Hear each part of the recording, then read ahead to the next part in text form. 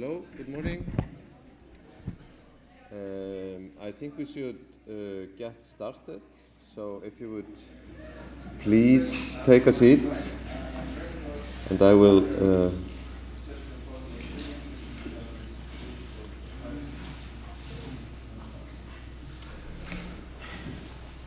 Good. So, um, welcome to this uh, conference hosted by uh, the FEINART Network Project.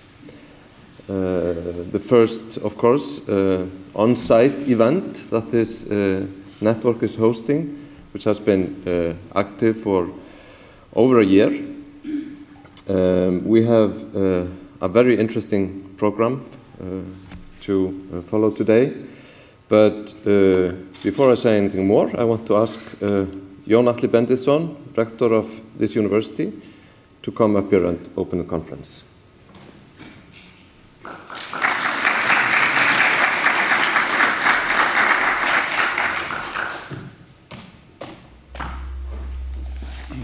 Good morning, everyone. Uh, thank you, Jon, for introducing me. It's a great pleasure to be with you here today.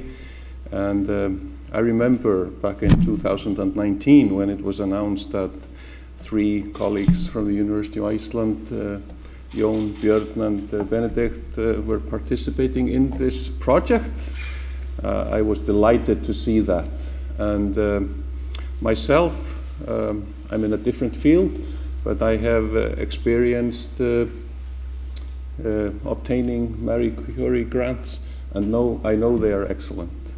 And I know here you have 11 PhD students involved, and uh, for them it is extremely important to participate in Marie Curie grants and uh, the network created by here four partner institutions and seven associate partners, if I understand this correctly, will be invaluable for the students.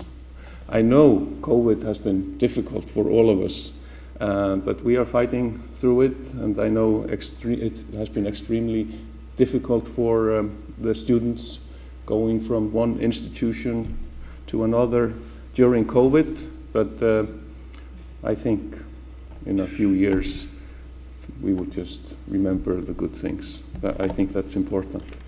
But um, I would like to welcome you also to the University of Iceland. And the University of Iceland is now celebrating 110 years this, uh, this school year. And uh, just to give you a brief history, very, very brief, uh, the university started uh, in 1911 prior to Iceland gaining sovereignty. So it was, in many ways, to establish a university here, an important vehicle in the independence uh, struggle for the University of Iceland. For, the Iceland, for Iceland, I should say, but not for the University of Iceland. But um, uh, the university at the beginning was uh, located in the House of the Parliament, downtown Reykjavik. It's a beautiful building. It was in the first floor, four faculties, uh, theology, medicine, law, and philosophy. And at that time, the university had only had 45 students, 44 males, uh, one female, and uh, uh, we can say it was very limited. And in the opening speech, the inaugural speech from the first rector of the university, Björn M. Olsen, he stated, This is perhaps the tiniest university in the world, but we strive to become a player in the world, in the university, to be on the university map in the world. And we can say that uh, we have achieved that, for example, by participating in this network to be a player, to connect to people all over the world, to work with universities all over the world. And um, we, I can point another step in the history of the university. In 1940, the university moved here and this was the building. This was supposed to be the building for the university to house, house everything here for the university. And uh, now, this is 1940, now it's uh, 2022, we have more than 30 buildings. So we have spread. And currently, the University of Iceland has about 16,000 students, uh, two thirds female, one third male. Uh, we have about 2,000 faculty and staff. We collaborate with universities all over the world. And I would like to say that international collaboration is key for the University of Iceland. We serve Icelandic society, but we also serve the world. And without international collaboration, we would not be doing, doing very well. So this is very important. And to participate in projects like this, it is very important for the university. And I would like to say, when we talk about the art, we have uh, uh, our art collection uh, here, we are very proud of, but we are also engaging more with society here in Iceland.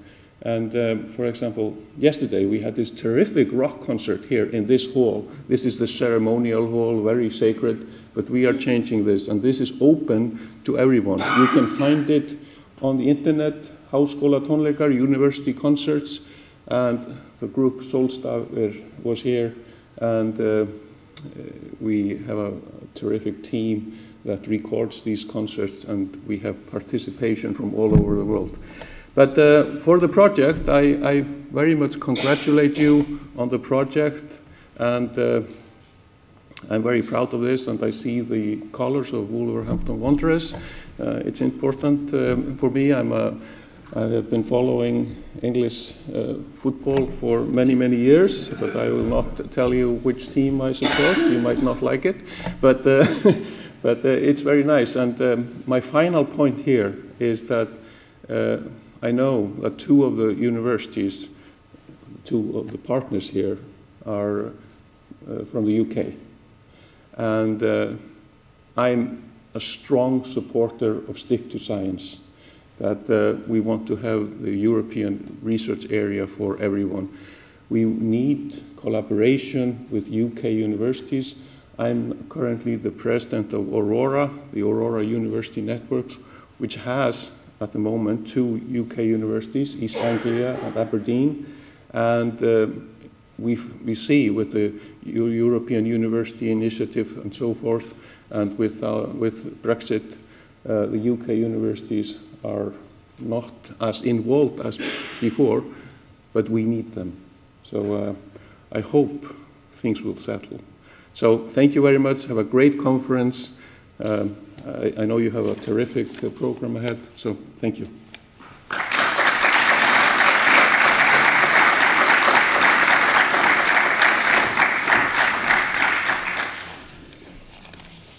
Thank you, Atli.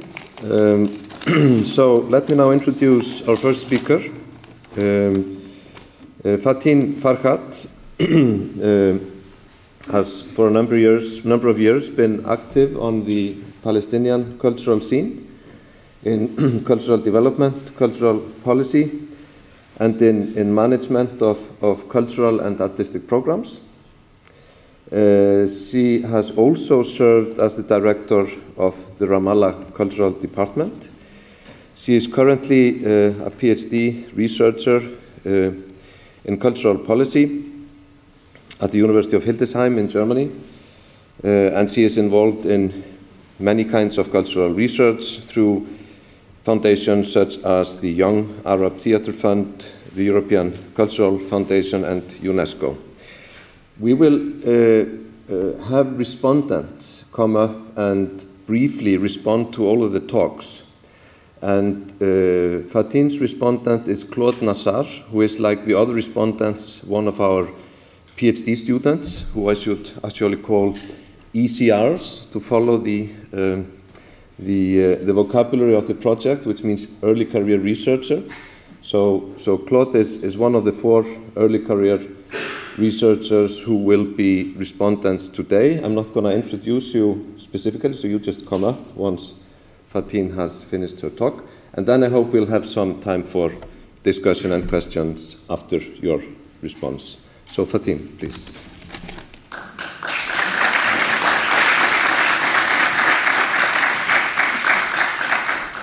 Okay, how do I do this with my laptop. Okay. Um, let me just, yeah. Good morning, and uh, I have to say that this is the first time I stand in front of a public since before the pandemic. So if I'm, I'm a bit nervous, uh, bear with me. I want to start my presentation today uh, by paying tribute to my sister Lubna. She's up on the screen. Uh, Lubna is leading a coalition of all leftist parties in Palestine today to the Ramallah municipality elections. Uh, voting started at 7 o'clock. It will end uh, at 7 in the evening. She's only 39. She's an interpreter who is in love with languages and what comes along, the culture that comes along with languages. She's a mother of two girls, a social leader who has been all her life affiliated with a local dance company. So, yes, although art does not solve the world's problems, uh, it can contribute to, to transforming individuals' lives. I've seen this throughout my career, and I did see this with my sister Lubna. Um,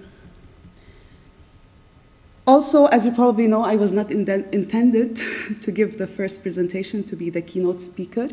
And I thought to myself when I received Ellen's email and proposal yesterday when I was in Frankfurt the day before, if I can bring three girls all the way from Palestine to Iceland to see the Northern Lights, I could probably go first. So, and one last disclaimer: uh, I'm not an academic. I was humbled yesterday to be among uh, the brilliant minds of academics. But I'm an art practitioner, manager, researcher who works on the ground. I spent all of my life working with social, cultural, uh, artistic movements on the ground, not only in Palestine, but across the Arab region. I do research to inform my practice and that of my colleagues and to enhance our tools. So uh, this is very important um, point to start with. So this presentation, Syrian Artists Outside Syria, Conflicts, Challenges, and Possibilities, um, comes in the context of my ongoing research, artistic research practice, which examines the conditions, realities, social and political contexts that affect displaced artists, art, art initiatives, and collectives immediately post displacement and in the years that follow, in the few years that follow.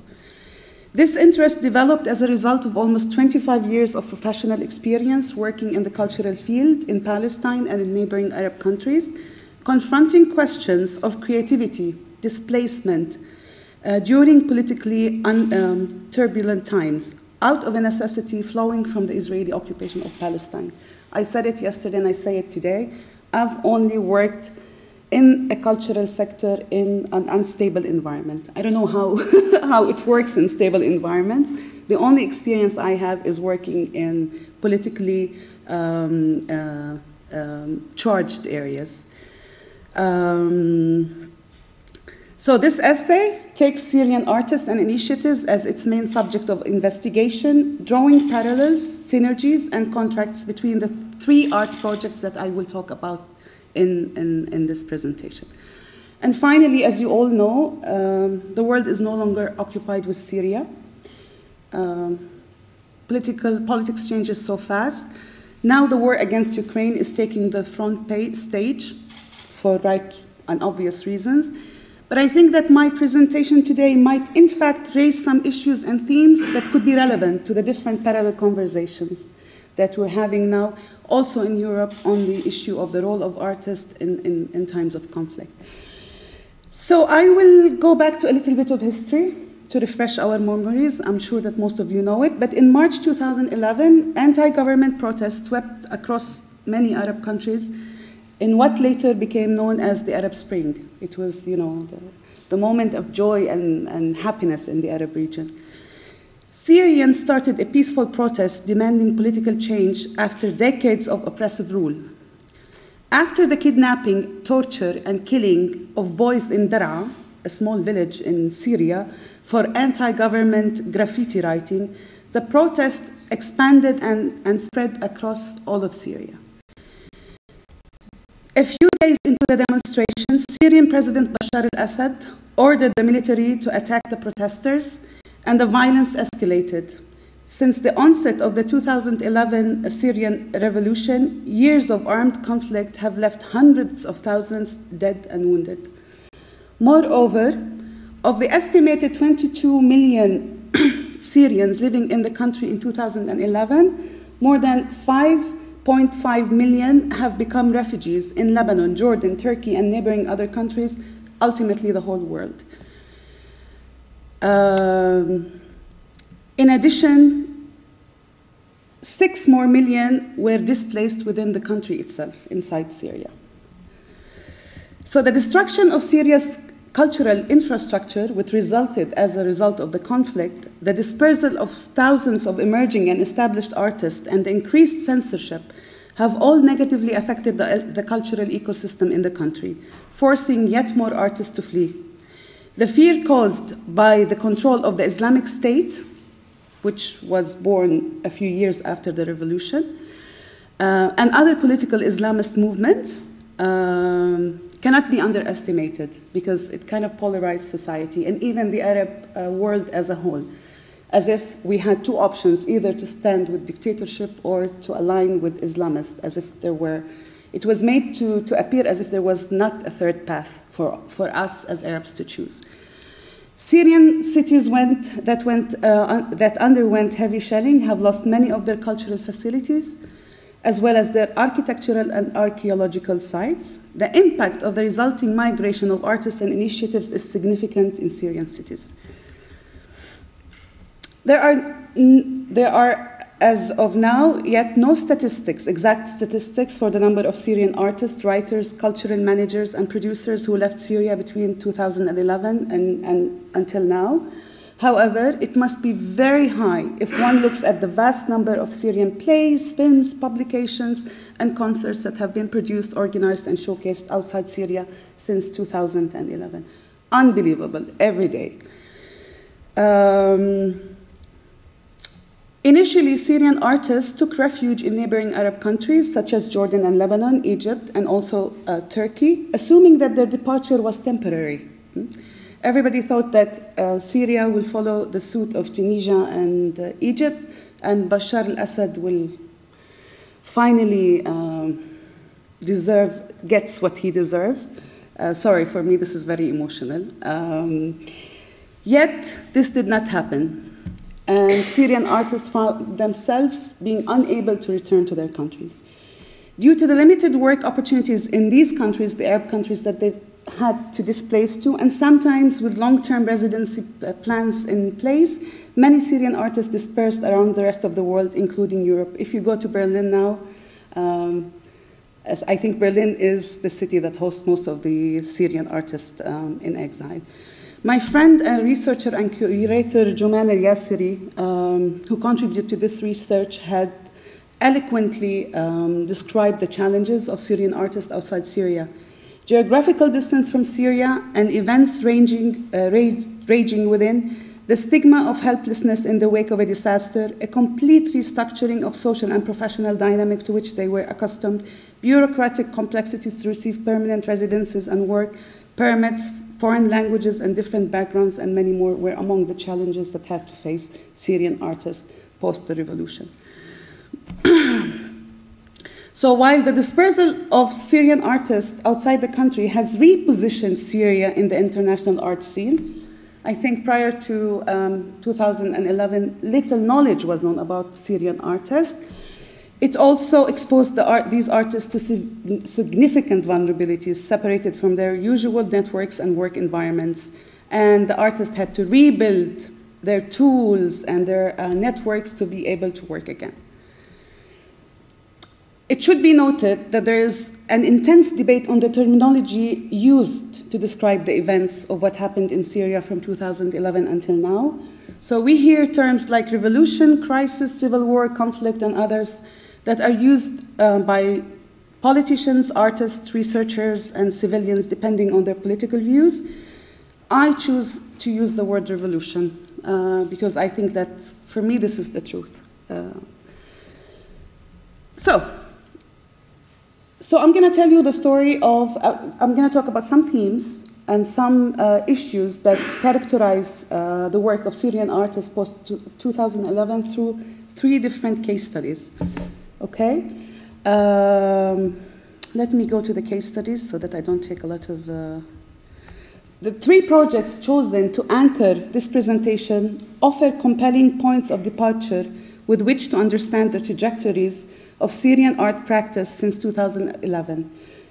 Rooted in distinct but often interconnected artistic disciplines and practices, the projects represent um, different responses to a shared context of dispersal and displacement. As they adopted to new living and working conditions, the practitioners driving these projects um, have piloted new forms of collaborations, productions, and artistic practices, in, turning, in, in, in turn generating new narratives, frameworks, and forms of community involvement and, um, and new publics. So, I'll talk uh, at the beginning about Masrah Ensemble. Masrah Ensemble is a Beirut based nonprofit theater organization that also fosters critical discourse and research around theater with a particular focus on the Arab region. It was established in 2009 by a Syrian, but before the revolution. And it brings together uh, a mix of professionals and amateur um, young people from the community of diverse backgrounds to work together. Um, Masrah Ensemble's audience are generally very diverse, performing for citizens, youth, refugees, migrant workers. That ensemble aims to, cha to challenge prevailing ideas of what theater should be, where it should take place, and to whom it should belong. So it's more of a community theater that is based on professional uh, experience.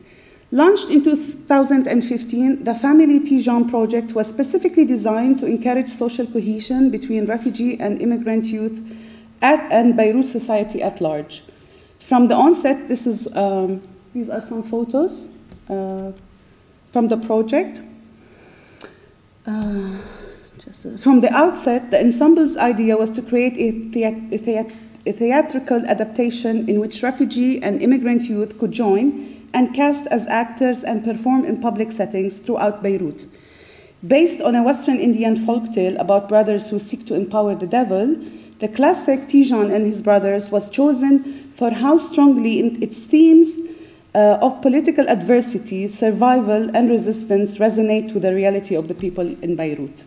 Um, not only uh, uh, Syrian refugees, but also Palestinian refugees and minorities working uh, in Beirut. Collaboration with the residents of Shatila uh, refugee camp was central to the development of the production. Shatila is a Palestinian, I, I guess most of you know the Sabra and Shatila massacres.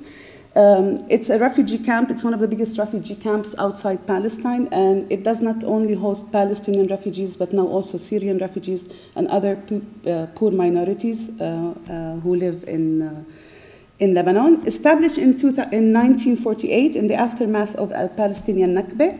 The camp is currently home to Palestinian refugees, poor Lebanese and Syrian immigrants, as well as other immigrants from uh, the Middle East and South Asia. Okay? So these are some photos from, the, from this project. The other project that I'm basing my analysis on is Pages uh, Bookshop Cafe, which took place or happened in two cities, Istanbul and in Amsterdam. So Pages is an independent cultural institution committed to publishing theater, cinema, music, children's literature, education. It was founded by Syrian publisher Samer Qadiri, who had directed a small publishing house in Syria uh, before the revolution. Uh, the project was implemented in two phases first in Istanbul from 2013 until 2017, and then in Amsterdam from 2017 until 2018. Um, the bookshop and cafe also operated as publishing houses, introducing novels by young Syrian and Arab writers, all, um, yeah, the project was born uh, and shaped, as I said, by Qadiri. Um, and the, the, story of how the project was developed is really interesting because in 2012, Qadiri was in Abu Dhabi attending a book fair when he learned that the um, Ba'ath authorities raided his house and threatened that if he would come back, he would be arrested. So what he had to do is move to Amman, and from Amman, his family, his wife and his two daughters were um, helped to get out of Syria they spent a few um, months in Amman and then they moved to Istanbul. Uh, and there uh, it was when he started the, the project with the collaboration of friends and supporters. So within two years of working in Istanbul, Pages organized more than 150 art workshops for children and more uh, than 200 musical events. The space also had its own theater called uh, Tabashir, where visitors were uh, taught to write and produce plays, also in Arabic. Guitar and oud classes were provided uh, to young people, and more than 60 um, literary events were organized, and so on. And the public was um, Syrian refugees as well as tourists and the people of Istanbul. The Amsterdam branch was opened in 2017, and yet again as a result of a catastrophe that happened in, to the artist family. So in 2016, uh, Qadiri was uh, invited by the Prince Claus to attend uh, the award in uh, ceremony in Amsterdam. And then he was denied, when he was there, as he tried to go back to Turkey, he was denied entry back to Turkey. And his wife was arrested by the Turks and imprisoned. And then, after months, he managed to, um, to apply for political asylum in the Netherlands, and he was granted refugee status, and they managed to get his family again from Istanbul uh, to Amsterdam. And in the context of this research, I was doing um, some research in Istanbul, and then I went to Amsterdam to meet Sa- uh, Samer. I transported with me the last of his family's luggage um, because, you know, he had left at Rush and he needed some help. So this is the second project uh, that we will be talking about, I'll be talking about. The third, these are images from pages in Istanbul. The third is the Visual Arts uh, Festival Damascus, which is a festival that was implemented in three editions in three different cities between 2010 and 2011. It was launched in Damascus in 2010 to provide a platform for meeting and debate and was intended to encourage and facilitate exchange between young artists, uh, Syrian artists, um, and Arab artists and international artists, which was a very rare opportunity because at the time, uh, the, the cultural sector was completely dominated by the government. So there were uh, only small initiatives that, um, that were representing the independent art scene. And then, of course, the festival became nomadic in 2011, and uh, it was hosted in 2012 by the International Film Festival Rotterdam as part of the Power Cut Middle East convening. And in 2013, uh, the edition, an edition was hosted in Istanbul, a program of exhibitions, screenings, talks, uh, as you can see uh, was chosen to host the festival uh, for several, and, and, Istanbul was used for several reasons, one of which is the physical proximity to Damascus, and also the, the, the desire to raise awareness about Syrian culture in, in, in Turkey, where the number of Syrian refugees was, uh, was uh, increasing. Again, the interesting thing about this case as well is that when the festival was supposed to convene in Turkey, it was a few days before the opening protest had erupted throughout Turkey in response to the government's plan to replace park in Taksim with a shopping mall. so suddenly there was a revolution that was taking place at the main venue of the festival, which in a way um, impacted the program, of course, the flow of the program, but created another momentum. Again, the issue of revolution was brought again into the festival that was trying to escape revolution per se. Um, so, this leads us to the concept of revolution uh, in these, um, that uh, one of the themes that Syrian artists until now, even 12 years after the revolution, are constantly uh, discovering. Uh, let me show you some photos also from the from Istanbul.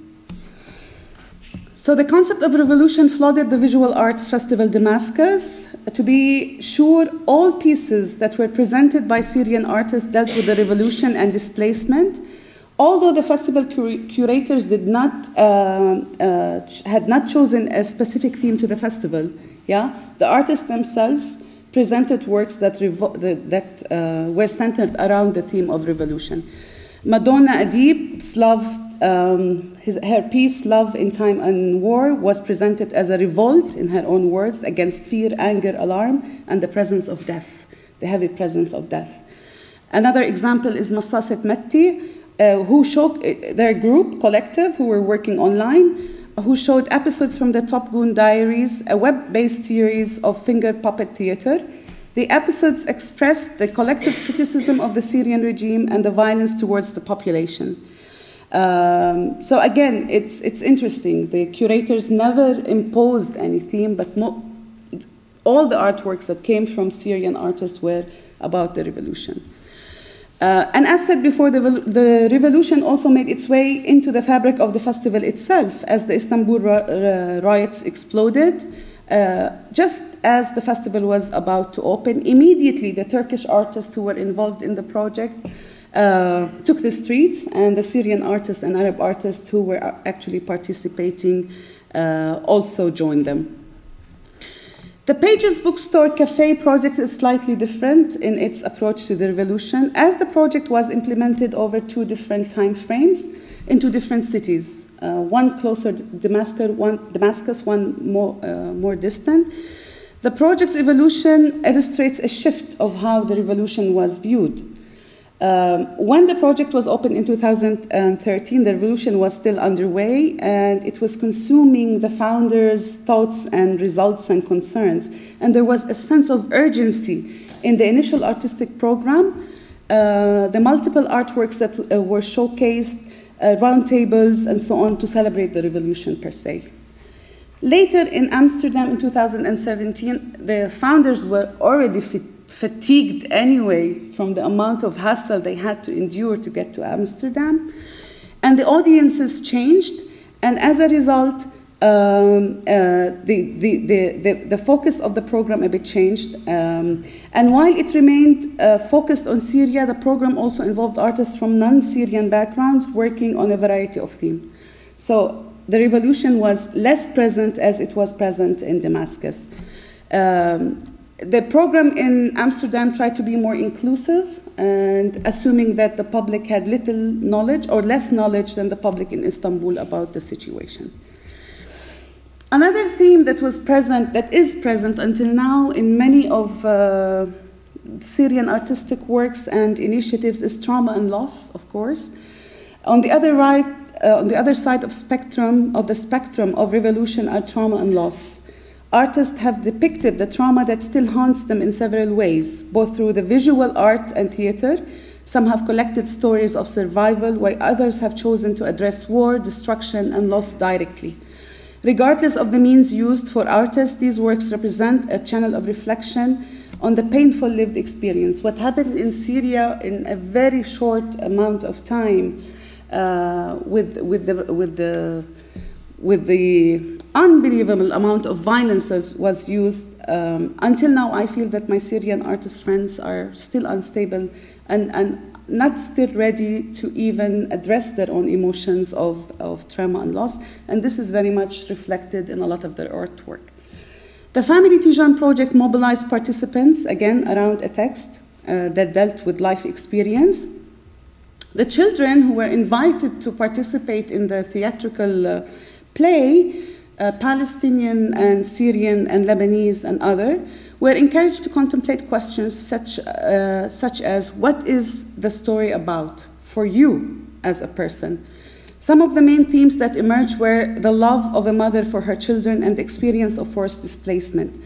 Like the characters of the Tijan family, some of the actors had been confronted with the loss of their own homes, um, family members, and country with exile, violence, and the loss of hope. The project, uh, when I interviewed the kids, worked a bit with the kids, to them it created a safe space in which they could deal for the first time with these painful memories. Kids refrained from talking about their emotions in front of their families. Uh, because they knew that their families were suffering. So, this project created a safe space, at least, for kids to cry and to share experiences and, uh, and so on.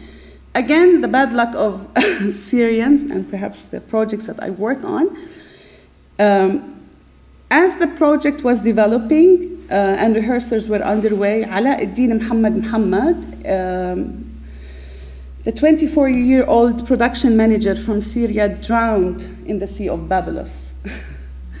um, and this actually uh, was really difficult for the whole group that was actually addressing the issue of trauma and loss. And uh, and again, the people who were in charge of the project had to create mechanisms for the kids to share emotions. Again, instead of, you know, as they were on the way successfully of creating some safe spaces, they were faced again with this issue of trauma and loss.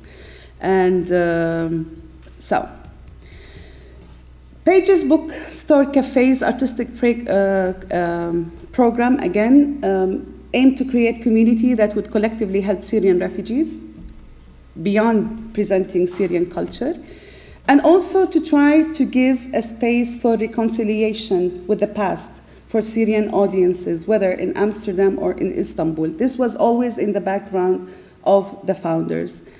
Uh, one of the ways that the, the, the, cafe did this was by creating, as I said before, a theater group for youth, teaching them professional um, acting techniques, but also helping them deal with this issue of trauma and loss that are suppressed and again are not shared by family.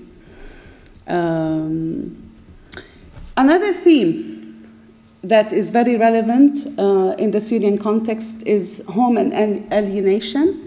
Places, spaces, and their stories emerge as core elements in most of the artworks reviewed for this research.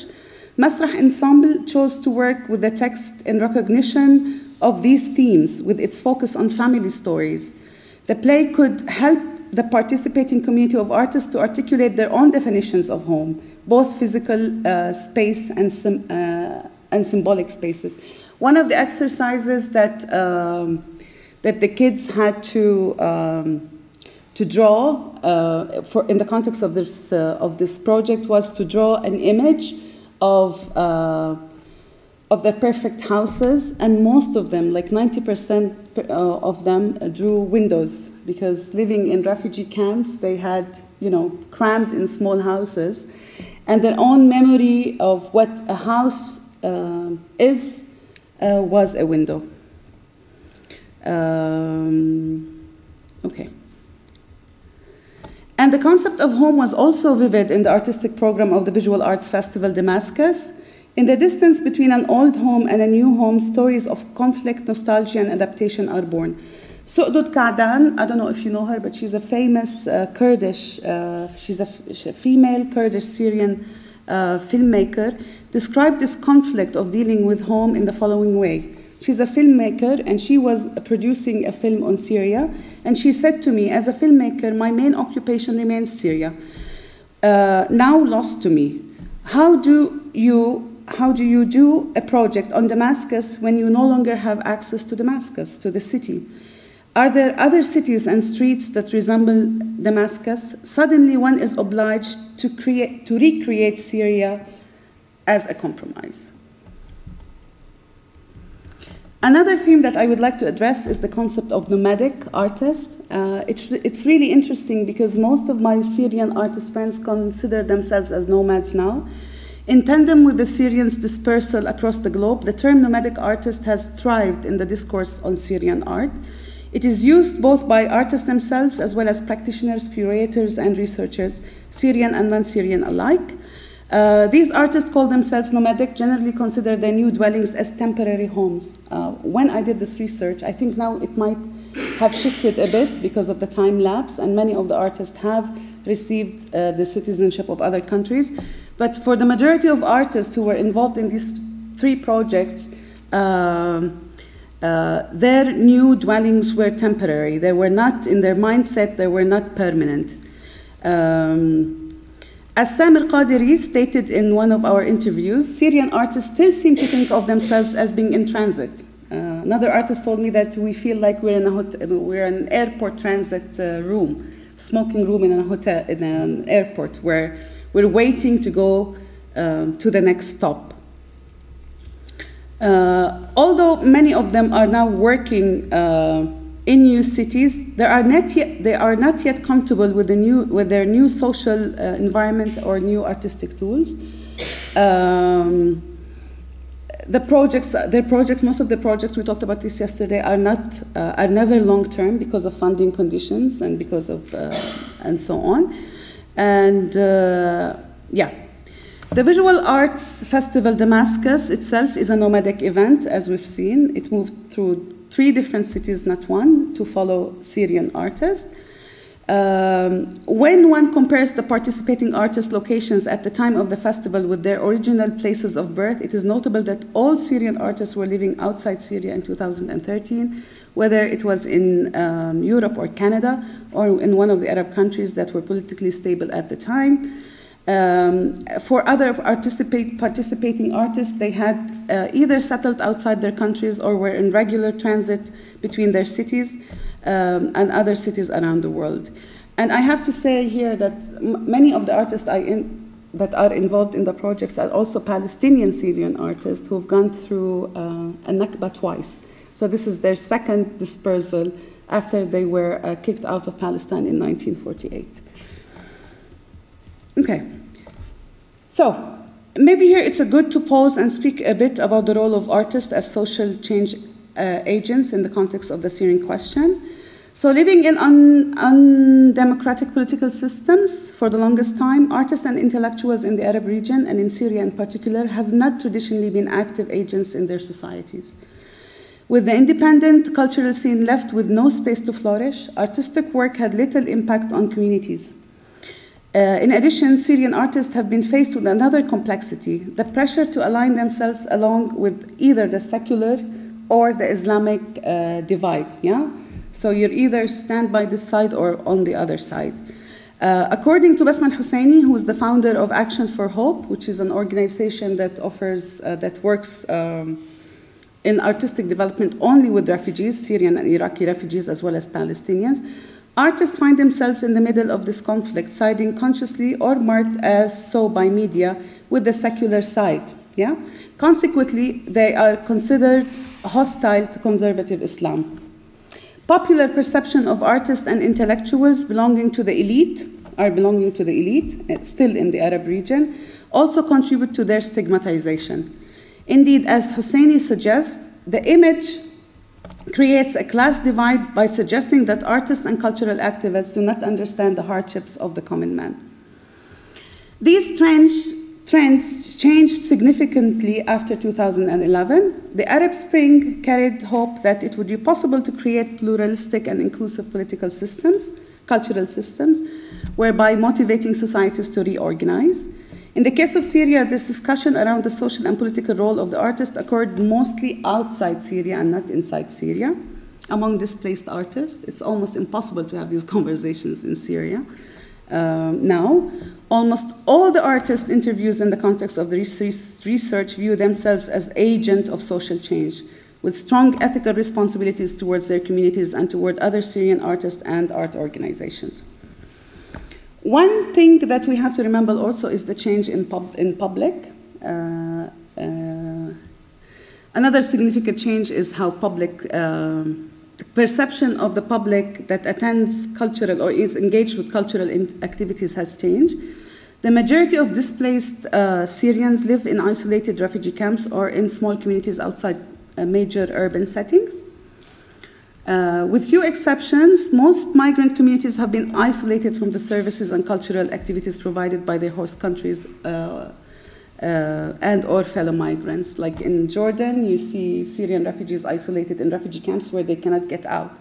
I had an interview in a, with a kid in Al Azraq refugee camp in Jordan, Syrian refugee camp, and he didn't know what a sheep was because he had never seen a sheep in his life uh, because he was contained inside the camp. Uh, so, um, so this is this is really critical because artists did not only lose their um, um, their context but also their audiences, and the audiences uh, uh, lost also what they were used to. Um, I'm going to be go faster so that we. One thing that is very interesting about all, uh, about all these, um, about these three projects and also other Syrian projects that I'm working and involved with is that um, none of them, unfortunately, could create direct or strong links with arts, artists inside Syria. And this is a problem now, uh, as we see that the development of artists outside Syria and the questions that they're asking and the way they're working is completely different than the artists, the few artists who remained in Syria. There exists a great polarization between the inside and the outside of Syria among Syrian artists and intellectuals that escalates day by day until now. leading to severe divisions that often amount to accusations of treason and estrangements and leave a kind of isolation from both sides. And unfortunately, this is also reinforced with the tendencies of funders, yeah, again to the issue of funders, who tend to support, to divide their financial support between the inside and outside of Syria, of course, or uh, in favor of the outside of Syria. Um, okay. Do I have time? Okay.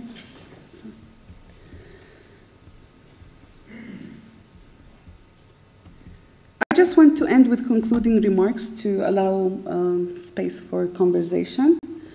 Uh, the permanency, impact, and creativity of the three projects um, that I talked about in this presentation can be, can be actually attributed to the strong dedication and determination of the people who directed them. Uh, artists acting as curators, acting as managers who found ways to overcome limited resources and institutional support. Um, it strikes me as, as really very vivid and strong that most of the projects that I work with with uh, Syrian artists are, are actually continuing or succeeding, quote unquote, because there are dedicated people behind them, not because of the conditions. The conditions are really difficult and poor, yet there are dedicated persons behind them who have since the revolution realized that artists have a role not only to exhibit in beautiful galleries in Damascus, but to contribute to, to social change. Um, the Family Tijan project was uh, made possible by professional theater makers who are dedicated to social change and to working with immigrant and marginalized communities. And as we, pro probably know that there's a lot of racism against Syrian refugees and Palestinian refugees in Lebanon. So this was a particularly important uh, uh, tool is to integrate, um, um, to, to, not only address Syrian and, and Palestinian artists, but also local communities. Um, for the founders of the Pages Bookstore Cafe, personal and professional trajectories intersected, shaping the course of the project of its development, um, showing that at a certain point that there is really no division uh, between uh, people's choices and the political context and the professional choices that they make. Um, and their story is really sad. Um, and the insistence of the curators of the Visual Art Damascus Festival, who are uh, French and a German woman, by the way, who are not Syrian, uh, to go to Istanbul to insist with the 2013 edition, also in spite of lim limited resources, is also another testimony of the de dedication of the people behind the project. Um, Okay. The three projects further make it clear that these art initiatives have the intellectual capacities and strategic ambition to do far more than representing the plight of, of Syrian people. And this is very important to keep in mind. Uh, they are evidence of a high degree of resilience and adaptability to new environments, of an advanced sense of aesthetics, and of access to professional networks and solidarity movements. All of these skills are called on to ensure that artists are recognized for their own merit and on their own terms, not because they perform as professional Syrians, uh, and can be reduced to the political parameters of the struggle in Syria. The risk of becoming professional Syrians, that's a term that I've played a lot with uh, because we were professional Palestinians also before. We got invited to events because we were Palestinians, not because we were good artists or good curators. And this, I've seen this also happen with, uh, with the Syrians. Uh, the risk of becoming professional Syrians will remain as long as the conflict continues and surely beyond. Uh, that time as well. But many artists and practitioners are already aware of this, uh, of this danger. As the value of their cultural contribution to their new host cities are being recognized, they will be able to better ne negotiate terms of conditions of their work. What matters now is to have platforms to continue this passionate, vital, and highly important debate among Syrian uh, artists and Syrians and artists and, uh, in their host communities, and also with um, funders and spaces associated with them.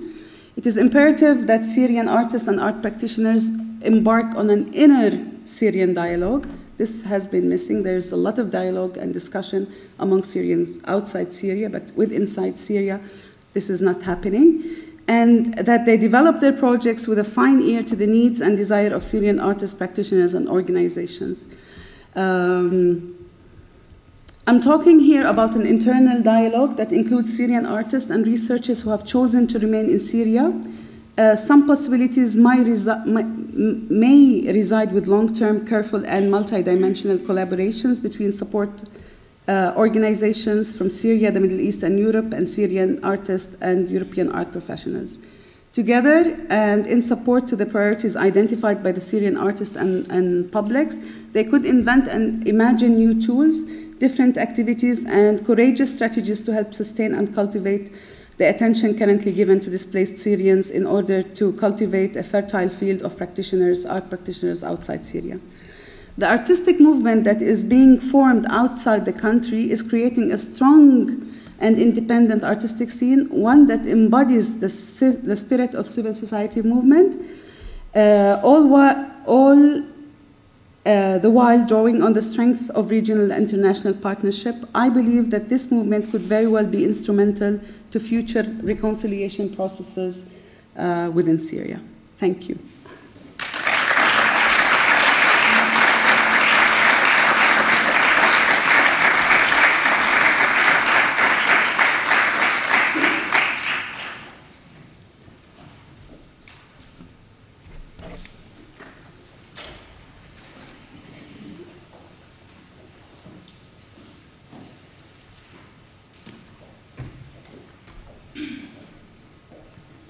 Hi, good morning.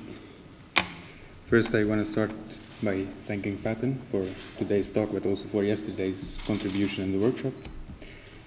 And I want to mention some points that I really appreciated in what you have said and uh, maybe move into a question to perhaps open it up for more discussions.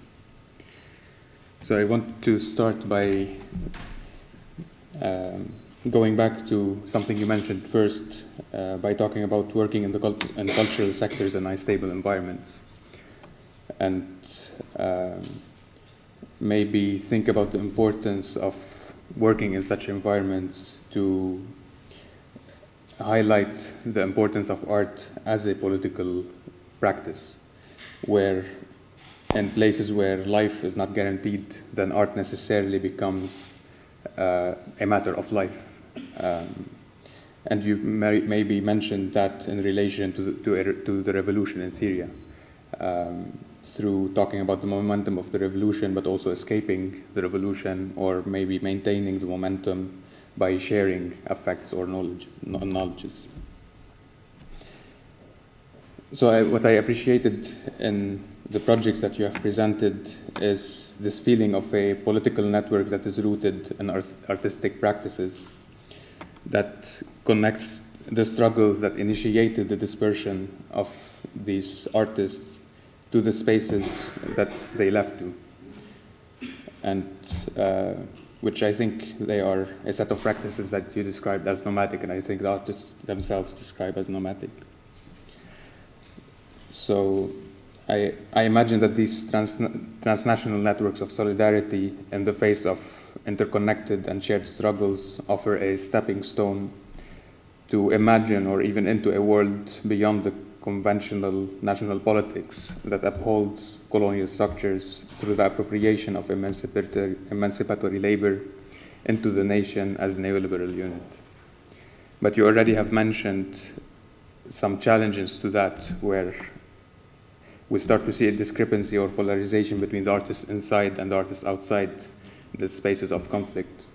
And mainly this is due to funding structures in, um, in the places where these artists go to, so mainly in places of non-conflict where art is considered to be a uh, maybe at the border of politics. But the question that I would maybe also to mention, I appreciate the high, you highlighting the transitory aspect of these practices. And I, th I think it's really nice to think about this, the effect of uh, perpetual transitory time on the production of artistic practice, how this continuous moment of interregnum affects what is produced uh, and the politics of what is produced. But perhaps what I wanted to ask, and I know that this is an incomplete question, but does art in the confines of the nation have the same emanci- emancipatory potential as art produced by people in displaced and unpure belonging? Um, which I think you have answered this partly in your talk. Um, but we also had this conversation yesterday, and uh, I think it will be interesting to maybe hear what you think or what others might have to say about this. Thank you.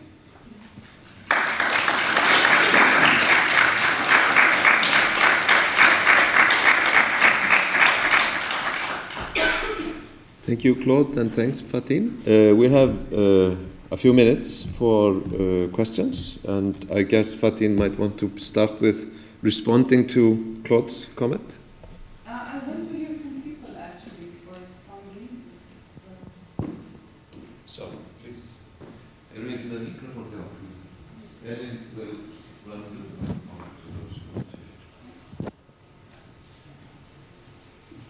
Maybe if you start with what the others will about. All right. Uh, I will start with the issue of polarization between the inside and the outside. The.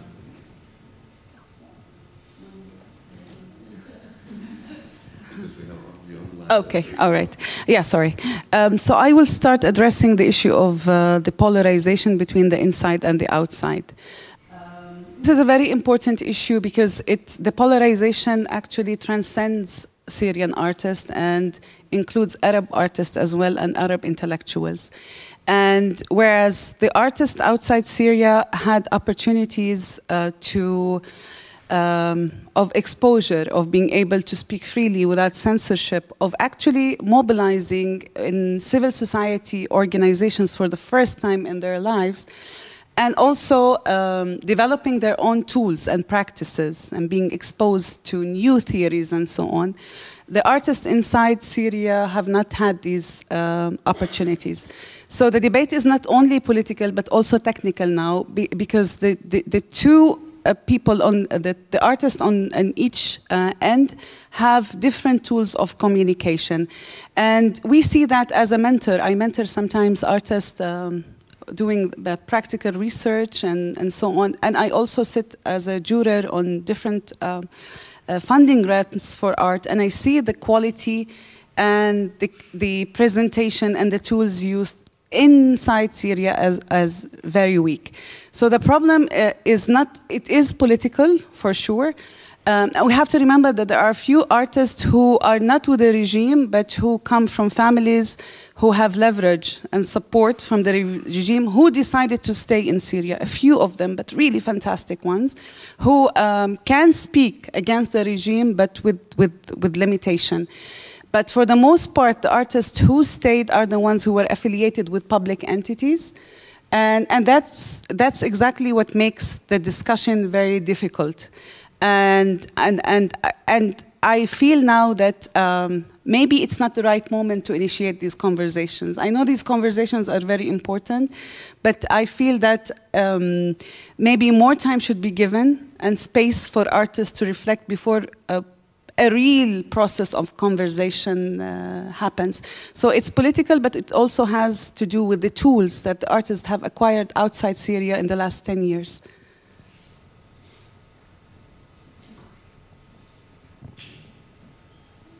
You want to ask? It was me. it was me. I just thank you for this uh, very. Yeah, my name is Alexei and I'm part of this FEINART project, uh, uh, and yeah, some other projects as well, uh, uh, uh, and many more. so, just a question about because your main um, uh, uh, it was a very very insightful uh, presentation, and I was really, by many reasons, of course, uh, interested in uh, the topic. I was just thinking about uh, how this kind of war and civil conflict, or you call it revolution, somehow brings definitely this tremendous amount of destruction, negativity, loss, uh, kind of uh, displacement, all these things which somehow were even praised like two decades ago, uh, like in postmodern culture, nomadism, uh, kind of this sort of. Um, in kind of different cosmopolitan way, etc. But I was also thinking, does this somehow brings? Uh, of course, it's just this destruction, negativity, loss, etc. But at the same time, I thought maybe, in a way, we can look at this uh, from the point of view: what are those new elements co constituted by this situation? And you already reflected about this. So this, from being kind of inside of Syria, artists were somehow pushed to be more international, to create more international connections, etc so even this extremely violent, negative, etc. kind of event somehow pushes uh, in kind of this sort of paradoxical way artists to be uh, more um, more exposed to uh, this sort of international scene, etc. etc. so, so, I was just thinking about the strange effects of this. The similarly, for example, in terms of being kind of recognized internationally, being visible, etc. In the same uh, vein, I was thinking about recent uh, kind of, uh, I don't remember the work of this probably Syrian artist who put this Ukrainian flag on the ruined wall of the building, saying that in the light of current light of this Ukrainian devastation, war, etc., Syrian uh, kind of events uh, which were not as covered by international media were somehow became more recognized and visible, perhaps. So this making these conne connections, etc. So again, this sort of extreme negativity and conflict uh, at a different part of the globe somehow brings kind of maybe dialectically to uh, kind of visibility and recognition some other so i just was thinking about this rather comment than a question I was thinking about this kind of connections and uh, strange uh, effects which are not necessarily negative but somehow create some new elements within the same art situation. Um, I won't say a lot except that uh, some, when I work on Syria, and once I'm sorry, I'm really sick today. So um, uh, when I work on Syrian projects or Syrian-related uh, research or articles, I have to refrain myself from also expressing joy.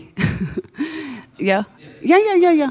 Yes, and when I was writing this piece, it's actually a small part of a book, of a chapter in a book by the European Cultural Foundation. The editor was uh, was always. Um, uh, Karen Cooney, as I think you know her, she was mentioned yesterday. She was always reminding me, Fatin, you're celebrating Syrian artists outside Syria too much.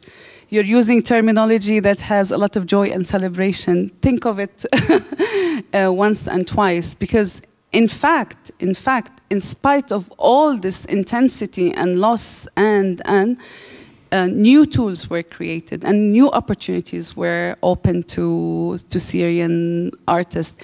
And I think um, now, after years from the revolution and the, the, hardcore violence, I think even artists themselves and organizations are more able to go beyond the destruction and see um, not to rejoice because there's no rejoice. There's nothing really happy about what happened in syria. But i think artists are, are having more chance um, to reflect and to see the opportunities that were created not only um, uh, for their careers but also in the development of a civil society movement outside syria which never, which never existed inside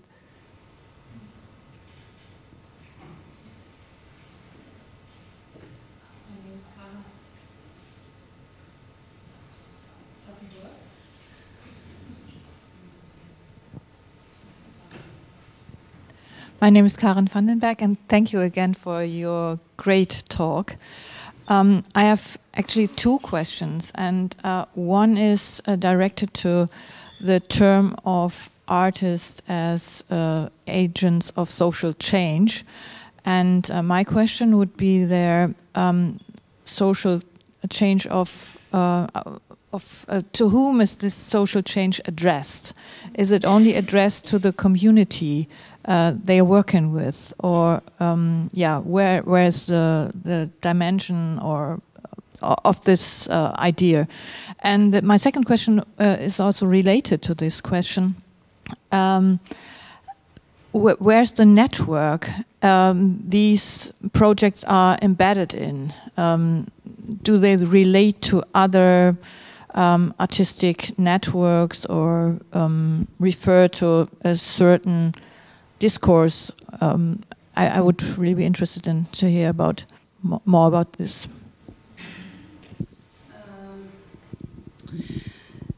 So, artists for for um, as agents for social change. Um, I think, and again, I'll focus on Syria uh, because Palestine is a special case. Since because of the Israeli occupation, artists did perceive themselves as agents of political change from the onset. In Syria, this was not possible. Uh, I mean, under the Assad regime, the whole discussion about freedom uh, was not really allowed. People disappeared. I have friends who disappeared for 20 years, and until now, no one could find them. So, um, so artists were actually writing and producing, but there were limitations that had to do with self-censorship and also uh, with the censorship imposed by the government. So in fact, and you have to remember that before 2011, there was no civil, unlike in Palestine, Jordan, and Lebanon, no uh, civil society movement was, was ever in, in Syria. You couldn't form organizations. It was just a bit, it's really, it was an extreme case in the Arab region, the Syrian regime. So artists themselves did not perceive themselves as able of creating uh, change. And if they could, they wouldn't speak about it. Yeah, they were very discreet about it. This changed post 2011, and I think um, uh, really it depends because Syrian artists, as I said uh, in the presentation, first they moved to Arab capitals, especially Beirut, because Beirut is Beirut. you would disagree with me, but it was for the longest time uh, a very important city for uh, contemporary Arab culture in general. And then they dispersed uh, around the world. So they are so, they, they, the artists that I've worked with, on, I interviewed for this research, view themselves as artists for social change at the level of Syria, but their own communities. Um, for example, artists who work with uh, Syrian refugee communities in Berlin. Uh, perceive themselves as social uh, agents of change to their own communities. Uh, the same in Lebanon. Uh, many Syrian artists and non-Syrian artists are working with refugees. There are two million refugees, Syrian refugees in Lebanon. Many of them are living in poor conditions. The same in Jordan.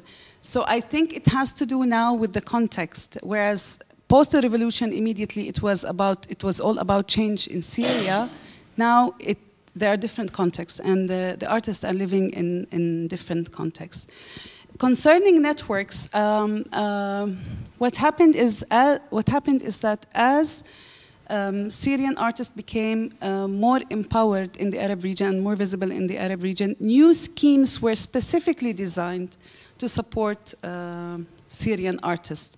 New networks, new organizations like Ettijahat, which is one of the biggest now uh, Arab cultural organizations that support specifically Syrian and non-Syrian art artists, but Syrian artists. So there were lots of, of, of, attempts of networking and solidarity.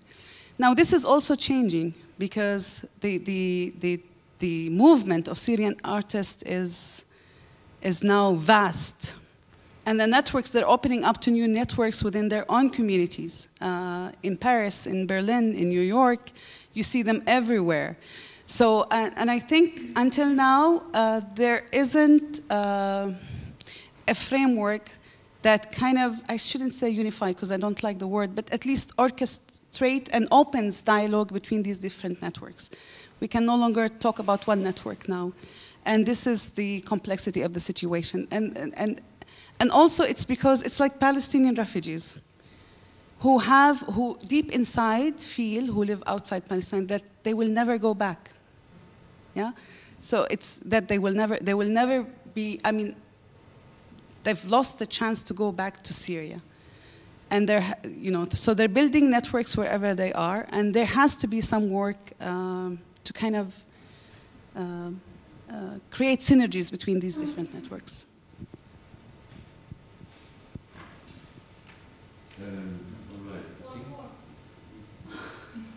That's, a one, one short question and one brief answer. Short question. I'm uh, Maria Hlavajova. I'm uh, part of this uh, FEINART Network and uh, director of BAK, Basis voor Actuele Kunst in uh, Utrecht. Thank you, Fatin. This was fascinating.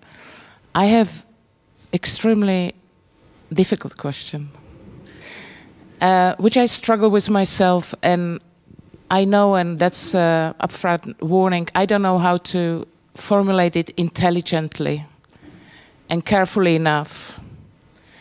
Um, that's why I wanna I wanna operate through what you were saying, just to see. I mean, I would like to place it in the network of joy. I think that's that this is the the the strategy of resistance or re-existence that we need to embrace. Um, I want to take your warning around the notion of time that there is not not every time is a good time to ponder upon certain questions, and I want to po pose my question in that framework. And the third uh, warning you made is the terminology that we're using contested terminology no matter what. We discussed yesterday that the only way forward is to, on whatever timescale, undo the nation state and the nationalism and nationalist populisms and fascism. So, what would be a way that we do it in our conversations? Is there a way not to belong or re belong the artists we talk to back to the nation state called Syria? Can we speak in other way so that we do not reproduce the nation state the way it wants us to be, to, to be reproduced through our radical conversations by belonging or returning the artist to national scenes? Is there another terminology? And I don't know, but I think we must find it to speak otherwise. And I'm fully aware that this is important for certain national liberatory processes, but maybe we need to overcome it in order to, to, to escape this capture by nation state that is killing us in their thousands.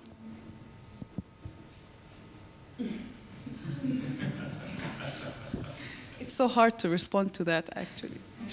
Um, Viviana and I were talking yesterday about the concept of a nation state and its complexity for Palestinians, for example. Um, I am one of the few Arabs who vocally say that I'm against Arab nationalism because it's a form of fascism, and people don't like it when I say it, uh, of course. But um, there are different contexts. I think in the context of Palestine, um, it's a premature discussion because until Palestinians have liberation and their nation state, they're not willing to discuss beyond it. There is a lot of debate now about a two-state solution, and uh, there's a lot of resistance among even artists, Palestinian artists, because to be able to go beyond the nation state, you have, it seems like you have to reach it, and then it, it seems like it's a process. So there's a lot of obsession in, for Palestinians, I'm saying, in, in, in, in, in, in having the national state so that we can dismantle it. Does this make any sense? Yes. But this is, this is part of it. With Syria, I think they have a better chance than us in this dialogue because of the fact that um, the artists are really dispersed everywhere in the world.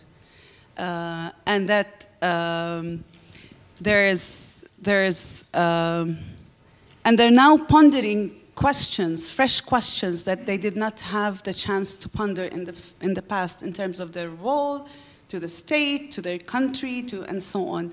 I think they might have a better chance of discussing, uh, of being more open, uh, but I'm not sure. But I'm really not sure. Uh, I think the role of the state in countries like ours, excluding Palestine now because of the occupation, and I'm sorry, I keep on referring to you when I say the occupation. that's, that's my mistake, so I apologize for that. Uh, really, I do apologize. Um, and uh, uh like in Egypt and in uh, in Syria, where the state is until now very strong and very present, and you have to remember that there's a lot of frustration post the Arab Spring. The Arab Spring turned into an Arab winter, people. Uh, I remember being in Ramallah, the overjoy of you know the start of this movement and the optimism and the fact that we can challenge the this uh, uh, undemocratic systems and the euphoria, and suddenly, and suddenly it all collapsed and the revolution was hijacked. So I think people also we have to remember are drained. They're not fresh. I don't know uh, if you can, you know comment on that. Um, I mean, even in Palestine, there's a lot of corruption with our government, and people are not being willing to stand up because they're scared of the chaos that overtook the whole region uh, after the first few years of the Arab Spring. Everybody is anxious now. And this is actually inhibiting many uh, movements uh, to form. So I did not answer your question, but.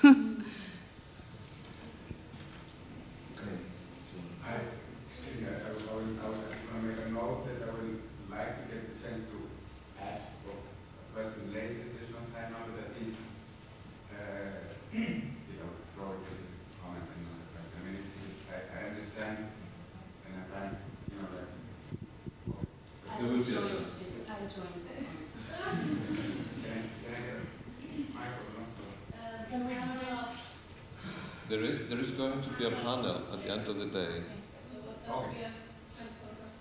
So we'll, we'll, there will be time for, I hope. But we have to move on.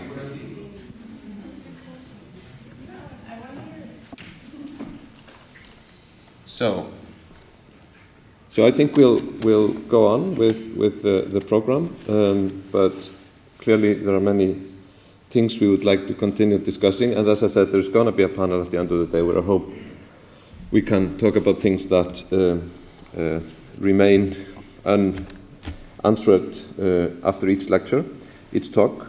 But our next speaker is uh, Margrét Elísabet Ólafsdóttir. She is professor at the Iceland Arts Academy. Um, Margaret is, specializes in, in uh, modern and contemporary art, also in digital and electronic art. Uh, she has a PhD from Sorbonne 1, uh, University of Paris 1, Sorbonne Panthéon. This complicated Parisian terminology escapes me, unfortunately. Um, Margrét has been for a number of years very active in the Icelandic culture and art scene, writing and speaking for both uh, public and scholarly audiences. So, Margrét, please. And her respondent is Fabiola Fiocco, so she will come straight after her talk. Margrét.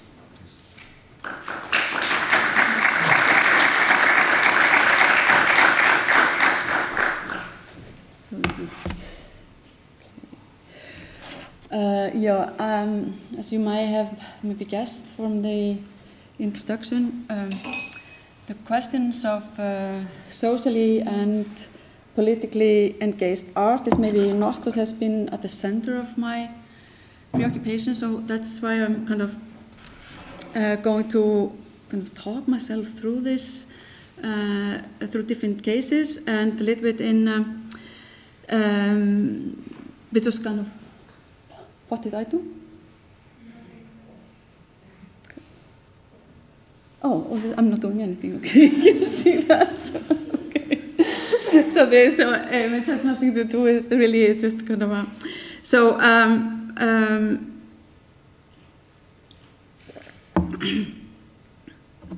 I was going to begin with and use a classification I came across uh, in a text uh, written by Karen van den Berg to frame discussion of a few uh, artistic projects uh, related to participation uh, to begin with, and then uh, to uh, what uh, can be uh, seen as socially engaged art. It is very difficult to come after you uh, about your talk of, of the situation in Syria and the Arab countries. It almost seems like, yeah, well. Um, so the cases refer to what I chose to call space of action, which evokes question of uh, both where the creative process takes place and uh, with whom, and eventually if and where the action or the result of the action takes place or is being displayed, And the space of action thus alludes to the moment uh, of the duration of an action taking place within a space, which may be physical or subjective space, or even both. And then this space of action is uh, maybe a space that embraces action and an interaction taking place between partners, collaborators, or participants over a limited or unlimited uh, or undefined period of time. So uh, I hope that this is not going to get me kind of uh, off track with time, but I uh, wanted to begin with at least like a, kind of a prologue um, because there was a performance festival in Reykjavik a couple of, week, day, couple of weeks ago, and uh, there, there this artist Alexander Ámundason uh, had a performance at the Reykjavik Art Museum uh, called Pinched. Uh, it took place in an empty office space in the museum building and which is not part of the museum um, itself and the festival guests were kind of invited to go into the space and then the artist was standing like here on this kind of narrow landing and like just dressed in his uh, casually in jeans and blue sweater and he was kind of just being himself uh, and uh, but soon he began to speak, and it was to tell the guests that he had planned to have a soup. But somehow he had not gotten into the phase of preparing the soup. So he asked the guests to just imagine that they would have a soup together. And he also proposed that they would kind of uh, tell the others that had not been there that they had, uh, had joined this soup together. And then he asked uh, for help uh, to hang up uh, a few uh, posters and photographs which were showing people around gathering around the soup and like serving themselves on a buffet. And like you see, this connotes to an artwork you may be familiar with. And then he handed, yeah. And then he encouraged people to take photographs of themselves with kind of empty soup dishes that they kind of this kind of few soup dishes and, and, spoons that he kind of gave a couple of uh, participants and uh, post them on social media and use his name as a hashtag. So my reaction and, and reaction of many people that were kind of uh, uh close to me was to laugh. This was kind of a, like a joke. And uh, he seemed to be making a joke of uh, uh, relational aesthetics and the works of artists like uh, Rirkrit And uh, but the performance did not really stop uh, there. It would have been maybe too simple.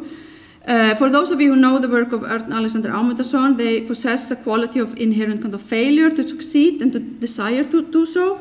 And Pins, uh, uh, in Pins, he failed to organize a truly participatory performance. He's, he's insistent that the guests were equal and as important as the artist, while in reality uh, he is kind of clearly trying to or pretending to manipulate and control the spectator's reactions and behavior.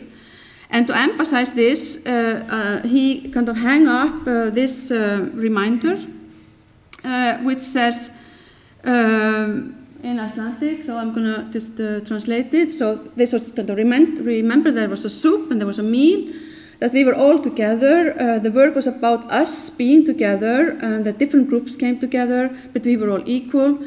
And although Earth uh, was the artist, uh, there was no stratification, and uh, that you have never, I have never seldom experienced a relaxed artwork. It was very casual, and so on. And then this was this encouragement to take photographs and, and post them on, on the social media.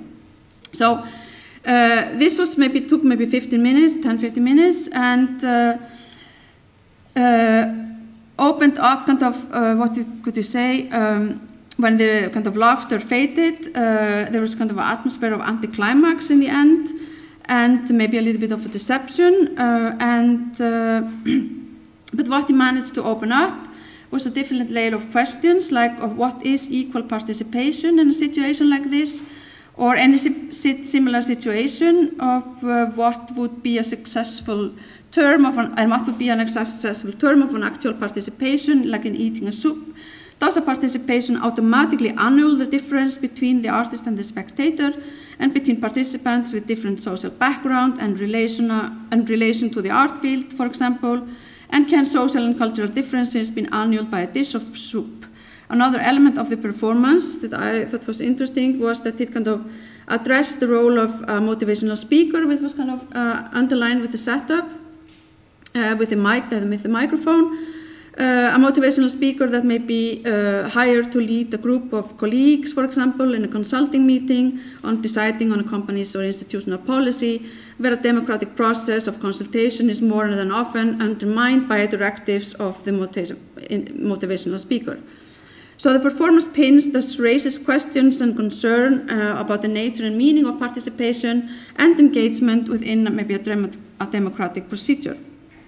So from there I wanted to turn to uh, Karen van den Berg uh, and her classification, and this image is uh, reproduced in her text uh, that I'm referring to. This shows uh, Sherry Arnstein's ladder of participation, and if you would like to situate the performance of Ernst Alexander in this ladder, we might want to uh, put him, you know, on the bottom of the on the bottom, as he intended to manipulate us although it was more about the manipulation than an actual manipulation as the degree of deception and failure automatically annulled the spectator's response to the artist's uh, commands and uh, uh, offer to participate.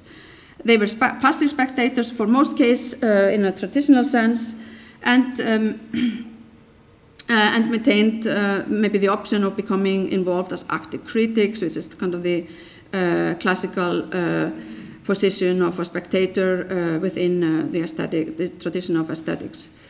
So the participation ladder is an interesting tool. It could be an interesting tool to use it. I feel like I'm drinking a white wine. Uh, but it, um, I may reading a little bit faster, but I'm afraid that I will be too long. Um, so I want to elaborate further on, on um, Karen van den Berg's uh, uh, different, different degrees of participation and collaboration within a framework which see uh, terms as topology, topology of political engagement and which is based on examples of artistic projects that have appeared in recent years and especially around the refugee crisis which comes to the talk of Farhat. Uh, so uh, her terms are then art projects that are about social or political issues and that often take place within traditional art institutions or galleries. And then what she calls spectators art, and um, which is, uh, can be based on collaboration within an exhibition context, and where the gallery is uh, sometimes transformed into a social platform, which is kind of maybe my translation of this. And uh, then the third would be collaborative projects which take place beyond the gallery and the museum nexus, and this may be uh, what uh, many of you are, are uh, interested in. But in the first, first category, just briefly, she mentions Ai Weiwei, uh, which she classifies as being about politics, and the main problem about this kind of work would then be that such projects, uh, the artist kind of uh, puts or attempts to speak on behalf of mar marginalized groups, which itself does not have the voice in the say. And the second example in the uh, second category would be uh, the work of, uh, and I'm still uh, referring to you, the Green Light workshop of Ólafur Eliasson, which was shown at the Venice Biennale in 2017. And in this piece, the refugees are like a part of a workshop, uh, almost like a, like a performance setup, put on display in the exhibition space where the refugees or asylum seekers or others participating become uh, almost like an object of observation for the spectators. They are kind of put on stage, which is something that almost always happens, uh, I think, uh, uh in participation art, at least when it takes place in the museum space. And this uh, comes to my kind of uh, knowledge of the, the, digital art and technology. Uh, with me, it resonates with uh, interactive art and installations, where uh, spectators become kind of uh, what has been called spect actors, and um, they are. Um, this is a term that has been used to describe the role of a spectator engaged within an interactive artwork when he passes from being an observer to, to becoming an actor in the sense that he or she uh, initiates an, actor, an action and, and, an interaction within a work. So this particular work uh, that I'm showing here is called niform. It's an installation by an artist called Samuel Bianchini. And uh, uh, this work is only activated in the presence of a viewer uh, of this blurry image, which comes increasingly sharper as he approaches it but only for the shape of the spectator's body and uh, which uh, uh, reveals only a fragment of a group portrait, of life-size French riot policemen in full gear. And as the work functions, no one spectator can view the whole work alone, and if they come too close, they miss the larger picture. So a visitor that stands in a distance from this image, he can observe the other spect actors trying to figure out how to make the image appear, and the specta spectator has the choice to remain passive and look at the blurred image, or become active and try to get the image into focus, or even try to make it appear in full collaboration with other spect actors. And niform is also about uh, uh, uh, an image about power and poses the question of whether power can be easily displayed or if it tends to be elusive. And this piece is, of course, very different from Ólafur Eliasson in, in uh, the Greenlight workshop, but it does, uh, it does not involve uh, other parti participant, other participants than those that are interacting with the image. It's not kind of with, this, with others in the space directly. Uh, and it takes place within an exhibition space and uh, it offers itself to interpretation and questions about the display of, of, this display of power. If you think about the role of the policeman, which uh, is to keep uh, the order, keep order, and uh, for example, in a social or political protest, they stand there and they are prepared to step in if a crowd begins to behave in a way that where the situation might get out of control. Uh, so here the action is very dependent on the interaction of the spectators within the work and within the museum display and offer itself to critical reflection rather than a direct action or engagement or any social change for that matter, except within the work itself or interpretation of the, of the work. So in that sense it becomes very classical. Uh, a different level of engagement uh, can be found, and that was something I, I was, yeah, uh, can be found in the work of an Icelandic artist, uh, Ólafur S. Gíslason. And uh, that is where this uh, title actually comes from, the space of action, uh, which takes place out of the outside of the exhibition play, space. Uh, Ólafur Gíslason has for more than almost three decades made works in collaboration with a group groups or individuals which take place often over a long period of time. In his earlier works, he worked on site with different participant participation of the public, but uh, from uh, um, this uh, direct kind of participation uh, on location, he has developed a working method that consists of doing interviews, which is kind of uh, often on the core of his work, uh, where he kind of, uh, which he then uses and rewrites into a script to be interpreted and then filmed. Um, the films are neither feature films nor documentaries. Uh, they are uh, more like a script interpreted or recited, some, sometimes by the individuals that he has interviewed, sometimes by professional actors or amateurs, or all three at the same time, like in a multi-screen uh, installation called Subjective Spaces. But Gíslason first used the video as a medium in this installation and this method uh, called, uh, it's called Golden Bamboo from 2002. And it is based on an interview with a Vietnamese immigrant in the former East Germany who was a restaurant owner in Dresden. The video shows a palm tree being moved from the Vietnamese. We see the, the video is just uh, uh, inside the behind the door, and it shows the a palm tree being moved from the Vietnamese restaurant to the exhibition space uh, in uh, which was also in Dresden. The transportation of the tree served as a, this, this exotic element uh, served as a metaphor for the journey of the restaurant owner from Vietnam to East Germany and his ultimate adaptation to new conditions in a reunified Germany in the 1990s. So uh, Gíslason has since continued to use this method methodology uh, to address different social issues. So it maybe is more about uh, maybe social, uh, yeah, social issues than than uh, trying to kind of activate change. In another work, which is called um, Fiat Theater Real, he interviewed uh, seven shopkeepers on the street in, um, in Hamburg um, that were under the threat to um, be closed because of opening of a big shopping mall.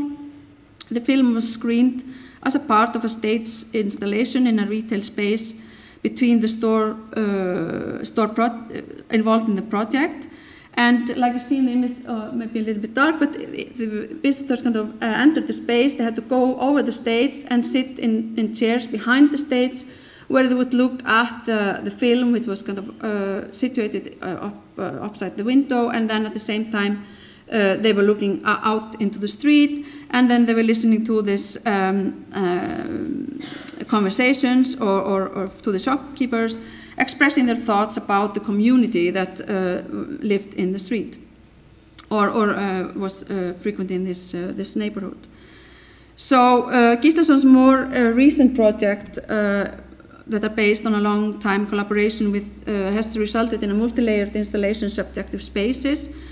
And um, in this case, we are still talking about something that ends up in a museum space, but this work is based on kind of uh, many years of um, engagement and relationship uh, between Ólafur Gíslason and a person who lives on a farm in South Iceland and which is no longer farmed in the traditional manner and the farmer kind of works elsewhere, he keeps few seeds on the farm, he cultivates woodland and uh, on his property and he makes experiments with potato growing. And um, the work, uh, uh, final work is kind of largely based on uh, interview with the farmer, uh, which the artist has then divided into uh, themes of discussion and uh, into six short films that are screened in pairs.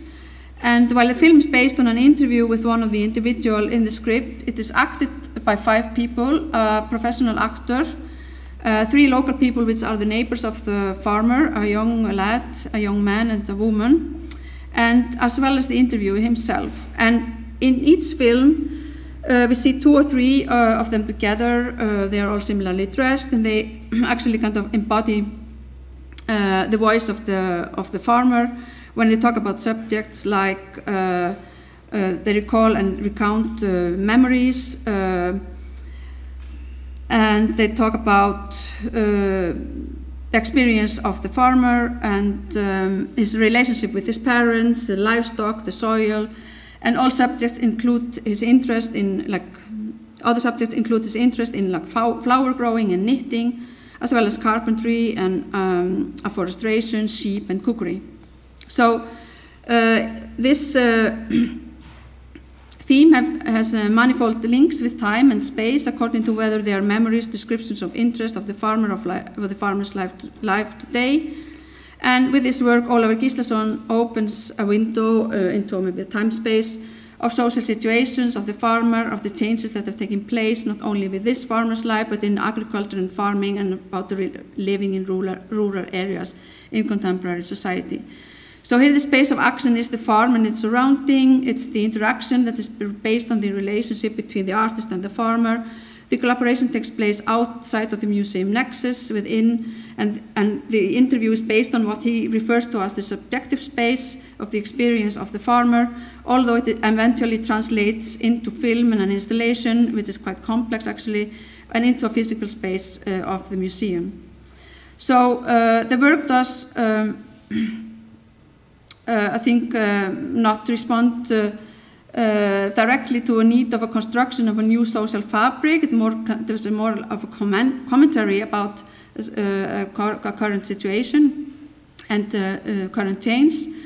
the construction of a new social fabric, though, which is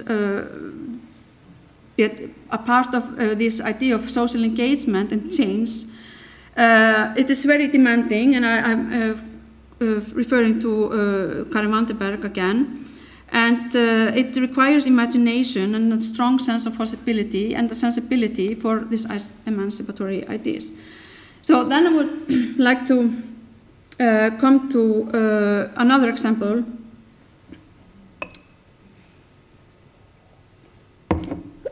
How this can maybe, um, uh, yeah, how, how, this can ha happen. Um, in our discussion yesterday, there was some mention of uh, social engagement uh, in relation to decolonization. So uh, that uh, responds to the, this, uh, my, this is not the last project, but uh, yeah, the, um, yeah, it co corresponds to this project. uh, which I've already uh, kind of written about. It's called Arctic Perspective Initiative, and it was initiated almost 50 years ago uh, by a Slovenian artist called Marko Peljhan, uh, and is, uh, engages uh, a, a, group of collaborators. So it brings us from Syria and Arab countries to the North Pole. um, um, Peljhan's work is rooted in his interest in telecommunication and his practice as a radio amateur during his childhood in former Yugoslavia. And in 1994, he created Makrolab, who focused on uh, telecommunication, migration, weather system research, and an interest in art, uh, science, uh, and engineering.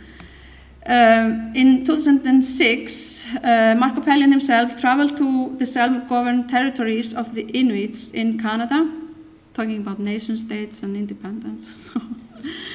uh, which is called Nunavut. And uh, I'm showing this on the map because it's a, um, yeah, um, it's, it's huge uh, territory.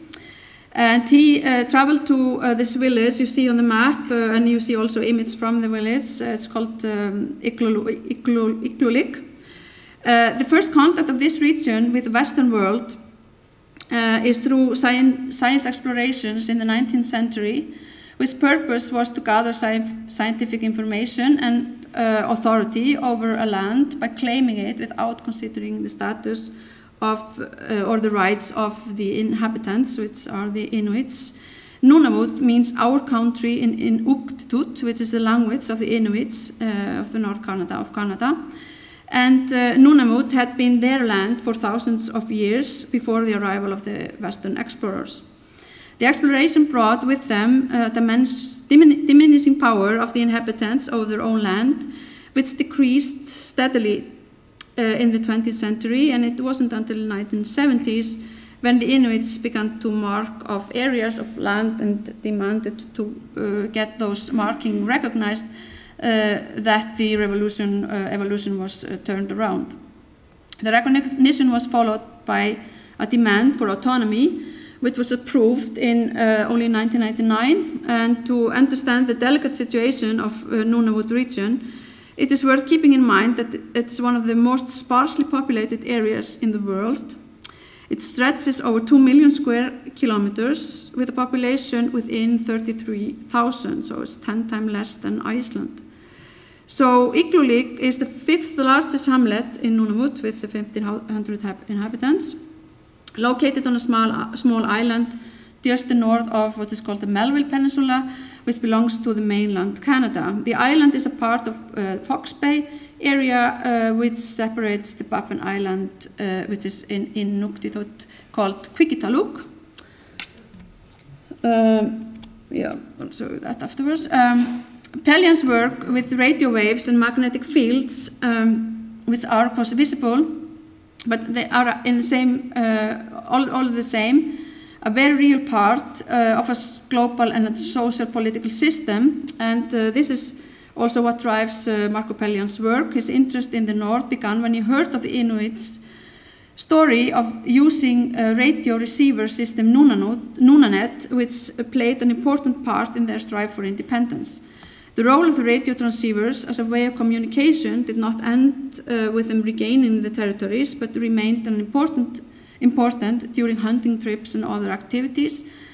Uh, because another element was that the population of Nunavut, which had been pressured onto, to just to the south, uh, when the area was occupied, was, uh, was pressured to adjust to, to the south when the area was occupied during the Cold War uh, then air defense system and radars were put up along the so-called distant early warning line, the DEW line, which travels also through Iceland, uh, which ran through the Big Bay area on this Qikiqtaaluk, uh, uh, which is yeah, the, the Iqaluit name for the Baffin Islands. Uh, after the installation of the army base, the Inuits were encouraged to give up the nomad, nomadic lifestyle which characterized their hunter society and settle down in the hamlets. The inhabitants were grounded and their dogs were killed and they were replaced by snowmobiles and sleds and mussing boats, which made the inhabitants very dependent on supplies and shipments from the south. And um, the grounding of the Inuits therefore played uh, a big part in kind of undermining this uh, newly gained autonomy. So Nunavut has again been placed in a political and geographical struggle And the project, Arctic, Artist, Arctic uh, Perspective Initiative, was um, uh, uh, intended uh, as a ground of an international and intercultural collaboration in researching the changes of the Earth, Earth's atmosphere as climate changes are tangible in the Arctic regions, where they affect the daily lives of people, uh, etc., and um, where there is a new uh, growing uh, interest in exploit, exploiting natural resources, which have opened up and new areas of sea and new sailing routes through the Arctic. So this has led to new conflicts over these areas, and the inhabitants uh, need to be able to kind of keep on living there, but they also need to withstand the pressure that is being put on them because of those new interests. And the areas also need to be prepared uh, to face uh, interest within this increased uh, independence. So originally, the intention of this project, Arctic Perspective Initiative, was to build a research station similar to MacroLab to be used in the area. But after Marco Pellian's first visit in 2006, uh, the idea shifted to a more elaborate project to empower the inhabitants by developing equipment that they could use uh, uh, to do their own research and gain an independence toward the scientific knowledge and technological superiority of, toward the scientific knowledge and technological superiority, superiority of the South. So this was done in a close collaboration with the community, uh, which had already adapted several new technologies and considered it absolutely vital for their future to possess the same equipment as the mining companies and the government to stay autonomous. However, they can't develop such a technology without cooperation, and there is where, where this uh, Arctic Perspective Initiative project uh, stepped in. Uh, in this initial state, they uh, decided to develop a technology uh, uh, with a local which contained a no local network system which could be connected to the global positioning system, the GPS, and with the inhabitants could use to collect data concerning environmental changes, for example, uh, in traditional hunting areas. And the images you see here uh, are with uh, Marko Peljhan and his colleagues. Uh, this is in 2009, and they are uh, kind of uh, built this kind of drone. which they were going to test on a, on a hunting trip. We see kind of this um, the, the boat, and then the bay uh, that they have to sail through to get to the hunting areas. And even in this is in late summer and in August, it's already, it is still covered with um, ice pack.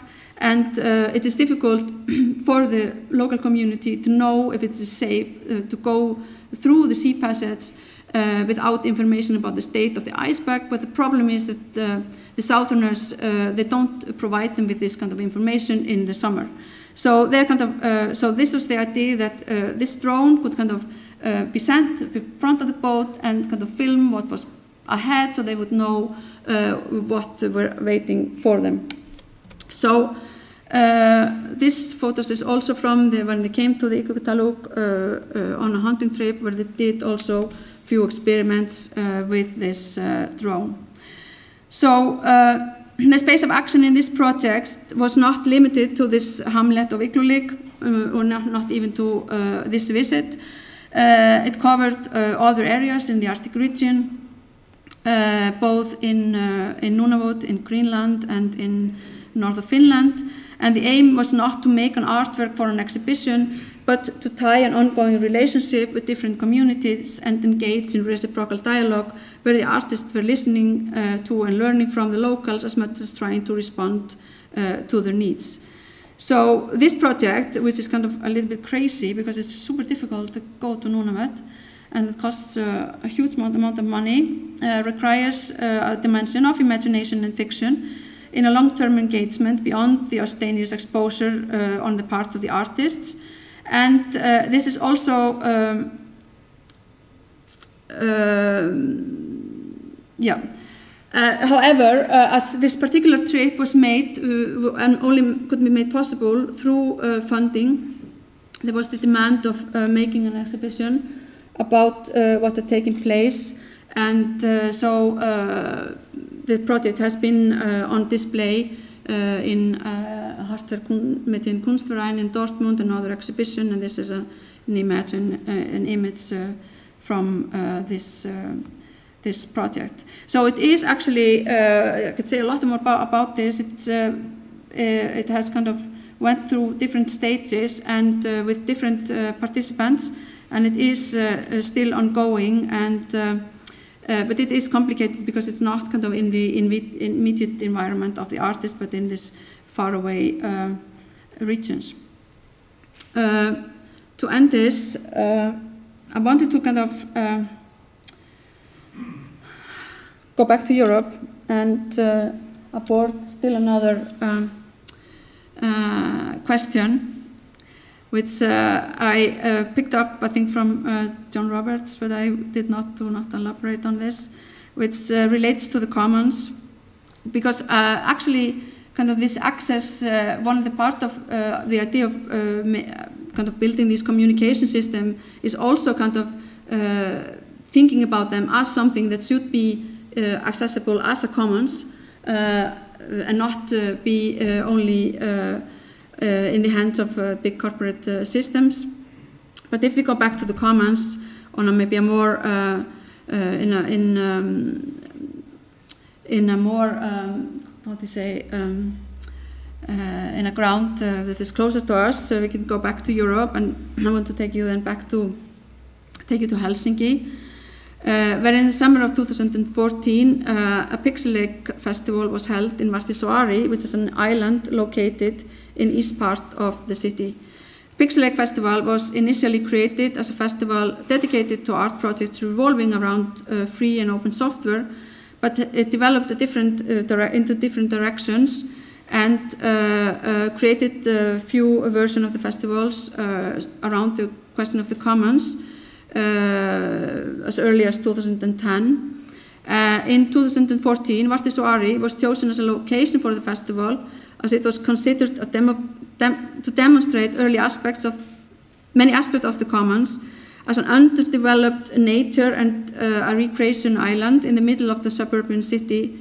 Uh, yeah, in the middle of the su suburban, suburban city sprawl, which hosts numerous social and uh, social and association-run wooden summer and village retreats, and um, has uh, certain special features.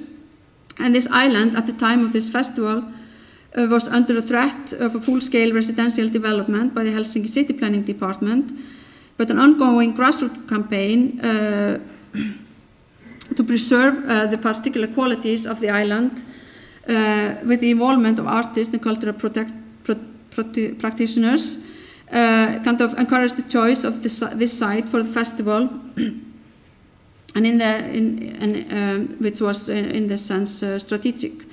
It provided a platform for. The festival itself uh, provided a platform for discussion around Helsinki, com Helsinki Commons issues and other similar issues like bio, uh, bioculture and knowledge uh, commons. And it was a very informal festival with uh, kind of open open platform. They called it unconference because people could kind of just come and, and write down uh, subjects they wanted to talk about. And this was all done um, on, the, on a camping site on the island, which is kind of a, a common camping site, and whoever can go there and, and put up a tent and, and stay there for a, uh, for a certain, um, yeah, for, to, to, go on camping. Um, this um, project uh, is, of course, very different Still, uh, as it uh, involves mainly uh, the artists themselves, it was the participants were, were the members of Pixelache, the collaborators, artists from other places, countries in Europe, from South America, and to participate in this kind of events. So, uh, as this was uh, took place uh, almost seven years ago, I was curious to know what had happened to this island and uh, discovered that uh, actually there has been a halt or a pause in this urban planning. And although that it has not been kind of completely stopped, there's no uh, there's no building uh, construction buildings happening or building happening happening there, and um, it's kind of uh, still uh, an open island. where people can not only go camp, they can go into into walks, they can go swimming, and they can also uh, grow vegetables in uh, common gardens that are found in this uh, in the island, which is kind of uh, just the, from with a boat trip from the center of Helsinki. It takes maybe 10 minutes uh, to go there. So. Um, the festival is, involves uh, a certain action in space about the, the common that is under threat of making the common territory of the island disappear and thus re reduce the space available to the inhabitants of Helsinki to enjoy nature, woodland land, and access land with these uh, vegetable gardens, uh, and uh, which, where it is possible to go also and bathe in the summer, and to, like I said, uh, to camp, and as we did, or they did, to organize this festival. So uh, I've kind of maybe um, touched upon uh, many different uh, subjects, and I was thinking what uh, could be the conclusion of this. Uh, uh, the projects that I'm kind of been chosen to talk about are more as a way of develop thinking, a thinking process through, through these different cases. maybe it's a little bit of myself thinking out loud about this and uh, going from projects that appear or are uh, more conventional, trying to grasp uh, which cases might be relevant for the classification of this topology of engagement proposed by Karen van den Berg, and where the space, or the, and also raise the question of where the space of action takes place uh, with artists, with group of artists, uh, which abandoned the studio and stepped into the social sphere in attempt to evoke or even provoke um, actual change.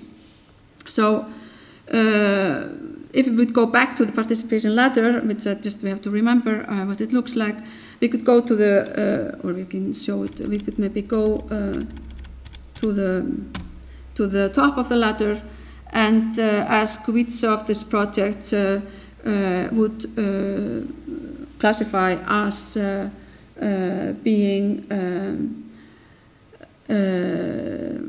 or, or holding uh, a participation that involves uh, partnership and citizen control of uh, a particular situation or particular land or some or, or place that belongs to the to the commons. So this is the final. Thank you.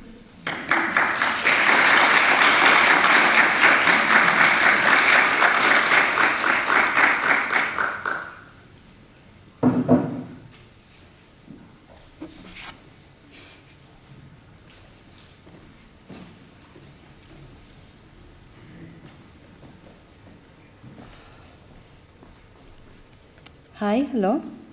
Um, this is Carrie. Uh, thank you, Margaret, for your talk, and thank you to Claude and uh, to Fatin for what has been talked about so far. Um, I'm trying to still like order the thoughts after after the talk, but I think it was really interesting uh, what you said about space and where processes occur and where the outcomes are shown, and um, you have talked about this dichotomy between the institutional and the non-institutional space, but then um, the first uh, work you talked about, there was this strong component of the digital realm as a space of marketization and this push to people to make pictures and share them and use an hashtag. And so one, one of the first things that I thought about listening to you was how to make this other space in the conversation. So the digital space as a space where people do not really engage with the work directly, but kind of experience the experience as is already happened, and how images are not just a documentation of what occurred, but acquire a very strong economic component and something to be sold and circulated and consumed. And in that sense, then I kind of collect, um, connected it to the ladder of participation. And I was thinking how to add new steps to this ladder that goes beyond the idea of uh, citizen power and tokenism, no participation, and kind of considers um, the way that people are asked to produce value in these processes uh, as participants but also consumers, or this very fancy word of prosumers that has been developed in the marketing field. So um, this is something that I might ask you to elaborate if you want to, like what kind of steps can be added into this engagement classification, mm, and how this might relate to this moment of gamification and interactive part that uh, kind of characterized the first part of the case studies that you, you shared. Um, and I will not delve too much into the digital because I know that there are people that know way better about it than I do.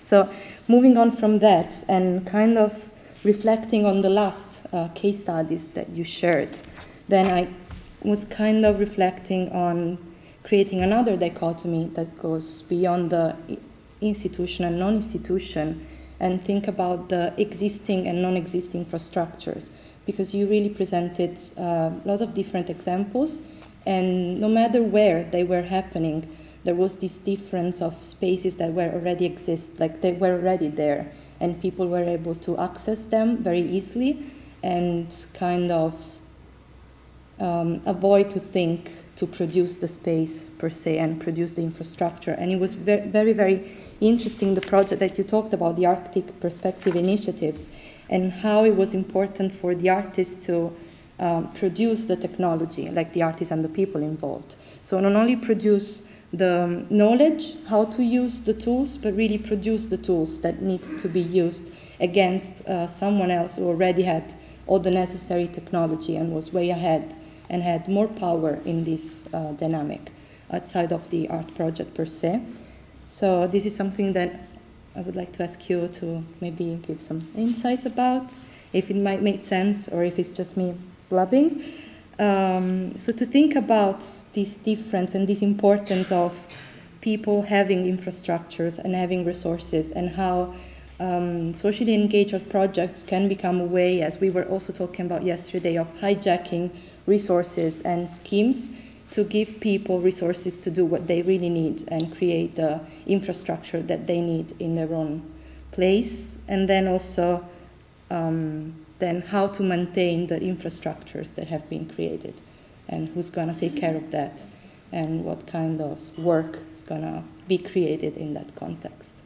Um, yeah, those were my thoughts. And thank you again, Margaret, and I hope it's a nice conversation after this as well.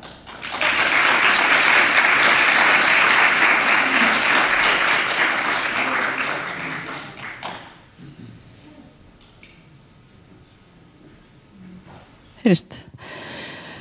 Yeah, did not take note, but um, I think um, uh, what uh, I know. I know this was a little bit kind of bits and, pieces, um, and it was only when I uh, saw this performance uh, we were talking about first uh, that I wanted to kind of include it, uh, because even though it kind of felt like I said like kind of failure or something. It addressed these questions of uh, like what we do with this uh, uh, when we go to exhibitions and take photos and post them on social media. Is that you know a level of participation, or is it kind of and then you are encouraged to do it by the museums? This kind of auto publicity. You become a publicity agency for an institution because you post photographs of an exhibition to kind of draw more people to it. It's kind of a and what is that you know?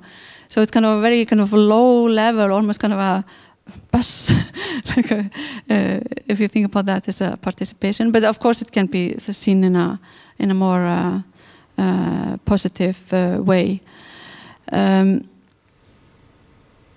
I'm not kind of I, I just um, grabbed this uh, letter of participation from uh, from Karen's text. I've not kind of studied it, but I think it's interesting to propose that it might be, you know, we might have different steps or different way of seeing it because it's already kind of uh, from the late 60s. So uh, there may be uh, other ways to to think about this.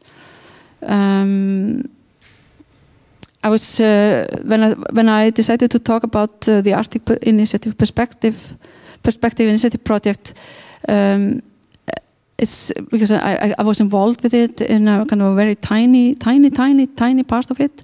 So and I became completely fascinated with this uh, kind of crazy idea of, of going to this place and uh, and also because uh, with very different history from what you know from, for example, the Arab region or the Middle East, these kind of faraway places that have created kind of a lot of um, what do you say, uh, nourished the imagination not only of scientific, scienti scientists, uh, but also uh, of artists. Uh, so uh, one of the things that uh, I thought was interesting and did not talk about at all was that uh, when people were, were searching for passages, uh, you know, through the north, there was this uh, uh skip, uh, shipwreck uh, close to this village of Lake, and one of the famous paintings of Caspar David Friedrich, which shows the ice caps kind of rising out of the sea. I'm sure, sure many of you know this work. it's it, it, it this shipwreck uh, in the ice uh, that took place there was what kind of nourished the imagination of the German artist. So it kind of also comes back in a in a, in a different way, uh, something that's really, like I said, very far away and, and difficult to access. And uh, one of the things that was uh, interesting in uh, in this uh, or, or what, for, uh, what I became kind of aware of in this was my discussions that I had with a with a British um, historians of, of, uh, of science uh, that are talking about these re uh, regions, about the role they play in kind of creating the image of the heroic male that goes on an exploration and does not talk about other things like his relationship with the women, women there and the, about the culture, etc. And then there's also, I think, an important point to address because you um, maybe think when you go to this kind of this region which is really far away and say yeah you're going to bring technology to the to the community. But uh, what uh, Marko Peljhan was kind of uh, emphasizing was that it's not that this uh, uh, people do not know technology. They have 5000 years or more of culture and this involves kind of a lot of knowledge about technology and techniques uh, which are embedded in their kind of culture and the, their use of the the radio telecommunication system was kind of one element which was also something which made it easy kind of to initiate the discussion and the talk about what was needed in the current situation and how it could be provided, you know, uh, because of course 33,000 people, we know it here in Iceland, we are very small, but 33,000 we know this huge, huge, huge territory, it's kind of impossible. And, but one of the reasons why they could kind of communicate with telecommunication system is because it's a very, the ice kind of uh, kind of uh, the, the electromagnetic waves they travel really easily through the eye. So that's why it makes it possible to kind of use them. So yeah. Okay I'm gonna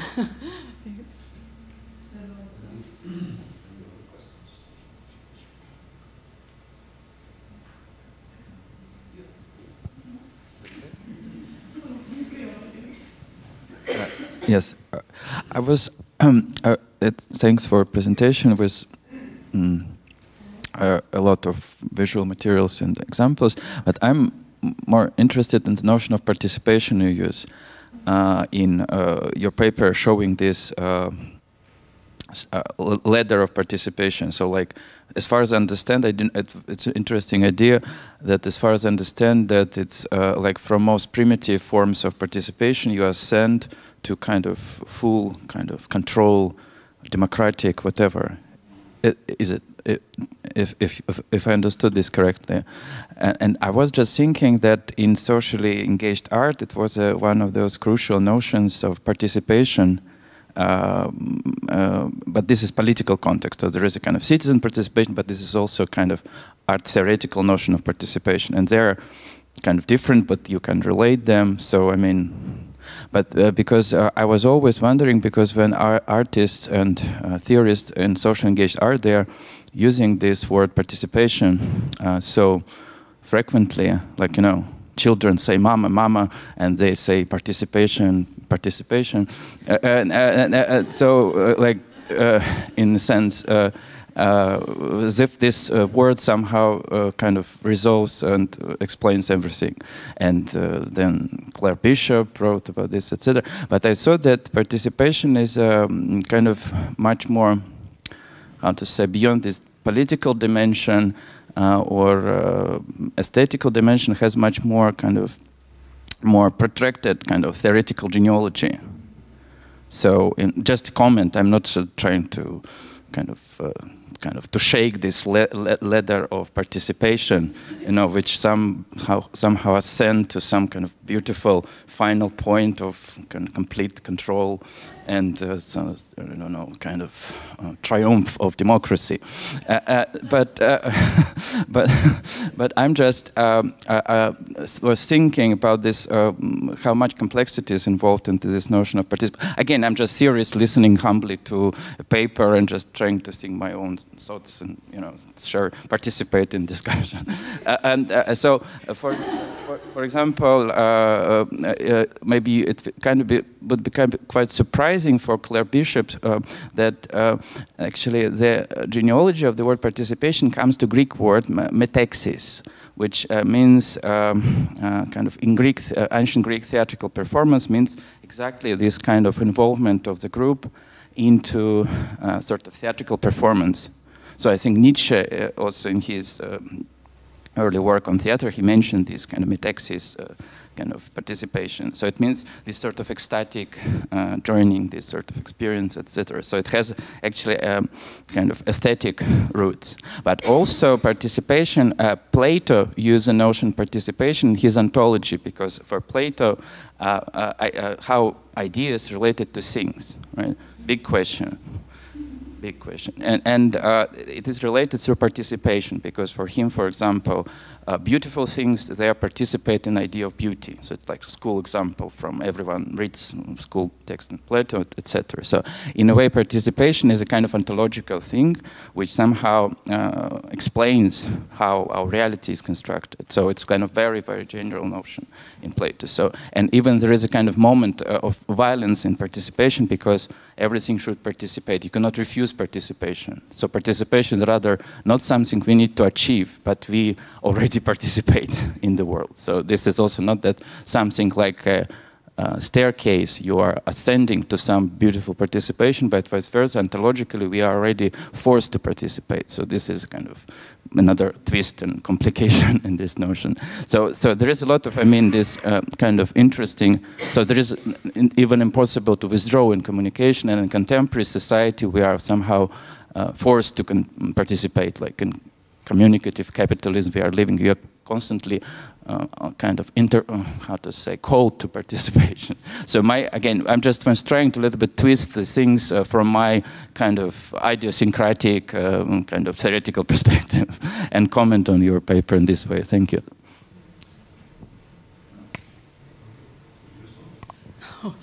Oh yeah, I, I mean, I, I, threw it maybe in just like that, but uh, and from this uh, performance because um, I think uh, um, well, you, you, mentioned that we all participate in, some way, but uh, I think that my and what I thought was um, what do you say interesting in this uh, performance, and it comes also from my questions uh, around kind of interactive, technologically interactive work, was this idea maybe which I did not maybe not elaborate on uh, that you in somehow become active in uh, creating the work, and if you have a technological display.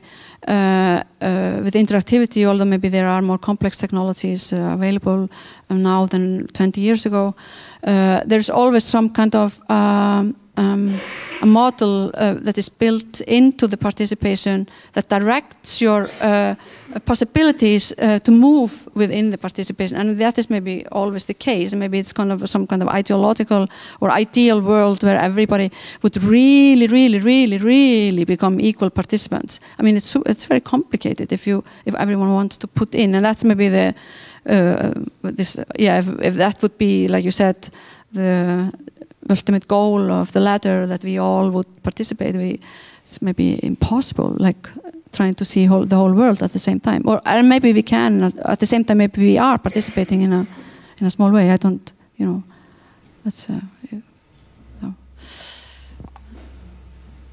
Or we should be aware of it.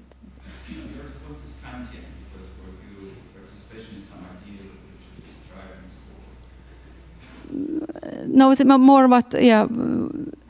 No, it's more um, what I saw in kind of a certain particular kind of works. It's kind of I, when I approach them uh, with the, where they were presented like kind of you had an equal part in participation. Yeah, yeah, maybe it's an ideal. I don't know, yeah.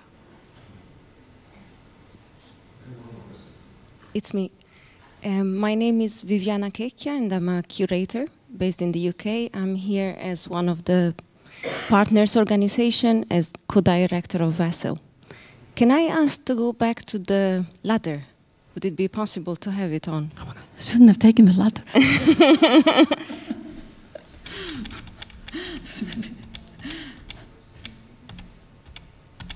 okay. Because so my, say something my about it. question, let's say that lies between number six and number eight, and it would be about uh, questioning the existence of the institution in itself. And I'll, I'll explain why I'm asking the question. As we all know, we are living a major crisis and there is a war, and the Home Office uh, UK has double standard. So Palestinian, Syrian, Yemenis, Somali, they don't have the same rights of other people, including Ukrainian people.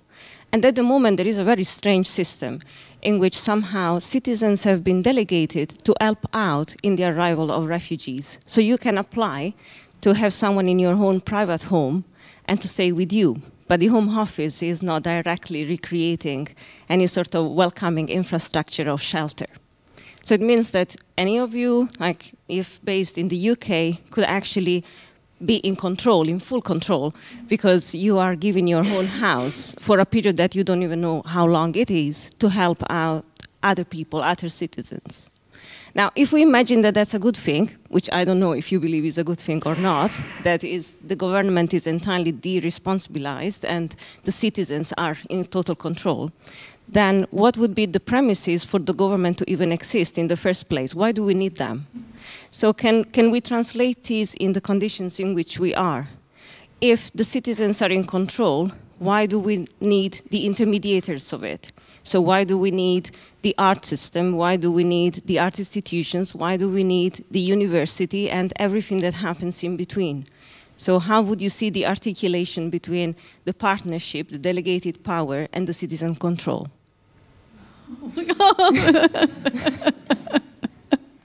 That's an interesting question.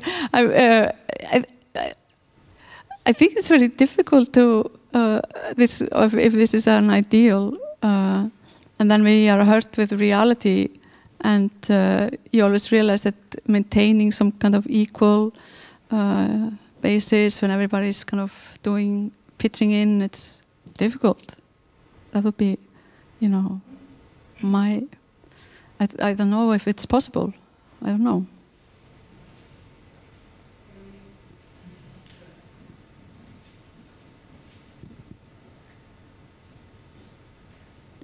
Is that it, there is something for me there that is quite crucial. Mm-hmm. If we are really devoted to social engager practice, most of the time it means we are bringing social issues as well as context, as well as people mm-hmm. within the framework of institutions. So there must be a reason why we do that. You know what I mean? Like, are we trying to really increase citizen control by doing what we are doing? And are we prepared to do that? Because otherwise, we are inviting people in into a system that is already a cul-de-sac, and they are going to do nothing other than help us to tick boxes because we reach out broader society, but they are not invited to participate. They are just invited to make the numbers grow and grow mm-hmm. for different institutions in order for us to claim that we are contributing in citizen control, but we are not really. I think it's a very important question because, uh, uh, and I don't know if I have really the answer to this, but uh, yeah, no, I don't. Thank you anyway. Thank you. I'm sure this is one of the questions we can continue with later on, maybe in the panel. Uh, but we take a lunch break now, so we'll meet again here uh, in just over an hour at half past one. Thank you, everyone, for a great morning.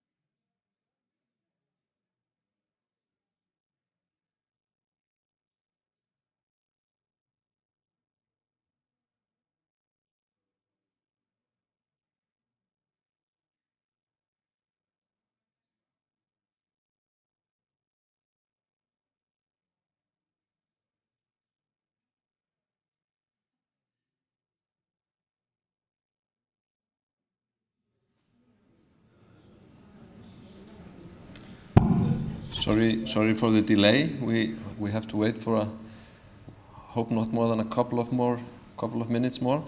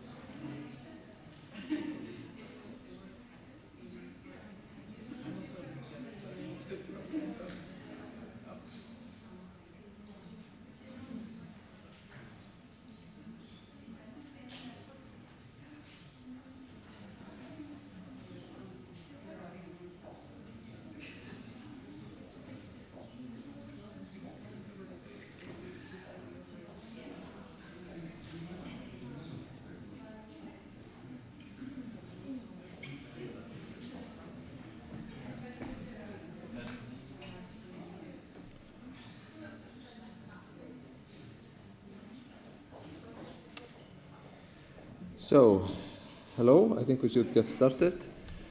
Uh, sorry for the delay, but um, as we all know, uh, we all know what's, most what, what's the most important thing at conferences. It's the breaks, obviously. And in this case, uh, we had not planned wisely enough for the break, so participatory empowerment has occurred, and the conference has reorganized itself and postponed the. We have, we have decided to postpone it for half an hour. So everything goes back half an hour, which is no big deal. We'll have everything as planned, just half an hour later. So, um, I'm really pleased to, to introduce our next, well, speakers or, or uh, performers. I, I, don't know whether speaker is the correct expression. Uh, that's Ruang Rupa from uh, Indonesia, uh, a non-profit organization uh, founded in Jakarta in 2000 by a group of artists, which began as a contemporary art ecosystem and was uh, developed uh, from a non-profit work model and has advanced artistic ideas in urban context and within culture through exhibitions, festivals, art laboratories, workshops, research, and by publishing books, magazines, and online journals. So today we have here Ajeng and Mirwan. Please. And we have a, a respondent as well, of course, and that's going to be Sophie Maxram, who is going to come up after they finish. So please.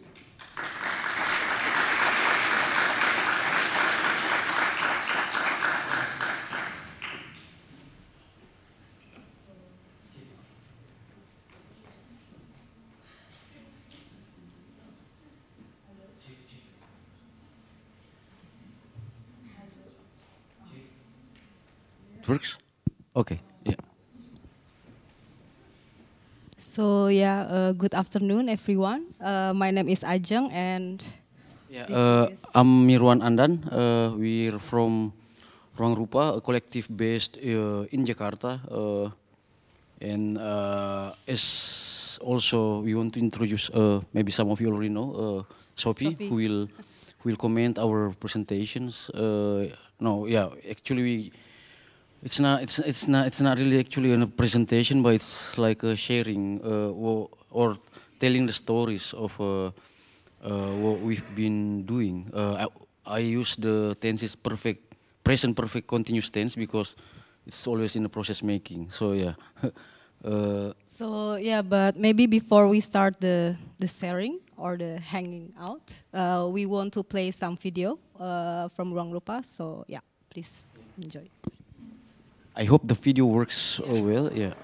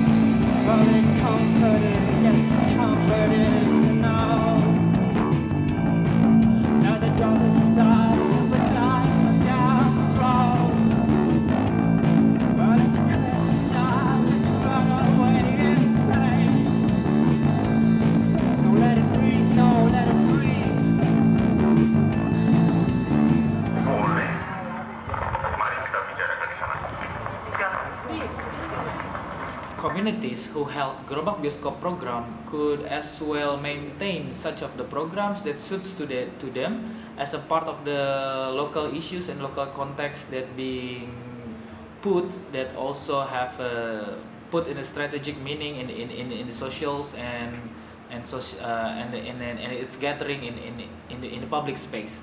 But not only concerning about the public space and also the screening but Gerobak Bioskop have another content which held the most important thing is about the education through literacy of uh, visual culture and the development of the visual in their own local context and in, based on the local necessities.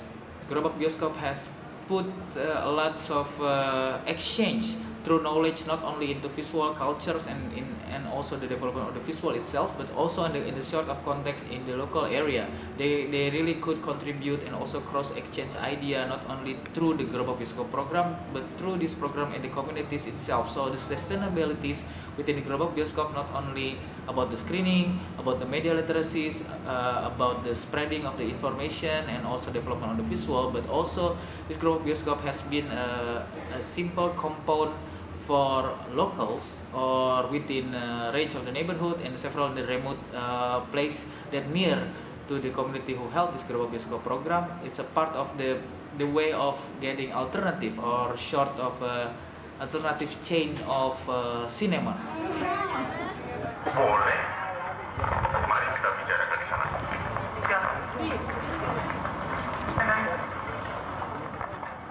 Belajar lagi. Baik,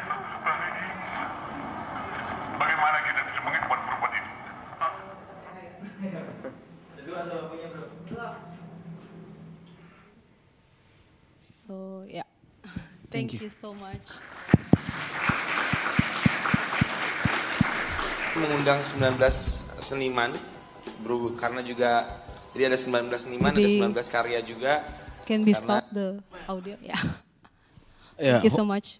Thank you, and hope the video is not uh, boring. Uh, so, yeah, uh, it was actually the the the feed the it's, it's we, we we've been trying to summarize all the activities uh, and all the ideas uh, we've been doing since the beginning up until now, but it's always uh, sometimes hard to compile them in one short videos. Uh, yeah, it's it's it's always uh, it's always difficult for us, but but uh, that was the one that we we, we had uh, so far. There are some edited version. There's there's always edited edited and revised version, but we didn't find it. But this is the one that we we have In uh, YouTube. In YouTube.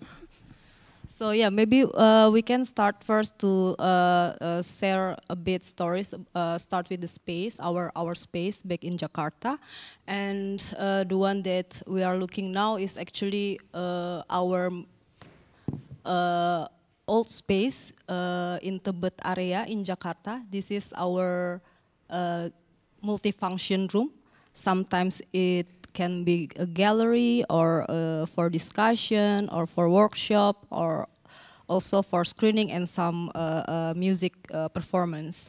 And just uh, to give a bit context, if we back to the year of 2000, because I think that year is kind of like the transition era, yeah, Bang Andan. So because before in 1998, it was kind of like a uh, a big moment in Indonesia when the new regime uh, fall down, and then uh, through with this transition, uh, uh, uh, many like people in in the art scene or some activists they use this moment to to form a group or a space and do the expression of what their practice is.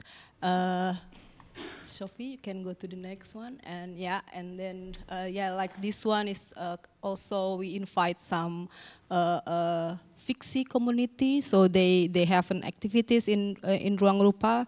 Uh, our space is very open for everyone as long as it's aligned also with what we we we we support, and yeah. This is a, a exhibition from street artist called Bujangan Urban. Uh, this one is part of the division support and promote. Uh, so we, we support the young artists uh, and promote them. Uh, like we have six time a years during that time, six or seven seven times to have the exhibition in our gallery. Uh, and yeah, this uh, for a music event, and then you can go next, Sophie. Yeah. So basically, uh, like during the time, uh, most of the most of the community or the, the art organization they start the their own space from the uh, a, a house or a small house or uh, a medium house. So they change it uh, like the function, for example, the living room, they change it as a gallery, and maybe like the bedroom, they change it for like they they works the, the, the space for their works, like for the office, for example. And uh, it's also mostly it's in the residential area, so it's very close to the neighborhood. Uh, and the price also the cheap one. so the affordable, the affordable one. So yeah, uh, and they start from the private space become the public space because mostly they're open for 24 hours the space. Uh, so you can come every time you want. And every there must be someone there like welcome you or maybe just i don't know. Bring some tea yeah. And uh, because of also it's in a neighborhood area uh, it's uh, really affect what we uh, uh, do with our programs. For example, uh, we can go to the next uh, slide. This this is the first event of the Lonely Market or Holy Market, and we, we, we did it like twice every year. So we invite artists or uh, friends uh, that have uh, something to sell, like also their, their artwork as well. Uh, you want to add? Yeah. yeah.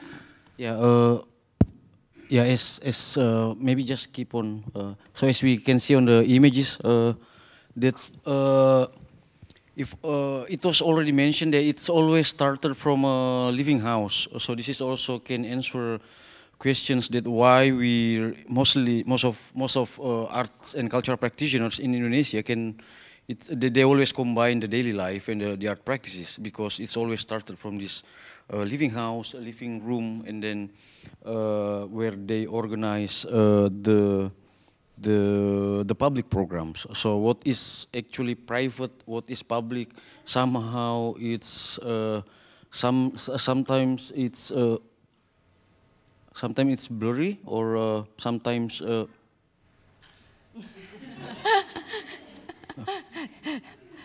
You want Oh. to join? Hey, join us. Want Hi. to join the discussion?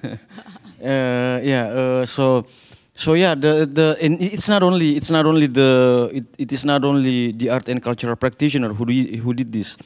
It was already mentioned that uh, we there was an, an authoritarian regime that was started in 1965 and then it was it was taken down in 1998 and it was lasted for 32 years and soon after that in any places in the world that in after the post-authoritarian regime there is always transitional era and then early 2000 was the the, the year when Ruang Rupa was started or was, was initiated it was actually part of this transitional era from authoritarian regime to the openness uh, that uh, swept out the, the archipelago so yeah uh, Yeah. and not only the arts and cultural practitioner, but any organization like uh, any NGOs uh, that works for human rights or environment or uh, uh, gender issues or uh, ecological issues, it, they, they always started their office. They call they always call it an office after a house, a living house turned to be an office. Uh, because why? Because all the all of these uh,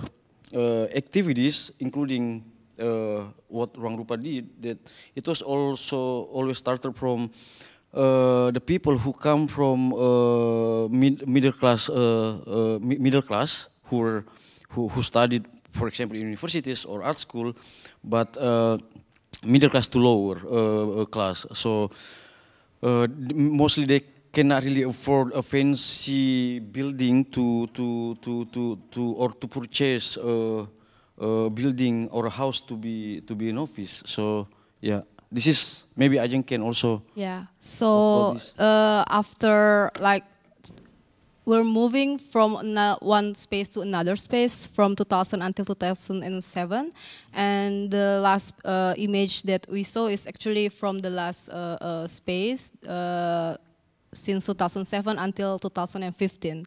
So in 2015, we moved to this what we called uh, uh, the start of the collective of the collective because uh, the idea is the conversation during that time uh, we're thinking how to uh, how to make like because the the the rent the rent uh, price uh, the rent cost of the house is getting higher and it's make us kind of like thinking uh, or uh, uh, start to the idea to join together in the one space and make a new ecosystem together with the rest or together with other collective based in Jakarta.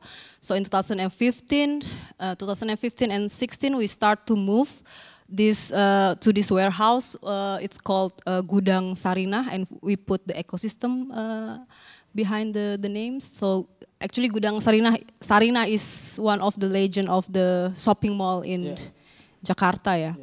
Uh, so the warehouse is in uh, South Jakarta. It's not so far from our uh, old space, and uh, actually, it's a big, a big warehouse. It's six thousand meters square, so it's different, totally like uh, the opposite from what we we we do so far in in our with our old space. And we joined together with uh, two and three uh, uh, Jakarta-based collective during that time, and the idea is to make it uh, as a uh, public space as well, and uh, we have some. We still run our own program, like each program, but we also start to have a joining program together, and because of we also need to change uh, before maybe we only we only manage uh, 50 people or 100 people but now we need to manage maybe 1000 people in in Gudang Sarinah it was actually also an, an experimentation or a, an effort to it was not uh, an effort to level up but it was an effort to experiment uh, to form what is called the collective uh, of a collectives uh, so as Ajeng mentioned there are several collectives that we've been working with uh, for years, and then we discussed the what about if we move into this warehouse? It's actually it's, it's actually literally a warehouse. Uh, it's a it's uh, it's it's it's a warehouse uh, owned by a state-owned uh, state state-owned enterprise, uh, and the warehouse is very huge. I just already mentioned that when we from a living house to a huge three buildings like this, it's for us it's it was overwhelming.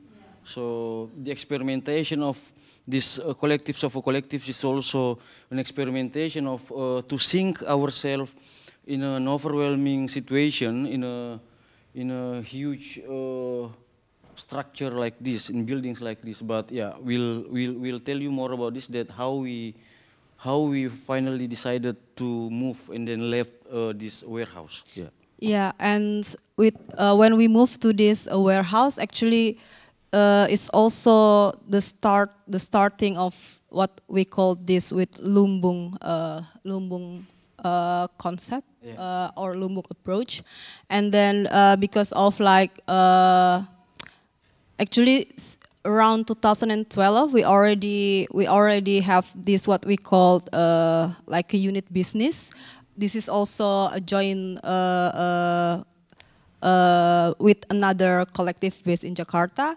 And then with Gudang Sarinah ecosystem, it's become, uh, it changed. Before, maybe it's only for like, uh, how to say it, like uh, services that we, we, we, we, we do, like do the exhibition or as a art consultant and so on. Yeah. But now when we move to this Gudang Sarinah ecosystem, we really we really uh, do with this. Uh, the space, uh, yeah, like, it's an effort to uh, profession professionalizing, and also like like the pr the property business kind of like that. So it's very challenging for us, uh, very challenging. Yeah, in, in the beginning it was Ruang Rupa when it was started, it was uh, soon registered as a foundation. Yeah. But when we moved to Gudang Sarinah, uh, and then we felt that maybe we need to do something else, which is uh, also a registered company. Uh, but together with other yeah, with, uh, with by practicing the collectives of people from another collectives to to, to and providing services uh, based on the activities uh, we've been doing, like uh, organizing exhibitions or uh, publishing and so on and so on. Yeah. Sophie, can you go for the previous one? Sorry. So yeah, this one is the the sketch of the first scheme yeah. for how it's connect to each other. So we have this, uh, what we call the unit business is uh, Ruru Corps uh, or RRC and ACC is the art collective compound. It's uh, the entity from each uh, uh, collective and they they the one who running the programs and the activities uh, daily and also we have the radio. So basically everyone, everything is connecting and we put together in the in the middle is the, the Gudang Sarinah ecosystem, uh, which later soon will become the, the Lumbung. Yeah. So yeah. And next, yeah, this is the ins the, the inside of the the Gudang Sarinah, the warehouse. Uh, we have like li library, public library, uh, studios, and uh, print printmaking studios, and uh, uh, open kitchen as well. And yeah, and and we rent the space for many uh, event exhibitions, uh, uh, music, music concert. Uh, Even there were two biennales were organized, two Jakarta, two editions of Jakarta Biennales were, were uh, organized uh, in this warehouse. And this one is, uh, sorry, the previous one. This one, uh, The, like a flea market. Yeah. like a holy market, but with the large scale. Yeah. We call it tumpah ruah. So it's around. Tumpah ruah means uh, uh, landslide, like a and yeah, this is also some exhibitions and uh, can continue still. So before like when we uh, like for the OK Video Festival, before we al- always use the National Gallery uh, or the uh, Gallery National Indonesia. Now we do it in our own space in in Gudang Sarinah during that time. And this is for the radio station, the Ruru Radio, and yeah. So uh, it's only two years in Gudang Sarinah ecosystem. Yeah, because it's a state-owned enterprise uh, buildings, and then the price is increasing, and then there was a time that they, we, we, we couldn't really afford to continue. Yeah. Also, uh, so until 2018, then we have an opportunity to move to another uh, space, and it's also a conversation with the other about uh, what kind of platform that we want to have right now. Like because uh, based on this con- uh, the conversation, we realized that we already uh, uh, like working together many years and sharing everything uh, many years. So why why we don't make a new platform that focus on the alternative education, right? That's why we we we make a Gudskul, the Contemporary Art Collective and Ecosystem Studies. is also uh, to have the open open space uh, for everyone uh, to to share, and also we can learn from them, and then they can learn from us as well. And with this Gudskul, uh, the Contemporary Art Collective and Ecosystem Studies, actually there's a two uh, the ecosystem itself and then the the Gudskul study collective itself. So with the Gudskul study, uh, you can yeah, this one is uh, there's a two programs, the one years program and the short program, what we call so short course. And with the one year programs, we have this uh, 11 subject that we uh, uh, share the participants. And yeah, this is the Gudskul right now in Jagakarsa. It's uh, how to say it, sup, sup, Uh, it's not really outskirt, but uh, a little bit, uh, a little bit, uh, not. It's not an outskirt, but not so close from the center of the of the capital city. But it's also part of the capital city in the in the southern uh, part of uh, the city. Yeah, and uh, when we have when we found this space, we uh, there's still another like uh, a land beside our space, and then we asked the owner what what if if we join or work together. So because we also would like to generate income to our uh, collectives, uh, so we make this uh, good site.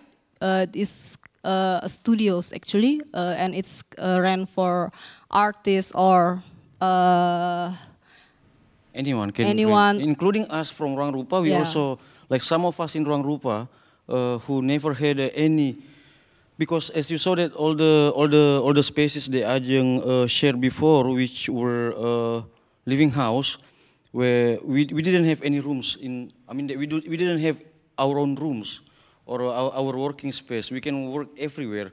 But and then uh, when Good Side was started in 2018, and then uh, there are some rooms, and then it was offered to we, we created it, we made it, but also we need to rent it. Like uh, some of us from Rupa, Ade, me, Reza, Indra, we have we, we rent uh, rooms to be our to it can be anything, can be studios, library. I have my own personal library that I turn to be a public library for anyone who want to come to sit, read, and then uh, stay even or watching movies there. Yeah. Yeah, and this is the people of Gudskul ecosystem. This is when we uh, have our uh, First majelis, yeah. First majelis, yeah. or assembly or this yeah meeting annual uh, monthly meeting. So yeah, we have this uh, also kind of like multifunction room. yeah, and with this with Gudskul when when we start Gudskul actually there uh, the the development of the lumbung itself. So uh, we start to when when we start this uh, uh, join together with the the other collective, we also it's include everything like tangible, intangible, like uh, so everyone who has like programs or idea, human, uh, equipment, but less of money actually. but yeah, so uh, but it's okay. So the lumbung uh, or it's directly transferable as a rice barn. Uh, actually, it's kind of like a collective pot, and we put our surplus in the in this lumbung to distribute to every uh, uh, collective that need it based on yeah what they need.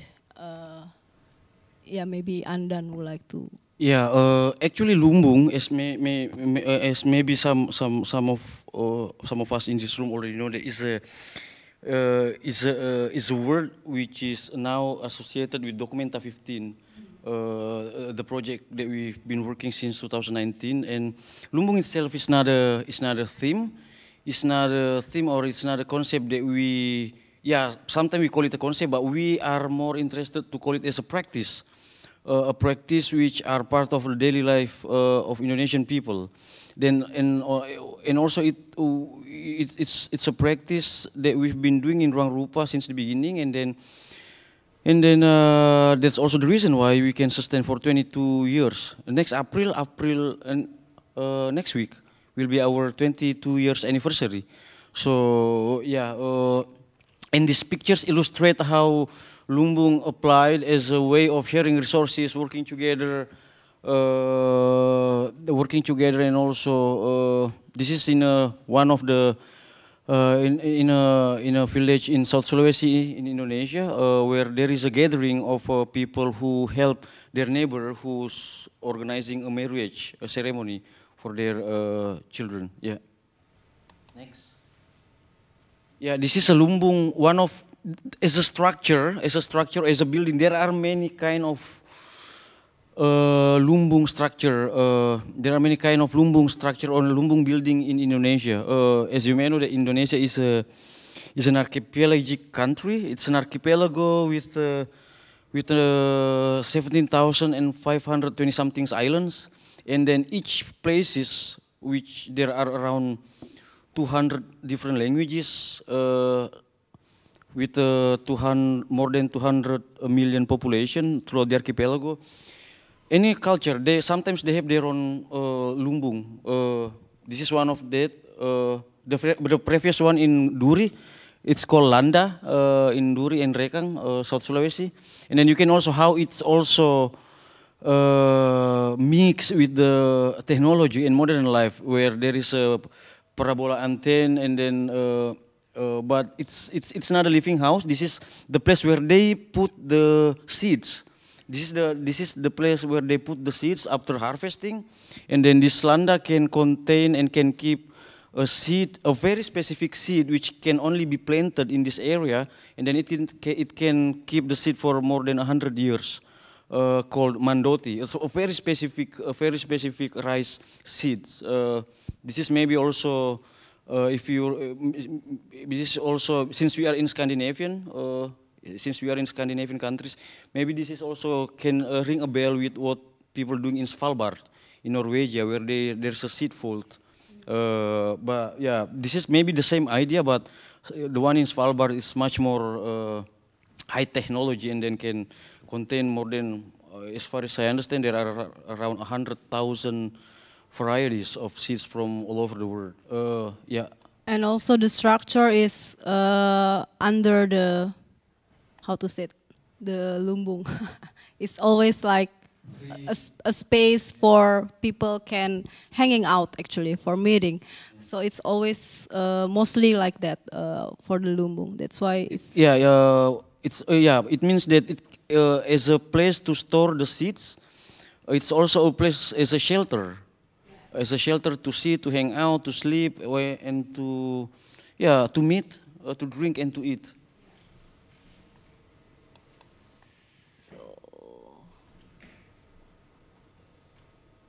yeah, this is uh, when we we try to connect or in the context of Documenta 15, we also thinking Documenta as a, uh, yeah for this uh, sharing sharing sharing resources, uh, right? Like for this Lumbung. And this is uh, the three pillars Yeah. the the scheme that we use in a Gudskul ecosystem. Uh, the above one is actually the how we uh, think for our self sustainability, and the art collective compound is more into the artistic uh, way, and the Gudskul is for the, the the sharing knowledge and everything is connecting and it's give the the contribution for the Lumbung and Lumbung also will contribute back. Uh, yeah and this is the, uh, the, some values that we think have a similarity with the the Lumbung practice and the collective practice.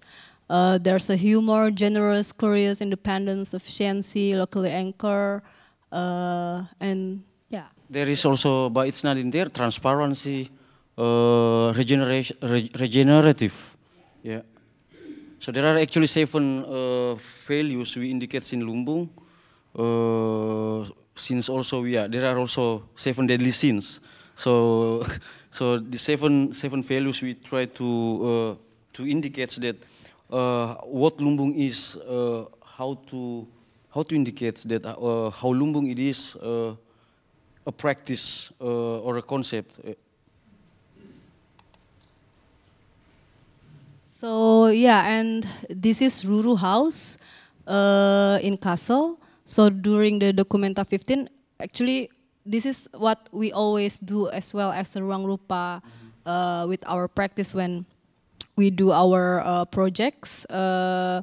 We want to have like uh, we want to know the stories of this the place itself, like the stories from human and, and non-human. So, so this uh, Ruru house, we always uh, kind of like make a kind of like a living room in there, and so people can come and yeah, uh, uh, just hang out or just uh, have a cook, cooking cook together Yeah. and Barbecuing. Yeah, or just sitting around. Yeah. So yeah, this is Ruru house. And yeah, maybe we can skip this. Yeah, and the, actually like the collective process also very important in this context of Documenta. That's why we have this uh, uh, 14 uh, Lumbung members. With the, this, we built these Lumbung networks and also with the artists that we have right now. And yeah, maybe next uh, image.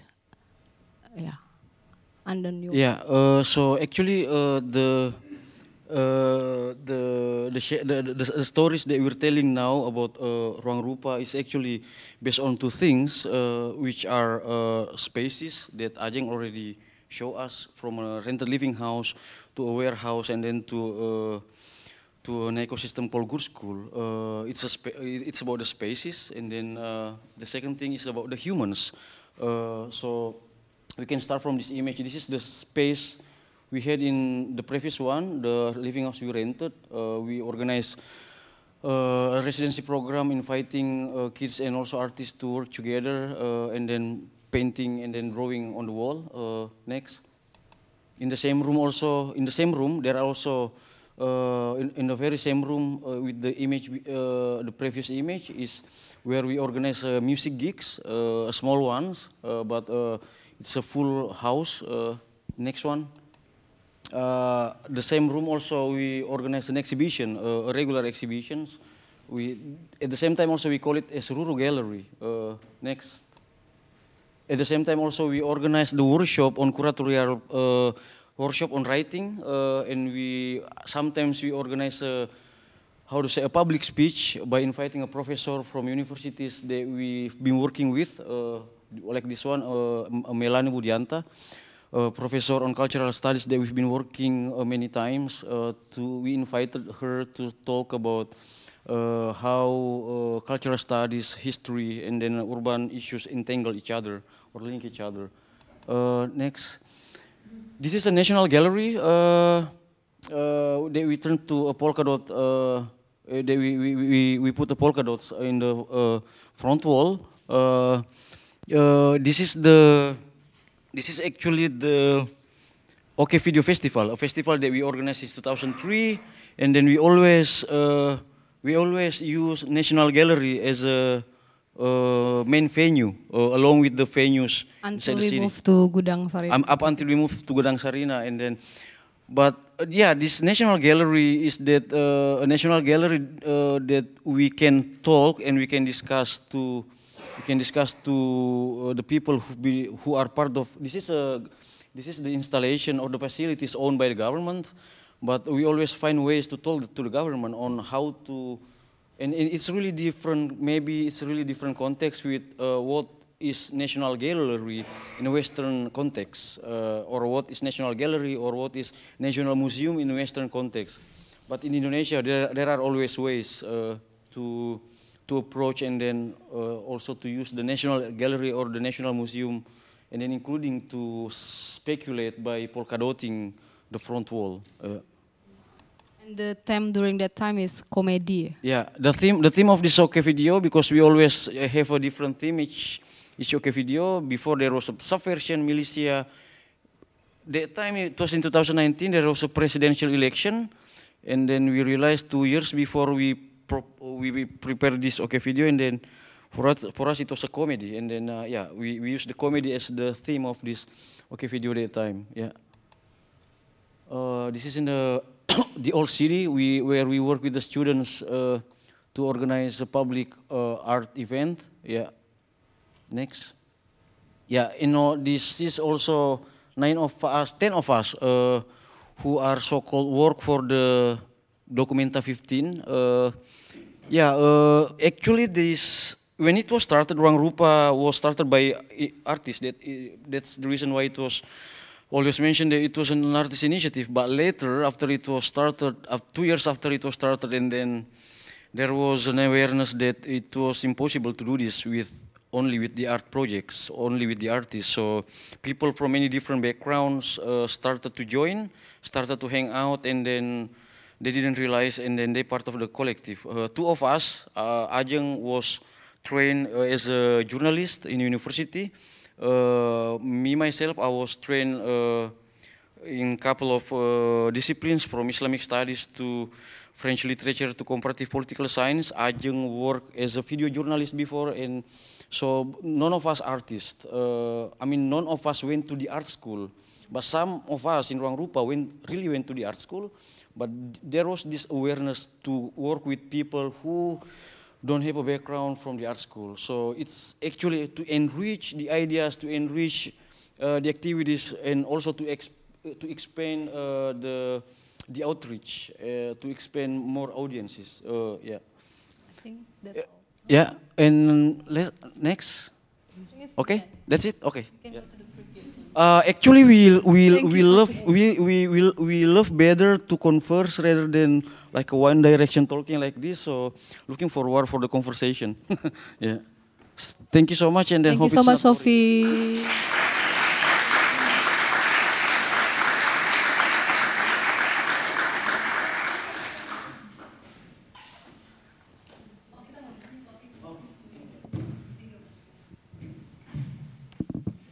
Hey, um, thank you so much for, for this very generous and kind of overarching um, explanation of your practice. Um, I'm, I'm kind of I'm thinking, do I want to kind of summarize? Maybe I'll anchor a few kind of terms or ideas that were coming out of it, and then I know that you wanted to kind of actually ask other people, and we can really have a bit more of a conversation. Um, so things that you kind of talked about was the, the importance of space and humans. Mm-hmm. and almost them as that that is the ecosystem within which your practice exists. There was a very strong emphasis on practices of daily life. So art not being separate from, and in fact, neither of you necessarily coming from a kind of formal mm-hmm. artistic practice. And in that sense, Lumbung is both a sort of specific cultural practice and a concept and a method for you. Mm-hmm. Um, the idea of Lumbung kind of coming from an ecosystem and coming from your learnings, um, so that you started from living room, private space, public space, expanding into thinking about ecosystems, expanding then into thinking about Lumbung, and now bringing Lumbung also more into the international space. And something that might actually be interesting to come back to is, of course, in the context of Documenta, what that relocalization or delocalization, or how you're how you're relating the different localities of your practice as you kind of begin to, to work even more extensively abroad. Of course, you've also worked at Sonsbeek, you're also working with BAK. There are other ways in which you're already doing that. Um, and the other, maybe a key theme that would be of interest to some people in the room is, of course, this idea of collectives. And like, what does it mean to work as a collective, as a collective of collectives? Um, so yeah, those are those are the kind of pieces that I, I picked out. Um, but maybe I want to hand it back to you. Are there things you'd like to know from the audience or invite out? Yeah. How is everyone? Are there questions? I see one from Gabor in the back.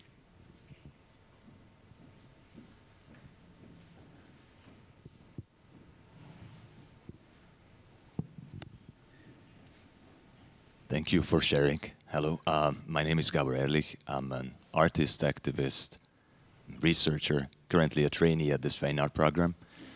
Mm, I'm originally from Eastern Europe.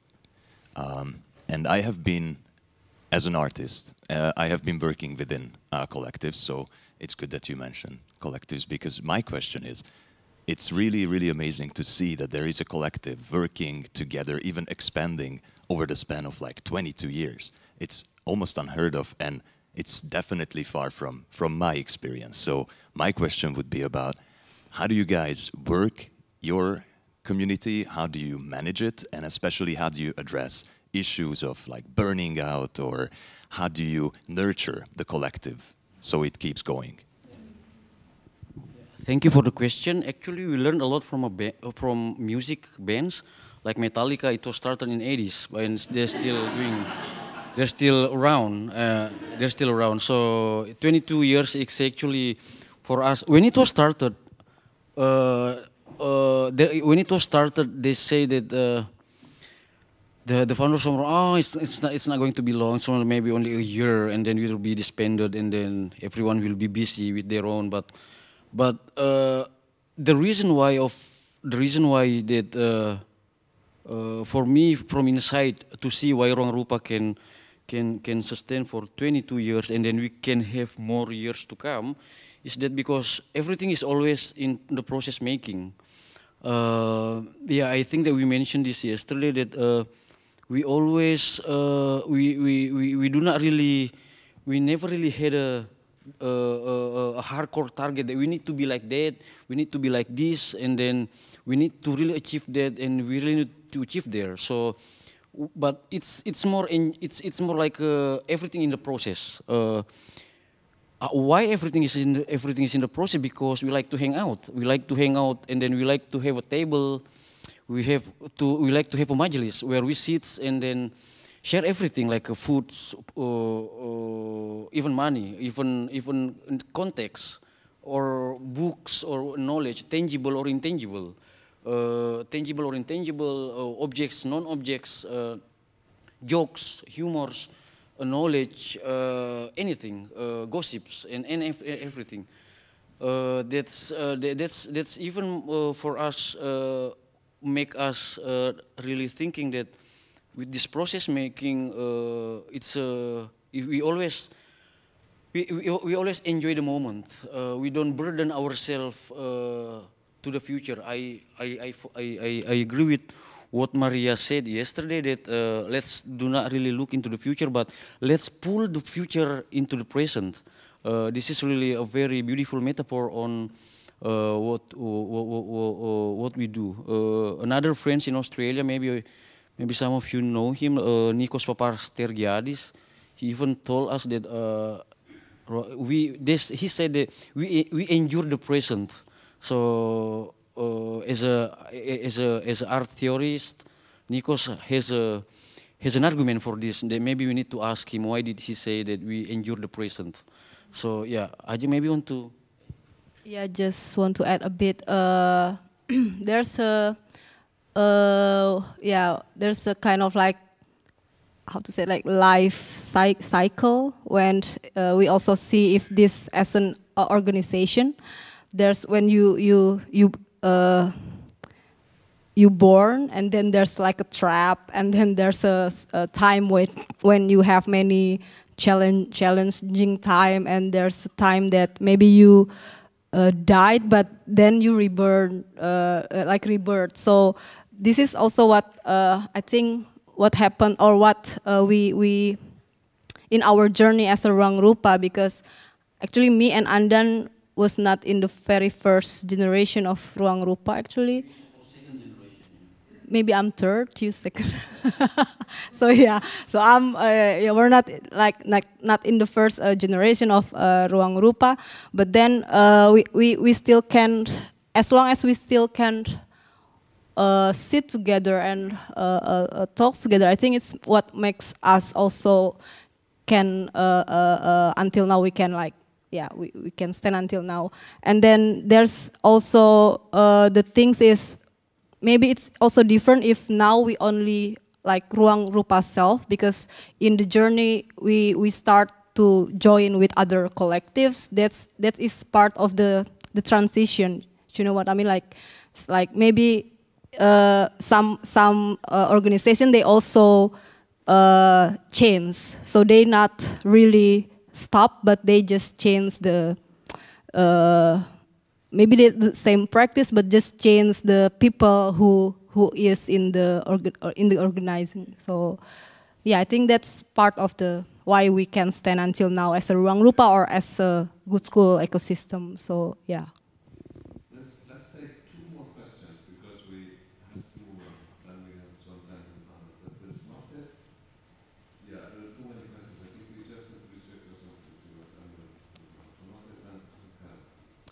Thank you so much. Uh, my name is Martin. I'm a Skapor, one of the uh, PhD students. Um, I really appreciate your uh, presentation. I'm really curious. I got the opportunity to visit uh, Ruru House last year, and I know it's been a challenge to, to navigate also this conversation with Documenta. Um, I'm just, could you maybe reflect or share some of your experiences, some of your experiences or learning of this process? Uh, because you have a very particular practice, and I'm sure there are, you know, some um, some challenges that you have to come to terms with in that negotiation.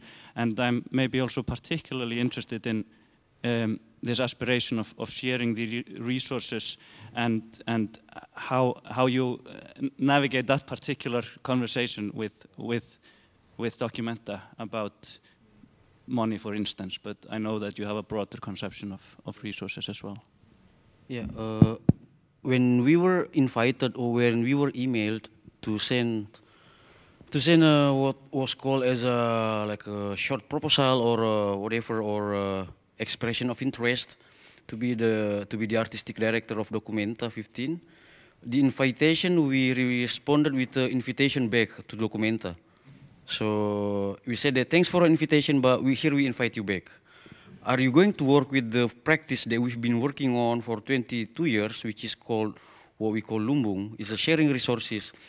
It's a sharing resources. Uh, is a is a is a practice that uh, people can access resources they already been in there, uh, stored in there. Uh, not only uh, those resources in the is not only to to be accessed during the tough situation, during the crisis, but also uh, it's also a practice to enjoy or to enjoy or to celebrate the harvesting, and that's why we need to share. And then that's how it works. That's how it works. And then they say, okay. Uh, and then we also explain later that if if people always see uh, a mega event or a mega institution like Documenta is the only resources, and then we tell Documenta that we are also resources. We are resources of human resources. We are the resources of networking. We are the resources of knowledge. We are the resources of network of not only in the southern hemisphere of the world, but also with the with the context of networks we have in the northern hemisphere of the world. If you want to work with this uh, binary uh, hemisphere of the world. Uh, and uh, yeah, that's that's how it works. And then we follow all the protocols. We came to the interview, and then they they uh, it was announced that we we are going to be the we are the artistic director of Documenta 15. Uh, actually, at that time, we, uh, we we we have many we have the same question that uh, how do we work? How do we uh, as uh, as uh, Sophie mentioned, uh, is is there they they localizing or localizing some uh, concept, uh, and uh, we came to Kassel the first time when it was announced. Uh, we didn't we, we didn't uh, soon thinking about what we want to do, who are the artists we want to invite, what programs we want to formulate, and so on and so on. Uh, what we s- what we said is that we wanted to hang out. Uh, yeah. maybe maybe also I remember when we we got uh, invited. Uh, the things that were talks very firstly is because we just moved to Gudskul and we just start the Gudskul ecosystem. So it's really take a risk of us when if we decide to say yes to documenta because yeah it will take our energy and our mind or our life very much. So but then uh, as, as long as it's uh, still uh, again still align what, uh, with what we do or what we achieve in our ecosystem as a, a, a to build another uh, networking with Lumbung approaches. So that's why that's uh, our our proposal or our invitation to to Documenta back. So yeah, that's. So yeah, uh, I hope it answer, but also, but also uh, soon after it was announced, we really understand and really realize. Ajeng also already mentioned it. How do we work on our context? How do we, how do how not to lose our context while working in a in a European context, which is Documenta. Uh, however, Documenta is always associated with Kassel. It's in Germany. It's in Western Europe. Uh, different culture, different language, and everything. And so there was there was we really question ourselves. We really challenge ourselves. Are we going to take it or not? Uh, uh, take it or leave it. That's that's the question. To be or not to be. Uh, and then uh, we said okay. We always like, Just one more thing. We always like imagine, uh, we're nine of us, and it's still kind of like a very exhausting thing. And we can imagine the previous one that only maybe have one or at least two artistic directors. So, yeah. Yeah. So yeah, we tried, uh, and then okay, we we decided okay, uh, we take this, and then but uh, say uh, we take this, but we really need to still work on our context. That's why that uh, ten of us uh, in the in the artistic team from Ruang Rupa, only two of us finally started to live in Kassel from 2020, 20 in June during the really hardcore pandemic situation. But we decided actually there were uh, the early idea three of us, but and finally it was decided okay two of us uh, will be there, but and the rest of us will be shifting like. I think this is the. Uh, it's been since 2019. There were many times we coming back and forth from Jakarta Kassel. Uh, It's even more uh, uh, far from for me because I live. My family is in Makassar, and then Makassar, Jakarta, and then it's always uh, those three locations. Uh, but yeah, uh, we make it up until now. Uh, so far, so good. Uh, we're still alive, still in one piece, and then and yeah, uh, hope we can also make it up until the opening, and then up un- until 100 days, and then yeah, hope so, and then yeah, and soon after it was announced, we we came to Kassel, and then we invited uh, some of our friends from uh, some corners of the world to be the artistic team, and then we call it uh, Ruang Rupa Extended. Uh, we invited uh, six our friends from from many places that we've been working with many times, or we just know, but uh, uh, there is a sense of locally anchoring. We, we, we asked two friends from Kassel to be part of this artistic team. And then the same, with, uh, we, when we asked them to, it was a very short, uh, it was a very short notice, we invited them to come to Indonesia uh, to hang out in a camping ground next to the forest. And then we said, it's up to you, you want or not, uh, but if you want to come, we're very happy. And then, uh, Dank, all of them came. And then uh, uh, all of them came, we hang out for a couple of days, and then we tried to hang out and then discussing about what we're going to do with Documenta 15. and then, yeah, we tried to uh, discuss about the Lumbung concept, what we've been trying to, we, what we've been practicing, and then that's how it goes. Uh, the thing is that we are we are not going to be unidentified flying uh, object coming to Kassel and then doing exhibition for 100 days and then after that left leave uh, fly fly away to somewhere else doing something the same thing. But what we want to do is to really have the sense of Kassel as a locality. Uh, as a locality. Uh, as a locality but also at the same time bringing all the sense of the world that into this place. And then what Kassel also give back to the rest of the world. Uh, so what's and it's also make it possible because of Documenta's duration of preparation is three or four years. With the with the approach of uh, this practice of Lumbung, we don't think so it works. Like let's say this this this this approach of Lumbung is practiced in a biennale, which is only the preparation like. Uh, one year and a half or maybe a year or even less than a year. It doesn't work.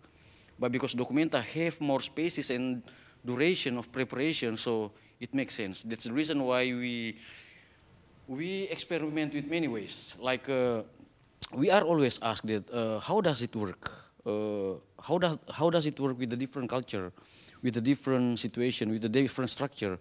the good thing is that we really we, we know that uh, in German language uh, there is a concept which is called Ausnahme, uh, the exception. So we really like this concept of, of Ausnahme that even though German is well known with a very structured uh, society, very structured language, always sometimes it's a stereotype that German people are uh, the sense of humor is different, but we find we find that it's it's no it's uh, we, we, we, we organize Ruru House as a place of these things, to have jokes, to have humor, to cook the, to hang out with our, with our fellows, German friends or our friends from many uh, places of the world.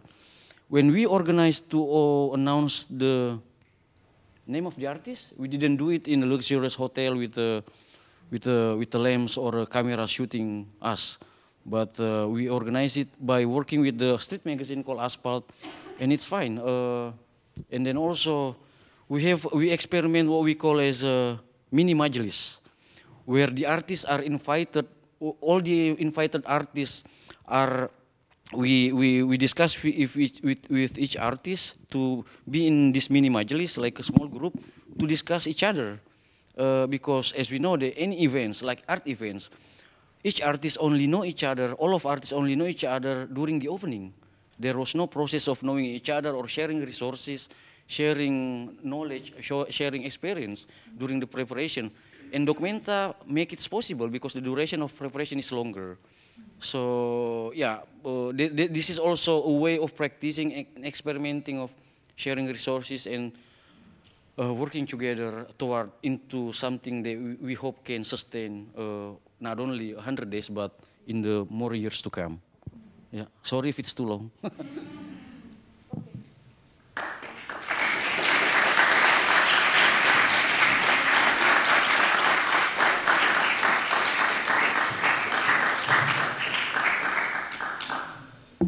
Thank you very much, uh, Ajeng, Mirwan, and Sophie. Um, our, uh, our fourth and final, well, fifth actually, and final speaker is uh, Thomas Pausz. Uh, who is an artist and researcher uh, living here in Reykjavik. Uh, Thomas, Thomas's transdisciplinary practice explores alternative ecologies and unforeseen interactions between life forms, technologies, and media. He also writes critical essays and fiction. Uh, Thomas is director of MA Design Explorations and assistant professor at the Iceland uh, University of the Arts and will be artist in residence at the Laboratoire Modulaire uh, this coming year. So please, Thomas. And the respondent is going to be Bilge Hastemir, who is, like the others, one of our ESRs.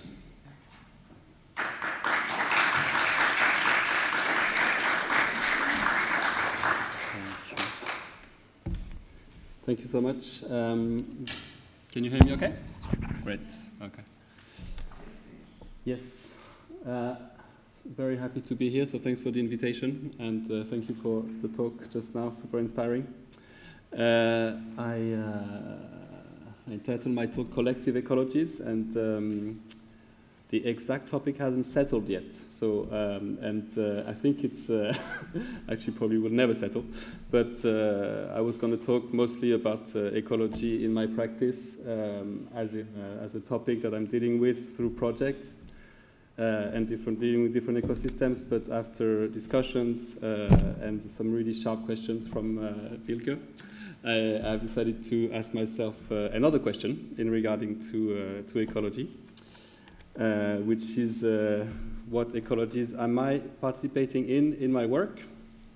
Uh, because I've been moving around and working in different countries and uh, landscape, sometimes on my own, sometimes with collectives, sometimes as an educator. And uh, so, what, are, what ecologies am I participating in in my work, and what ecologies am I building when I'm making a project? Because uh, I think uh, one of the conclusions after looking at, at my projects through this angle is that maybe the aim of my work is actually that just uh, what uh, relations are happening with the uh, people I'm working with, the institutions I'm working with, the ecosystems I'm working with, and uh, what is the legacy of this work. Um, for example, a lot of the projects are uh, temporary, for example, or ephemeral, if you take a natural metaphor. Um, and uh, is that uh, something that has also a legacy to be an ephemeral project, uh, as a, you know, opposing to being a long-lasting, more institutionalized thing? And also another thing which comes from my training in design uh, is uh, that I'm always interested in the technologies that make uh, projects possible and also the technologies through which we uh, relate with the environment. So that is, I guess, uh, sort of uh, underlying question. So I've divided the talk in two. One is I'm going to talk about projects which relate mostly to food ecologies and uh, vernacular and accessible technologies in relation to the production of food uh, through uh, three specific uh, projects. And the second one would be uh, more than human ecologies, which is uh, a topic that have, have been more recently getting more and more involved in um, through uh, my work, um, and also the sensing technologies which are making it possible. So I'm starting uh, with the food ecologies, and I'm going to talk about three projects. One is uh, a book called uh, Revisiting the Community Shed, uh, which was made in collaboration with allotment gardeners in London, that are these shared gardens where people grow food in the city. Another project uh, was made with a collective called Evening Class uh, in London, which is a self-organized group, um, and it's called A Living Almanac of Appropriate Technologies. And the third one is a more, uh, has a frame which is uh, more institutionalized. It's a residency at the Delfina Foundation in London called The Politics of Food, um, where I was in residence and uh, working uh, and then producing some text for this uh, publication. So yeah, the Revisiting the Community Shed is a project that uh, I, I did when I was in London. I was living in London for 12 years, uh, studying there and working there uh, before doing a master in design. And uh, what interested me particularly uh, in the allotment gardens, which are these gardens which uh, are called also workers' garden or uh, shared gardens in, in the UK. There's similar models in Paris and other countries. Uh, was the, the sort of that it's a space and a landscape which is uh, collectively built, so there is not like a, a, design of it, which is prior to people actually uh, making it happen. And uh, it's also, in terms of ecology, immediately this gives like a very collective sense to the word ecology, as in all the decisions are taken collectively. and people are very conscious of, of each other's environments. And so I, I, basically I was documenting uh, allotment gardens um, when I was in London, and also myself uh, growing vegetables. And um, when I started studying design, I was really kind of uh, it interested me that there was this uh, you know uh, aesthetic um, version of things that were happening in allotment gardens in a more sort of uh, organic way or for more practical reasons, such as recycling. So you know it was a huge thing about um, this style of design when I was studying, um, which was you know aimed at galleries, um, but using exactly you know very similar sort of aesthetic that what you would find in allotment gardens for totally different reasons. Um, another example of that, of that was uh, when I was in London, the uh, the trend of like uh, good bread started, which was great because for a few years the bread was horrible, but then there was starting suddenly the realized that you know you could actually bake really good bread, and uh, sourdough bread became huge. And uh, similar thing happened in Iceland recently. Um, and then you know a lot of people had access, if you had money, to very good bread. And then on the other side, in the allotment that I was um, visiting, there were also these communities of uh, people baking bread from different countries. Uh, on the right side is like a bread oven in an allotment in Brixton. Um, but these, these spaces and this kind of bread was not valorized as much uh, as the, the one which is uh, on the left. And also, uh, for example, in the allotments, the communities that were baking bread were also uh, experimenting with like ancient grain and growing ancient grain. So uh, basically having a much uh, deeper sort of um, interest and work in the actual uh, ecology around, around bread. So anyway, I was very basically documenting these different uh, technologies in relation to food production in allotments. And I was particularly um, fond and uh, entangled, let's say, in a place called Manor Garden Allotments. Some of you might have heard of it. So it's uh, it was an allotment garden in East London, which was very multicultural uh, and had existed for 80 years, and uh, at the time was unfortunately uh, in a spot where the Olympic Games were about to be built, so the Olympic Park in London, and um, there was no, no, absolutely no reason to not. It was basically a road that was going to go to the Olympic Park um, that was going through this space, which could have gone another way. But uh, basically, these uh, gardens were uh, destroyed and the gardeners were evicted uh, from the garden. And so this became a very, uh, very personal topic for me. And I, I uh, started working on this project called Revisiting the Community Shed, which was basically interviews it's a publication archiving a collective ecology through a survey of temporary spaces built by allotment gardeners and I made some interviews with the gardeners um, using actually uh, a sort of format of interviews which was which is used normally when people are, are delocated from a place. So sort of using this formal language of the questionnaire for people who are delocated, uh, but turning it back and trying to uh, give a voice to this uh, this community.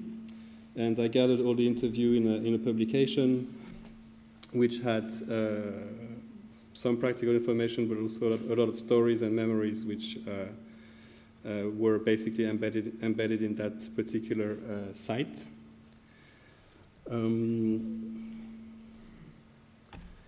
yes, and the second part of the project was a rebuilding of a particular uh, part of this garden, which came back uh, in a lot of the interviews as a sort of central uh, part of this place, which was, I guess, the kind of uh, lumbung of the allotment, which was the community shed, uh, hence the title, which is where uh, everybody was gathering to take decisions about the garden, uh, talk about the rent, talk about, you know, the, who was responsible for different tasks or um, things that could be shared, etc., etc. So this community shed was basically this very important place, and um, I rebuilt it more uh, faithful to the spirit than to the actual look of it. So it was made with re recycled material, and uh, I was myself a student at the time at the RCA in London, so I rebuilt it with recycling things from my environment, and it ended up looking like this. Um, and uh, it was uh, outside for, uh, I think, uh, four months, and I invited the gardeners to come there and have discussions with uh, my colleague students in design and architecture, and sort of creating this space for discussion and, um, and exchange between these communities. So in a sense, that's the, the ecology that sort of came from this project. So, you know, mixing gardeners, designers, architects, and planners um, in this temporary building. Uh, and um, the legacy of that was the contacts that were made. And, uh, for example, some students in design started to design, uh, you know, um, uh, flyers and things uh, which were related to the campaign of the allotments. So there were some, uh, you know, affiliations that happened uh, a bit informally through this, this temporary project. So this was the first project. And um, I'm jumping between countries because uh, we're in Iceland and I, I, feel like I should also mention things which I'm doing here. So uh, as was mentioned, I'm, I'm, teaching at the Iceland University of the Arts. Uh, and when I came, uh, when I came to Iceland, I was I was lucky to be asked what sort of uh, topic I was interested in teaching, and, and I decided to uh, talk about food systems and, and, and started, one of the courses I was responsible for was food systems uh, in Iceland, which is a really interesting topic to dig in uh, with all the, the challenges in terms of food production, the weather, the, um, and the distance for things to be coming to Iceland. And uh, so doing this course, a lot of projects were happening, really interesting things from students about you know, um, possibilities in terms of growing food, different technologies uh, were uh, invented uh, and tested by the students. And, but the thing is, there was not really anywhere to go for this project. So it was a bit uh, depressing to see all these really good ideas to transform food system in Iceland um, ended at you know in a crit and then uh, disappearing. Or if some of them were existing, uh, they were actually quite often recuperated by um, another sort of possibility where, where when you do a project which was this, this startup culture, so you know, and becoming immediately you know sort of startups uh, in terms of uh, which enters a totally different ecosystem of, of, of making money and etc but some of the projects could not, you know, were not about this. And so um, I uh, was talking to friends at the agricultural university, and they had this greenhouse which was uh, abandoned, basically, uh, not too far from Reykjavik, about 10 minutes from here, and uh, it was ideal. So uh, as a space that we we thought could become uh, a place to continue these projects that came out of the food system course. So uh, a sort of incubator, if you like, if you use the startup uh, language, but where students could continue working with waste or, or developing a certain type of plant or something they were interested in. And so we got a grant, put the three universities together, including uh, Howie, because um, one of the person in this Korpa collective then uh, was studying environmental science. Uh, and so I'm going to just read the description of the, one of my colleagues just kindly sent me the description two minutes ago because I lost it. So there you go. What is Korpa? Korpa Studio is a suburban farming club initiated by a collective of designers, agricultural scientists, um, sorry, agricultural scientists and environmental thinkers near Reykjavik, Iceland. The project is based in a disused farm and greenhouse at the site of Korpa and prototypes new modes of commoning, uh, knowledge sharing, and food-centered social activism.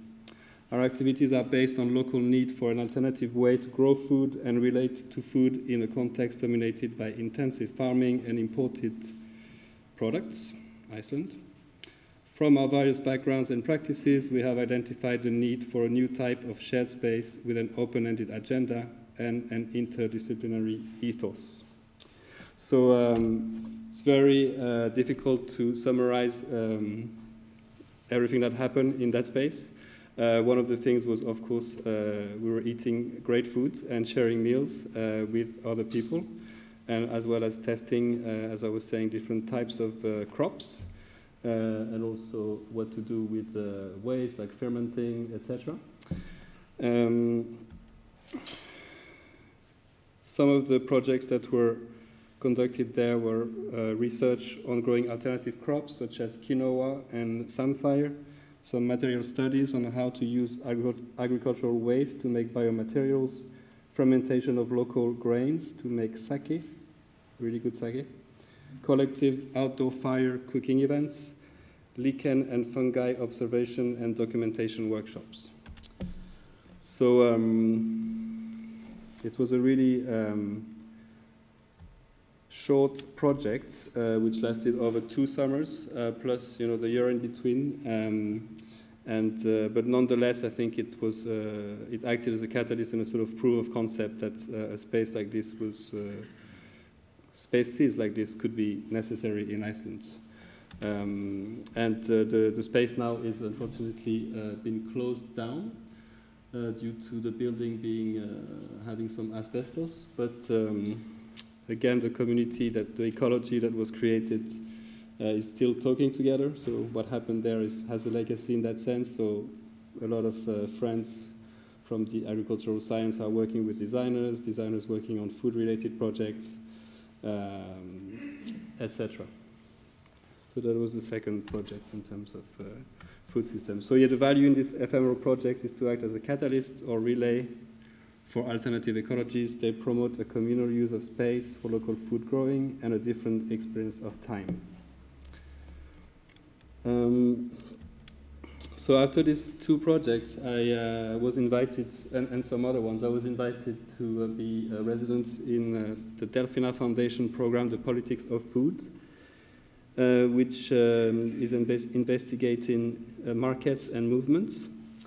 Uh, over 12 weeks, artists, curators, and thinkers were invited to investigate the production and distribution of food and explore complex and urgent issues, including but not limited to agricultural labor, seasonal migration, development of biotechnological food sciences, food sovereignty and heritage, from grains to recipes to production methods, how food features in radical collective political movements, as well as the increase of individual consumer choice and its impact on the wider global food economy.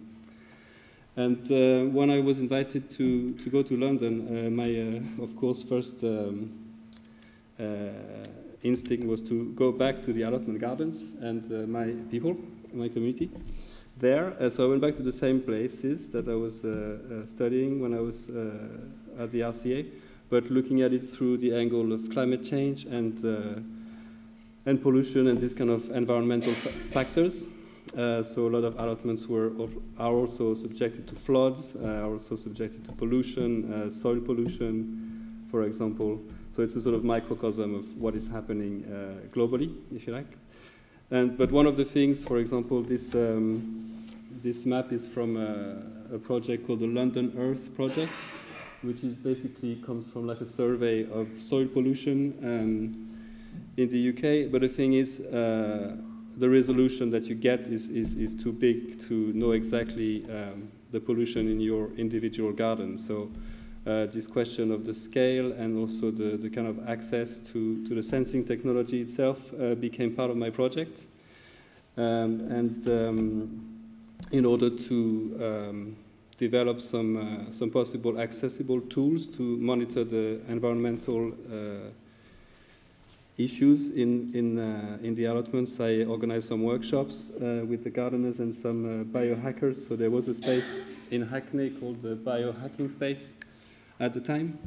And so um, it was, the idea was to take these two communities and see how they could uh, help each other. so it was, these were workshops was called Invisible Gardening, um, dealing with all the invisible factors in growing food. And uh, we were making prototypes of accessible tools using mostly uh, Arduino technology for, uh, for gardeners.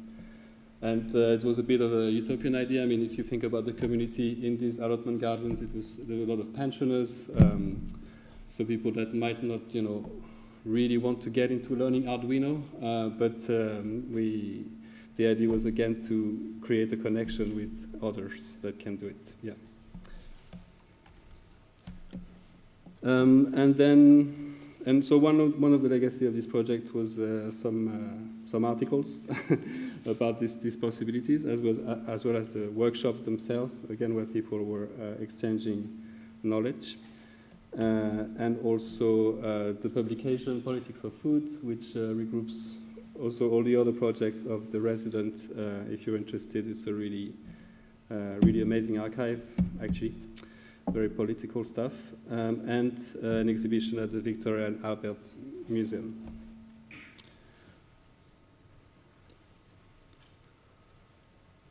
Yeah, um, I will come back a bit later to the actual technology of uh, sensors and this idea of democratizing environmental data.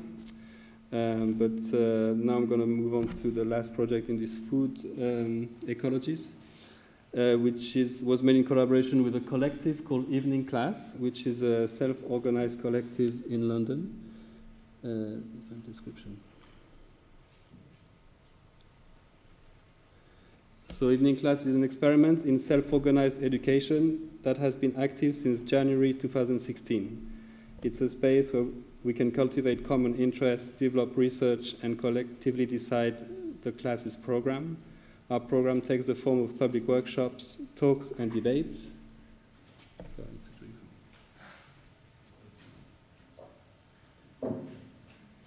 Anybody knows evening class? I've been in London, no? Uh, in, yeah. Yes, public workshop, talks and debates, reading groups, radio, radio broadcasting, performances, walks, and publishing. And uh, so this collective is, uh, the idea was that they were all um, designers and then they all had to work uh, for a living in London, in, generally in some advertising agency or something similar, but they still wanted to uh, learn other things and question uh, modes of production, etc. And so they basically self-organized their master, if you like, education. And when they invited me to, to come and do a workshop, I, um, I was uh, at the time really interested in uh, this uh, particular um, time uh, when uh, technolo uh, technology and ecology um, started to sort of, um, or, or, questioning technology and, and questioning on ecology started to, to merge together um, at the time where the Whole Earth catalog came out. And um, I luckily stumbled upon the entire collection of the Whole Earth Review. I don't know if you know this magazine. So the Whole Earth Review. This is one of the one of the uh, uh, review on the left there is uh, was a, a catalog that, that was started by Stewart Brand and um, a lot of uh, people that were involved in early computing and uh, develop, development of early technology relating to computers, but really thinking about it in a sort of democratic way, democratizing technology at the time. Uh, but also they were hanging with a lot of uh, ecologists or early ecologists. And so the, the, articles in there for me were really relevant today. Uh, and so I, I, found an entire collection of this catalog and we decided to um, make a sort of uh, best of with uh, evening class which uh, happened in a workshop, uh, which was quite um, uh, in itself a really interesting sort of editing time with discussions of what we thought was the most relevant today in these articles. And uh, done very low tech with a scanner and and just uh, uh, a lot of a lot of work reading and and discussing. And so the outcome of this was one we had this whole collection bookmarked with a, a very clever system of uh, topics and uh, and colors, and we had this for in display in different uh, places. And then we got the budget through the Arsenal University of the Arts to, uh, to publish the actual uh, best of, so uh, to make a publication from this, this article. So these are the theme that we managed to narrow down, if you call it narrowing down, that we were uh, interested in and thought were more relevant in terms of ecology uh, uh, today. And so this is the publication which happened with evening class. And um, that was the third one in the food ecology project. Can you remind me how, how long now do I have? Because I got a bit lost. Well, um, uh, depends on whether you want to use that people. No, yeah, yeah, no. officially. You can, you have a few more minutes and then maybe. A few more minutes, okay, good. Uh, good. I'll go until five minutes, something like that? Yeah, okay, good. Um, so now moving, so I'll go very quickly in the last, in the last part. Um, modern human ecology. So again, it's like how, you know, in some projects, this sort of modern human uh, actors started to become part of the ecology of the project.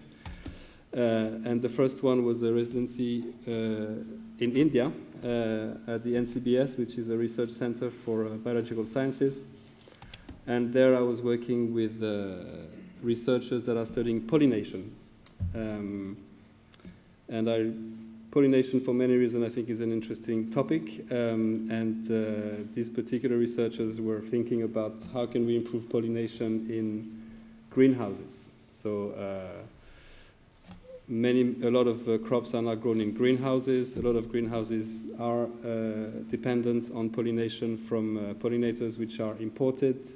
And uh, unfortunately, they don't want to pollinate sometimes uh, the crops. They should be pollinated. And so these scientists are trying to understand why and if they can uh, seduce them, if you like, into pollinating certain crops. And to do that, the, the fundamental research is to uh, understand what attracts this, the insect, the pollinator, to certain flowers. And uh, particularly, uh, so they, are, they were gathering data by observing, and then they wanted to develop a VR um, version, a system where they could have pollinators experiencing different things in the VR and study what attracts them more than other things. And so I helped them with this project, um, and the the virtual reality involved also uh, sand and uh, air pressure and different things. It's quite a complex uh, um, system. But I was particularly working on the, the flower itself, um, and they really hired me as a designer, which um, which was uh, great to sometimes you know have a very sort of uh, specific role. But the, the lab itself, uh, we're going to talk hopefully about collaboration uh, in a bit, uh, was very, very interdisciplinary, and uh, the scientists were very provocative. So um, it was a very interesting experience to work with them.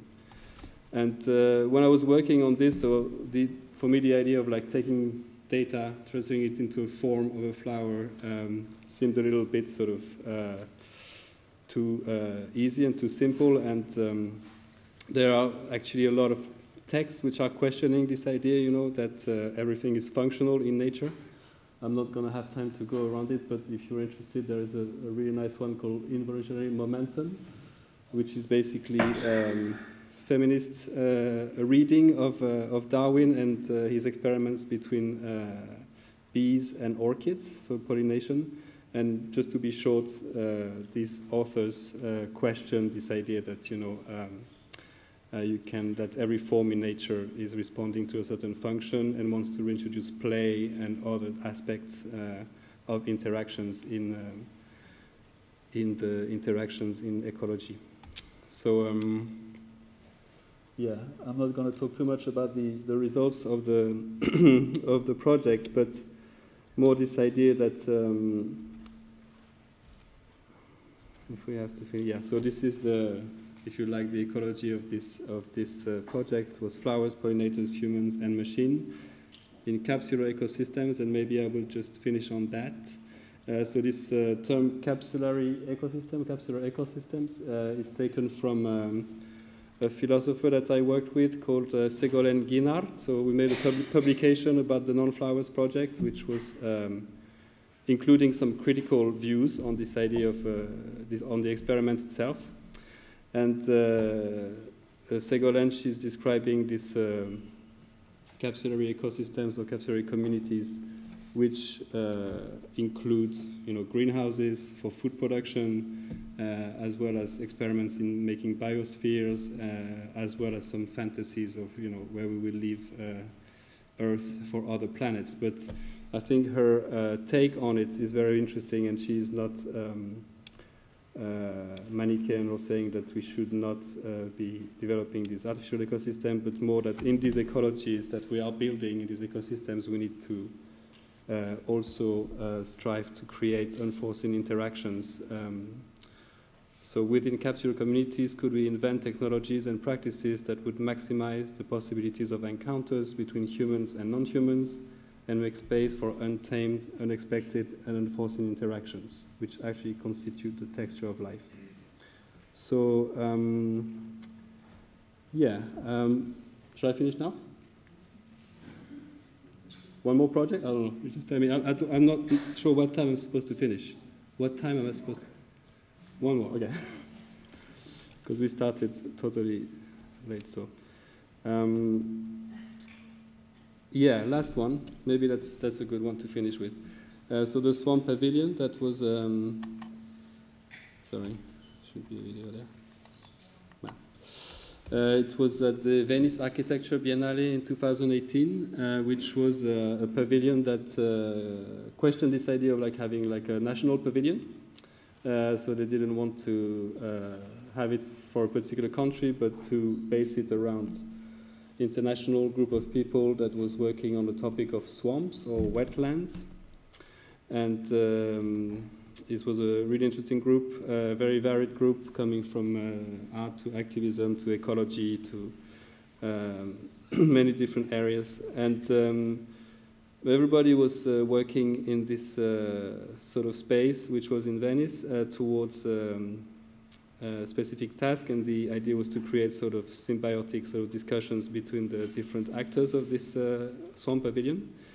And my particular work was on coastal plants. Um, and uh, I researched uh, a plant which is on the coast of Venice as well as on the coast uh, of France and the UK, uh, which is called samphire, and which is basically a, a sort of natural barrier for um, erosion.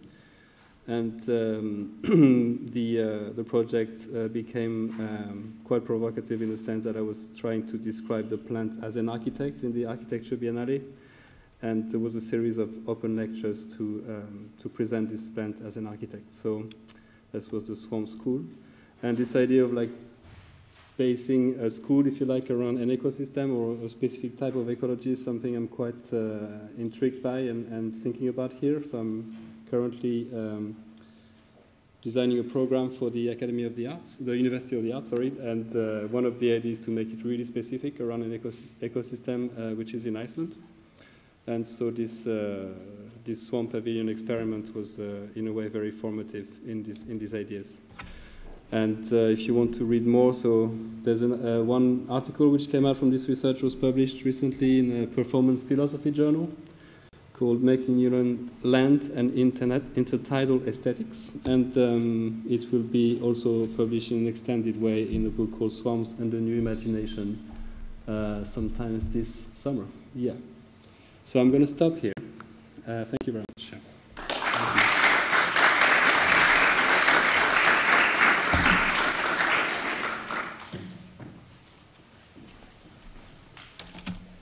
Hi, uh, I'm Bilge. Thank you, Thomas.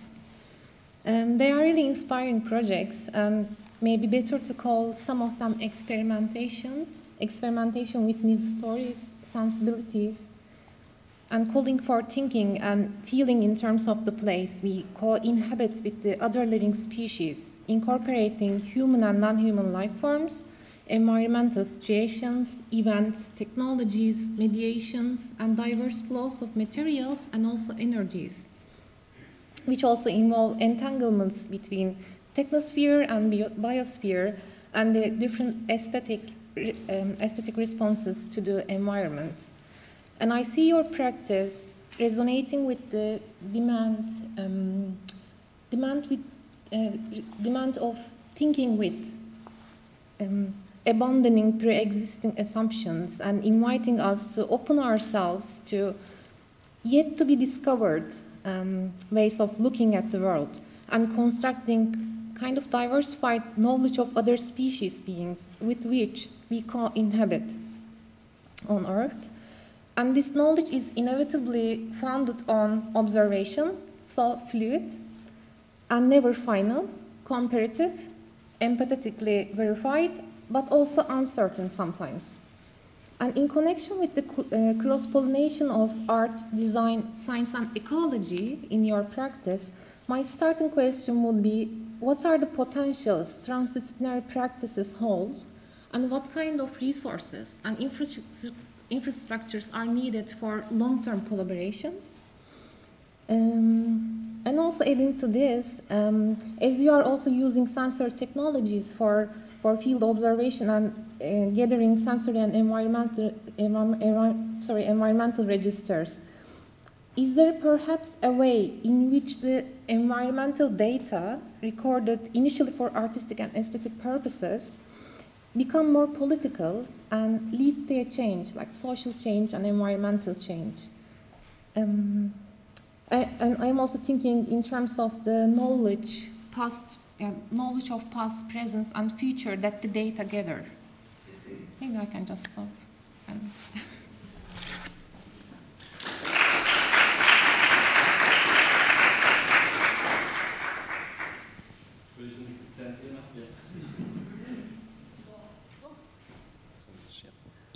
Yes, like this? Yeah. So thank you, Bilge. Thanks very much for the question. Um, so to the first question, I think uh, this idea of like what are the infrastructures for uh, interdisciplinary, transdisciplinary collaborations. Um, I think, at least in my in my own uh, experience uh, as a practitioner, I think I've been uh, in a way quite lucky uh, with the collaborations. Uh, for example, I'm going to be very specific with the, uh, collaboration with the lab of scientists in India. As I was saying, um, you know, there is because there is currently quite a lot of sort of projects dealing with art and science or design and science, um, uh, as well as it's it's actually an economy. You know, there's like this art science galleries popping up, and it's like a huge field. Uh, but generally, it's it's it's kind of one way, or, or, it can be one way that you know the artists or designers sort of uh, use the scientific uh, knowledge to uh, and aestheticize it in some way, maybe with a critical lens or something. But uh, it was absolutely the opposite for me. So when I worked in the lab in in India, um, maybe that was kind of my my hope that I would, could do that, you know, get something really cool and turn it into a piece of art. But actually, the the Dr. Olsson, who is the, the one running the lab, she uh, saw through me and she directly said, you know, I'm not interested in this kind of collaboration uh, because there's nothing in it for me. So I'm going to tell you what I'm working on. I'm going to give you a, a question, and you're going to go in your studio and work as a designer on that question, and come back to me, and maybe I can use it. And for me, that was, you know, um, I was really, I was really grateful in a way, like uh, that. I was, uh, it was reversing uh, the sort of flow of, if you like. Um, or like making more of a dialogue in the project. And uh, so that was a very positive. And I mean, in terms of infrastructure, that was again a very specific case. So the NCBS, it was a research lab which uh, was funded for a um, certain amount of years and which had quite a sort of um, uh, open sort of program. And they were basically, their policy was to hire researchers uh, to work uh, because they thought these researchers were interesting uh, and not to have these scientific projects which were basically uh, sponsored and sort of depended on specific results, if you like. So there were, for example, researchers working on questions like, you know, do bees dream, you know, uh, things like this, and they, they, had this sort of, you know, funding to do that. But you know, this was very also like a very uh, in some way uh, short-term precarious uh, institution. They thought that it would not last very long. So um, yeah, but I mean, for example, now I'm working. I didn't get uh, that far, but uh, in the residency I'm starting in France, I'm also working with um, scientific institutions and as well as citizen science projects. So which is something which I think sort of makes a bridge between this idea of like access to technology and and um, and my aim is there there is to uh, basically work with this citizen science project, but to uh, equip them with uh, tools which are generally not accessible, so which are used by scientists. you know, like uh, really cool tools like hyperspectral cameras or things that allow you to read the landscape in a way that um, you know normally would be only by a, a certain um, category of people that have access to the money.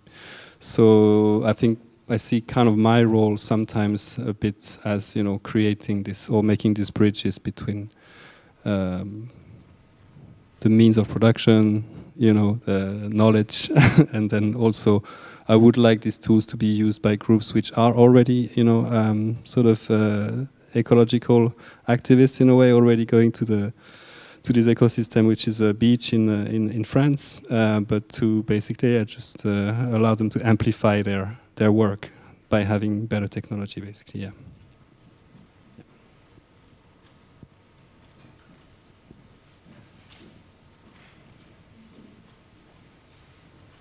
Hi, Thomas. Uh, hello, everyone. I'm Noah. I'm a PhD candidate at Zeppelin University and working uh, within the uh, FEINART Network.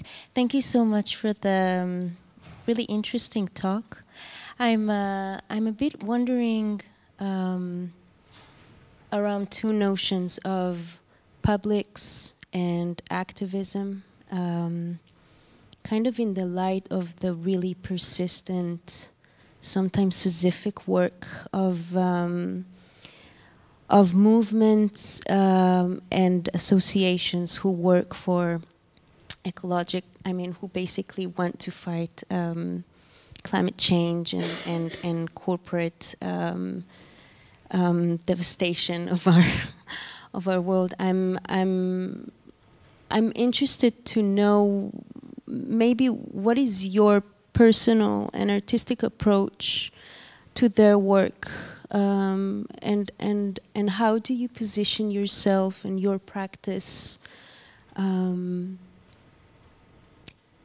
um, what what is maybe the proximity between your practices to to per se activism right um, yeah, thanks for the question, Noah. Um, it's uh, yeah, it's a question that uh, maybe now I can I'll speak more about the the first part of the talk. So uh, when I was working on this uh, with these allotment uh, gardens, um, my actual aim and interest in terms of research was about um, yeah, this landscape. So I studied philosophy initially before doing design, and I was interested in, in theory of landscape and, and things like that um, in France. So I guess that stayed with me, and how this landscape was created, and also how through memory you could basically um, through this, making this publication, through these interviews, sort of. Um, allow this landscape to live a bit more, you know.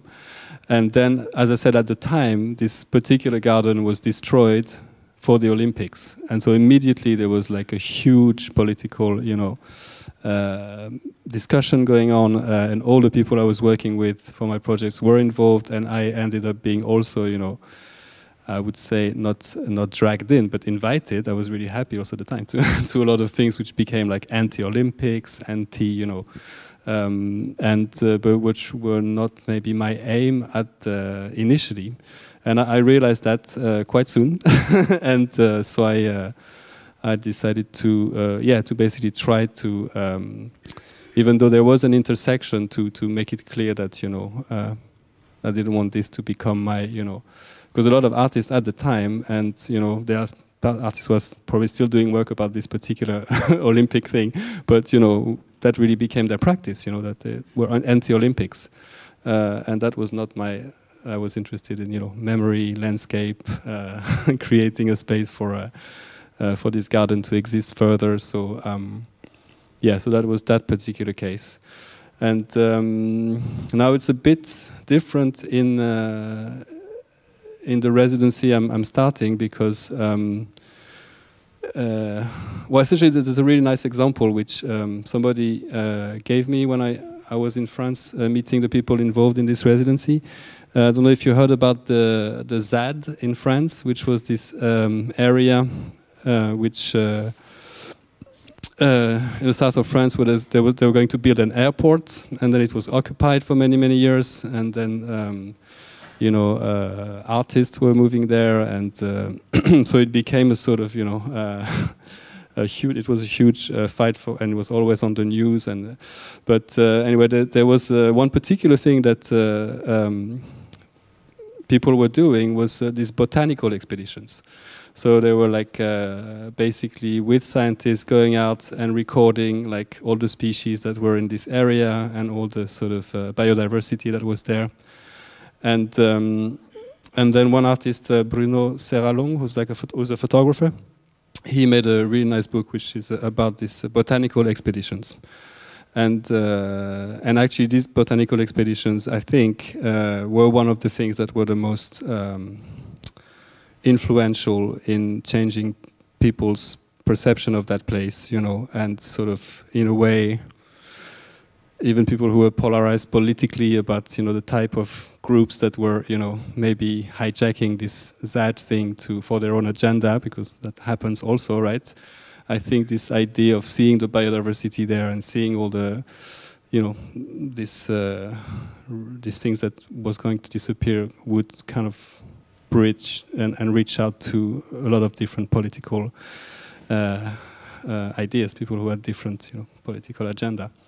So, I guess in that project and and and uh, in a way, ecology kind of is ma is maybe a means to to uh, yeah to speak maybe directly to people about things which are beyond you know other divides. Let's say.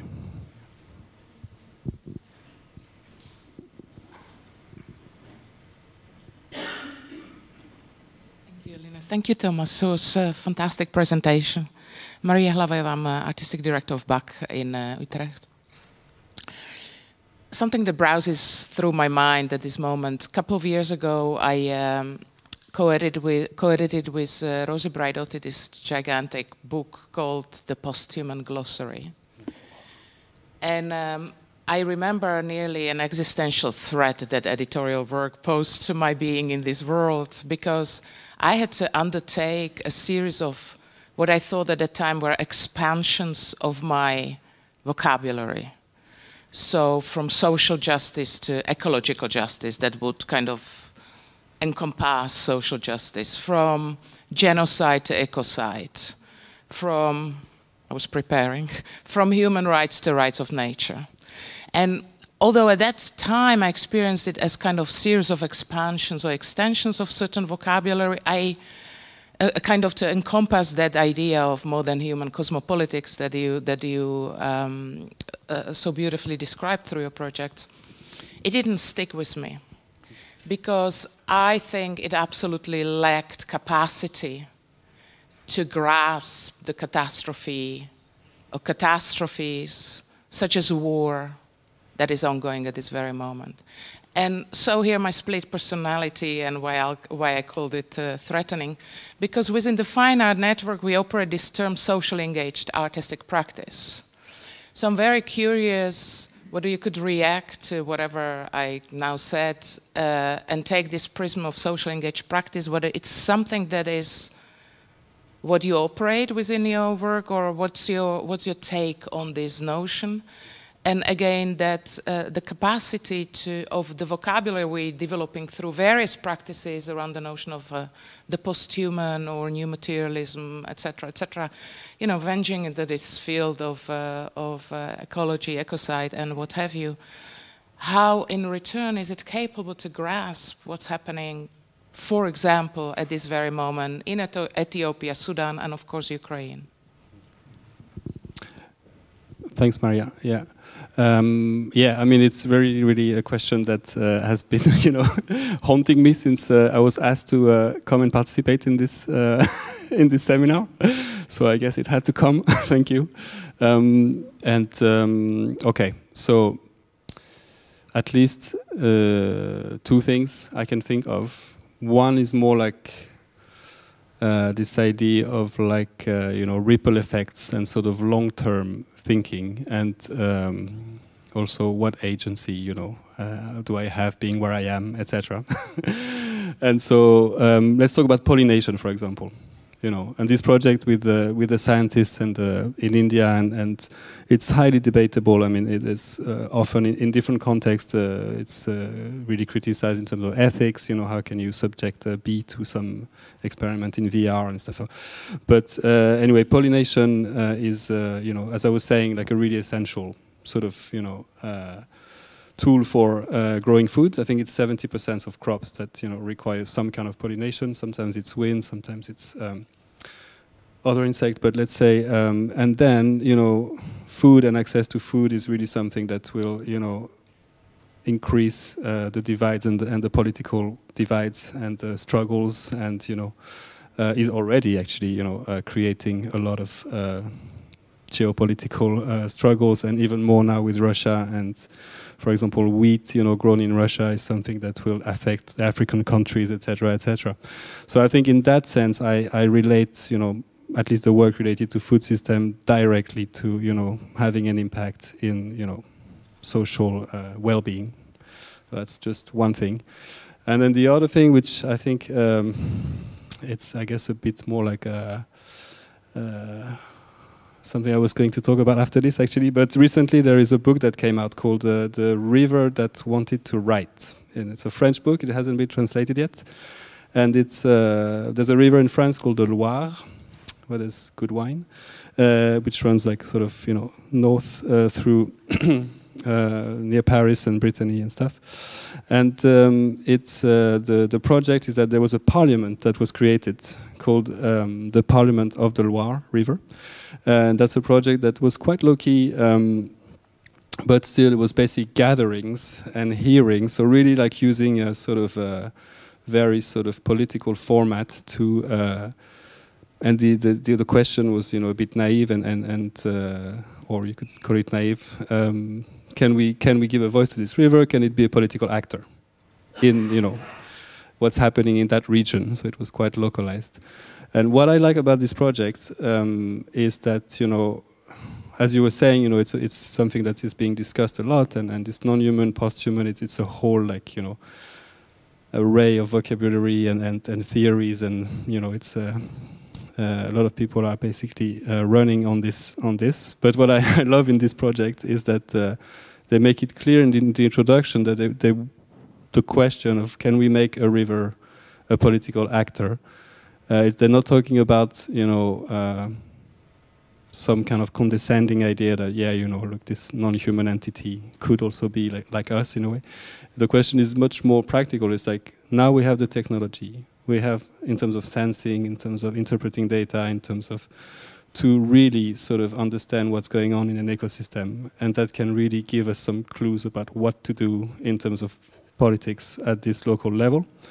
Um, and so politics of the landscape at least. Um, so maybe that's not including, um, let's say, social struggles in that example. But the be most beautiful thing in that book is like so there's all these hearings and they invite different people and. Um, uh, so it's a, it's a nice read, but at the end there's like a series of drawings of this like, what kind of new institutions uh, could that uh, would that need to include, you know, uh, and you know maybe some of them are uh, will never happen, it's not possible, but just this fact that this makes you rethink uh, how decisions are made and you know these processes of decision making. For me, that's something that could be you know at least the question is uh, of questioning the way um, you know social uh, society is organized through this. For me, that's the um, this is the value in this, all these things about interspecies and post-human, etc. So I don't think in itself, you know, some of the projects are very far out, etc. It's more that it makes you rethink how things are uh, organized now. Yeah.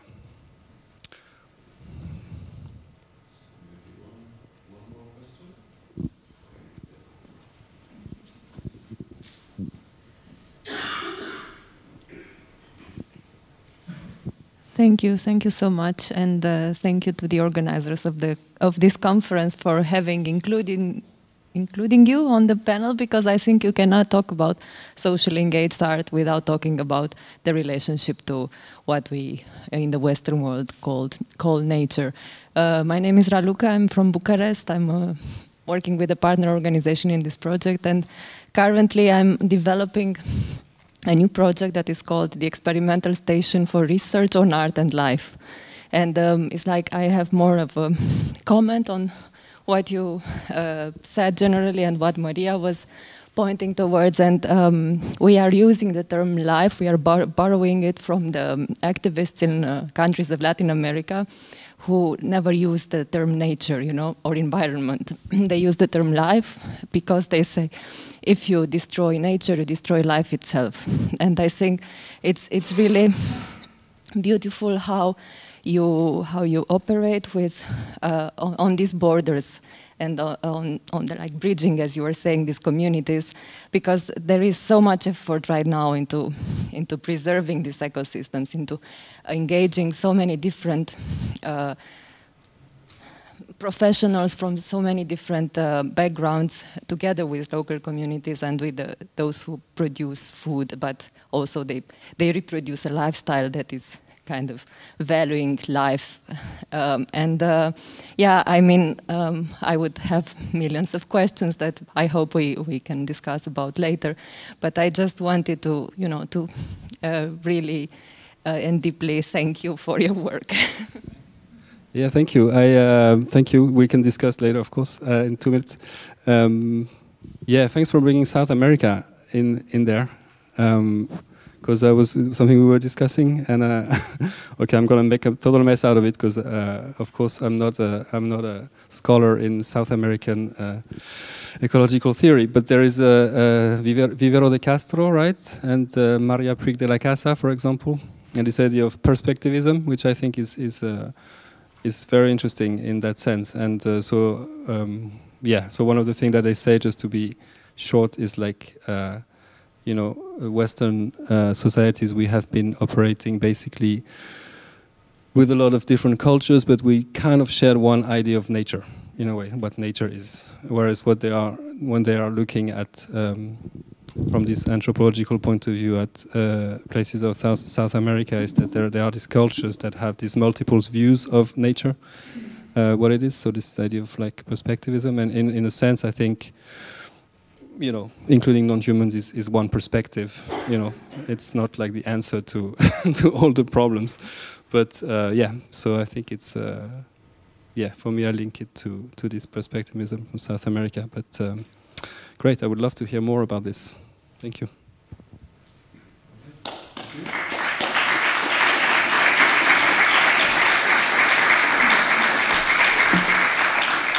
So thank you, Thomas and Bilge, and, and everyone else for, for the uh, lectures and comments and questions.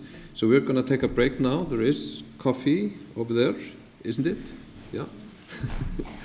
and we'll gather again here at half past four to, to have a, a, a final end of day panel with, with all the, the speakers and, and, and more. okay.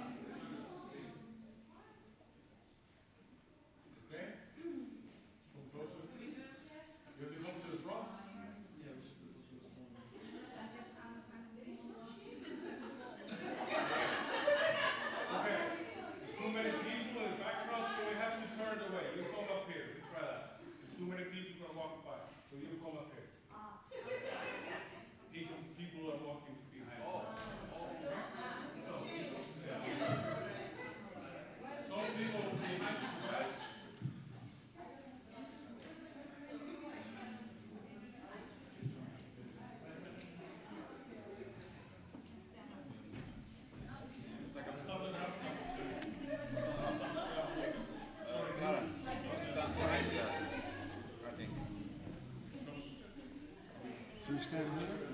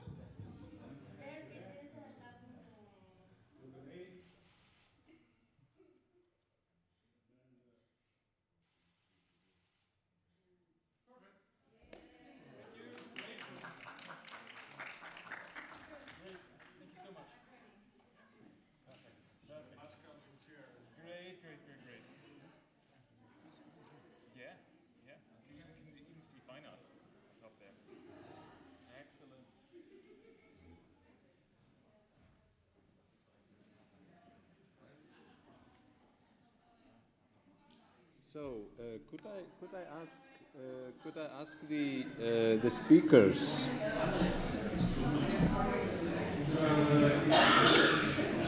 Could could I ask the speakers to come to the podium?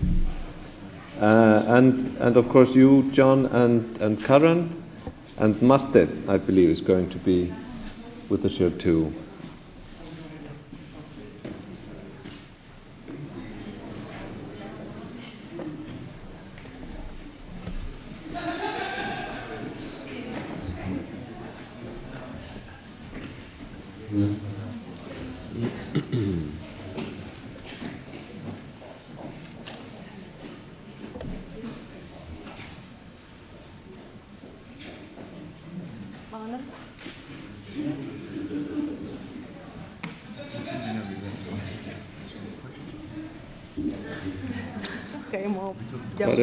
Did, Isa?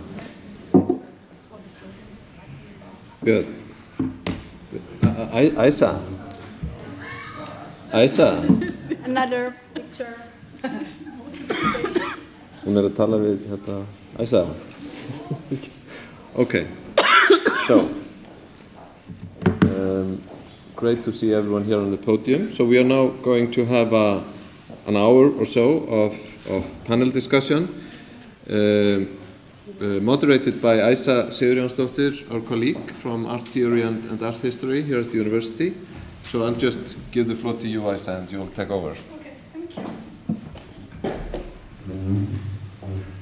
Well, hello everybody, and uh, thank you for inviting me for this uh, panel discussion. Uh, first, I will introduce myself. Uh, I think I have met some of you, but all, not all of you. And um, so, my name is Æsa Sigurjónsdóttir, and uh, I am a uh, associated art uh, professor here. And um, Uh, I'm running the curatorial uh, uh, program also. We have a curatorial MA program quite recently, and we also have an art collection. So you see, we are in sort of we have sort of many yes, many aspects that, of this kind of art field that we are studying here. Um, I see that many of you have already uh, been introduced to the, uh, to the public, but not all of you. And you don't have any name tags, I noticed, on the table. So uh, I was wondering if we should uh, have a very quick, uh, again, because maybe also there are some new people in the audience, uh, we should have a very quick introduction of all of you. But first, I just want to uh, say a few words because um, while I came in here as a guest and I the first um, talk I um, listened to was uh, yesterday in a workshop and uh, it was uh, the talk of uh, Dimitraki. And uh, I was quite moved by that talk and I think also we have been having a kind of an emotional roller coaster here today especially with this morning with, uh, Fatin uh, Farhat, with your talk from Palestine, and uh, of course addressing all sorts of um, uh, political issues, issues of violence, issues of uh, nationalism, of trauma and loss. Uh, I would also like to bring uh, the discussion now a little bit back to this, back to nationalism, back to also back to violence, even though it is not maybe the uh, the thing that we really want to be talking about, but I think we cannot uh, escape it. And uh, artists in war, that was something that was addressed here yesterday and I think also this morning. And also the possibility or the impossibility of art in war situation. I, I, I, uh, I thought that was a important, important thing to address. And uh, we know also if we sort of historically, if we go historically back in time, uh, there have been, uh, I mean, we even had uh, in Britain, they had, or maybe they still have, they had war artists. So art as a healing process, we have also uh, heard quite a lot about this, and this is also important. Uh, and finally, also, it was very, um, uh, of course, wonderful to have Ruang Rupa here, and we are all very, very happy to have you. And thrilled about hearing about your project in Documenta because I'm sure that many of us have been to Documenta several times and are planning to go if uh, that will be possible. And uh, uh, so I thought that your uh, uh, uh, presentation was, was really captivating and um, I am also interested in your way of, I would call it kind of decolonizing uh, the Western concept of art. I think we also mentioned that uh, yesterday, and I uh, maybe that is my interpretation. Maybe that is also something that you, we could uh, discuss. Uh, that in fact uh, your your method, your tools are also a way of decolonizing documenta which is a very institutional, and uh, I am very curious to see how you can uh, uh, use these tools in Kassel, which is such a, which is such a historically charged city. Okay, so please, just a very quick uh, introduction of, uh, say, just your name and your uh, affiliation and, and maybe your connection with the project. Yeah, um, I'm Professor John Roberts. I'm the manager of the FEINART Project. I'm Karen van den Berg uh, from Zeppelin University, and I manage the training program. Uh,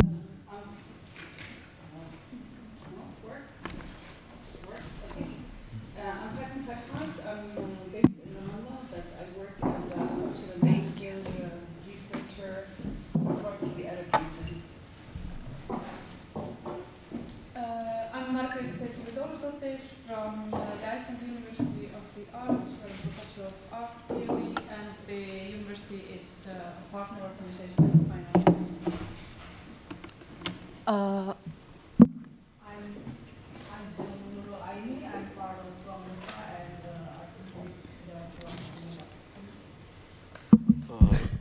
check. Uh, sorry. Oh. sorry, I think. Sorry, sorry. uh, I'm Andan from Ruang Rupa. I'm Thomas Pausz. I'm a um, assistant professor at the Essen University of the Arts. Um, my name is Martin, and I'm one of the ESRs, one of the PhD candidates of the program. Okay, thank you. Uh, yes, so uh, uh, there are quite many, uh, maybe some of them have already left, but there are quite many artists here uh, in the audience, and um, I would also very much like to um, uh, to give them also a little bit the floor and make them uh, interact with uh, with uh, our uh, our topics. Uh, I think the first the first topic I will address, and it is this maybe a little bit the elephant in the room is nationalism, and uh, like uh, Dimitraki spoke of uh, yesterday, how nationalisms are maintained as a form of management of populations. Uh, she also mentioned the idea of the nations and how we're always kind of coming back to this. Uh, of course, now it's um, it's a very difficult uh, problem and situation uh, with this uh, new war situation in Europe. Uh, and uh, the nation is also, uh, of course, uh, uh written into the constitution of most nations. Uh, and this is also how art and art identities and uh, cultural identities are very much constructed, and they are still very much constructed around this idea of the nation, even though we have been going through all this process of deconstructing the, the the idea of the nation and the, uh, the, national, uh, the national discourse.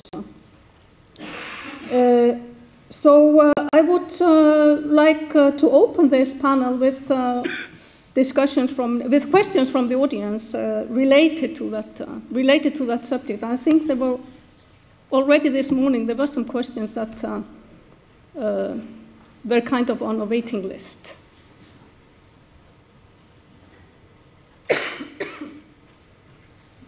Yeah.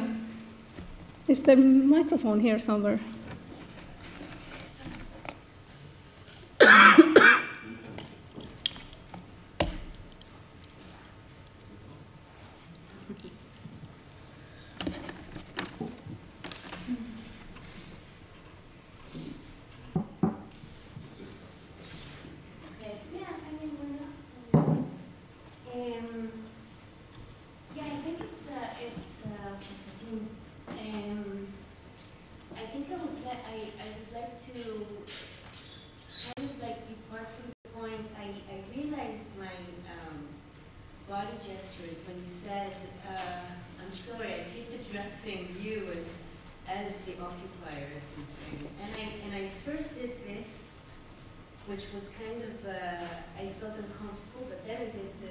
because I really thank you for for acknowledging this kind of, you know,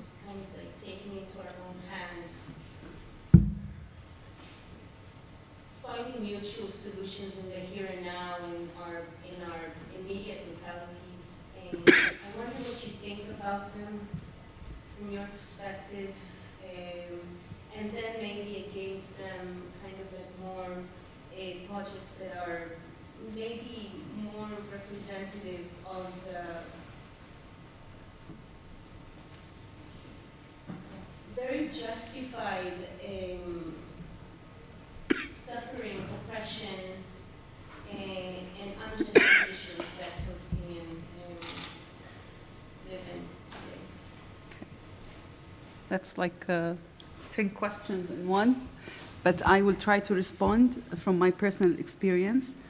Um, this might sound surprising, but you're the, the first Israeli citizen I see in years, because as a person who lives in Ramallah, I only see the settlers and the army.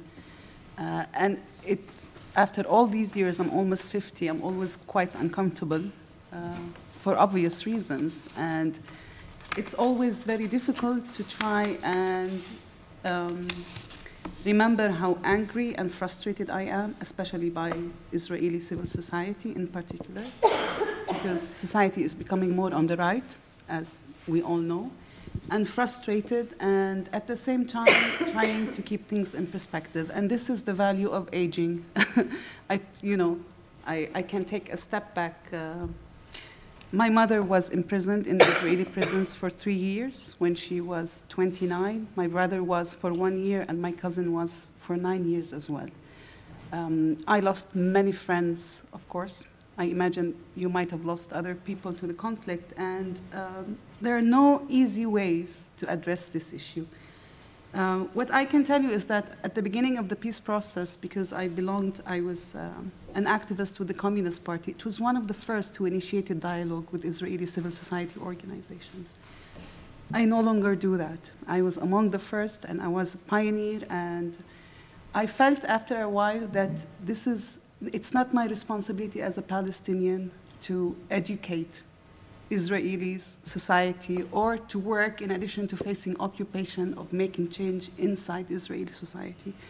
Especially that often we felt that we were left out, especially with the second intifada in 2000, which was very violent and we lost uh, lots of friends. So I think that was a turning moment for me when I felt that I shouldn't be living under occupation, fighting occupation, and raising a family, and also, uh, you know, educating um, Israelis and changing Israeli society. This should be the responsibility of um, Israeli left and Israeli civil society movement more than uh, my role. And I also. Um, as I got older, I became uh, more realistic. I don't believe that these projects actually uh, work, honestly, and I tried them. Uh, I'll give you some impressions. At a certain point, these uh, projects were um, sponsored by German and Austrian governments for obvious reasons, the issue of feeling guilty because of the conflict. And I was engaged in some of them, and I never felt that uh, the power of the occupier and occupation and the the occupier and the people living under occupation was very, very strong and was very uncomfortable. So I do believe that reconciliation at this level has to come after at least Palestinians feel that they fulfilled uh, part of their uh, inspirations and were at least ready to the process of reconciliation when the Israeli occupation of Palestine stops. Uh, this is not to say that I'm, um, of course, I'm against dialogue with state supported uh, initiatives. And this is something uh, uh the BD, I, I, imagine a lot of you know about the BDS movement, um, and which comes in handy as we talk about Ukraine and Russia now. Uh, how, do this, how, how, far do we go? Uh, what do, how, how do we work with, also with the, with the conflict in, in, in Europe, but I find it really, um, uh, I don't think firsthand that unless there is a political statement, I don't think that these projects, the common projects, are very real or dynamic. Of course, there are exceptions. We have to remember that there are two million Palestinians living in Israel. It's, it's, a, it's a complex uh, geography. So I'm a West Banker. Uh, I don't speak the language, I don't have direct interaction. But I have friends who grew up in Nazareth and in Haifa who speak Hebrew, who studied at Hebrew universities, and, and, and, carry Israeli passport as well. That's com completely different. The rules are a bit different. But um, I'm not a pessimist, but I'm more of a realist. I think Israeli artists have to work within their own society to change their perception about occupation. Uh, that's their duty. They have, they have more, uh, they have an ad advantage over us uh, having to fight uh, and live our daily life under occupation. So uh, but yeah, about the elephant in the room, yeah, for me until now, after all these years, I, I, it's always confusing when I see an Israeli that who is not a settler or a soldier in the room, uh, in the same room with me. Uh, I'm almost 50, and it continues to make me also feel uncomfortable at the beginning. So. Mm -hmm. I think Oliver, you wanted to. And. Yes. Okay. Okay.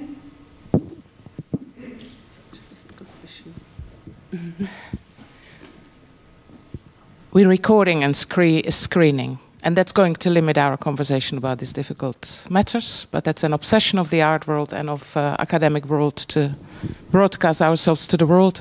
But this is tough conversation we have to have. And um, I want to challenge our accountability uh, when it comes to calling one another to be responsible for national politics. And I know how difficult this is, but that, is, that conversation is to be had. I believe, Fatin, your gesture was wrong. That's my personal position. I was in a conversation with, uh, with a, uh, uh, representative of the left in London who told me we need to boycott Russian artists because they didn't do enough to stop Putin. And my question to him was, What did you do to stop Brexit? And thus, the challenge on locality and the language of nation state that we willingly or unwillingly, consciously or not consciously reproduce because we call the artist Dutch artist or Syrian artist, etc., we reproduce the standing power game in the world. I really genuinely believe it. and I am fully aware of my privilege that there are not bombs falling on my head. Mm. I just want to recall the, uh, uh, Angela's second point of yesterday the politics of visibility and invisibility, the cancel culture. I think we need to be very careful. And um, to abstract this conversation, I want to go to the question of locality. Interestingly, uh, and then you stress locality, you talk about the locality of Kassel. Well, when you announced the when you announced the artists for Documenta, you did not identify them with their locality. You uh, identify them in their position in time. You still use Western Greenwich system, which is the Western linearity of time. So you still position artists in time within Western hegemony of linear, linearity of time. But I thought this was fantastic uh, attempt to unpin us from Google Docs and um, uh, imagine the world otherwise and try to actualize it.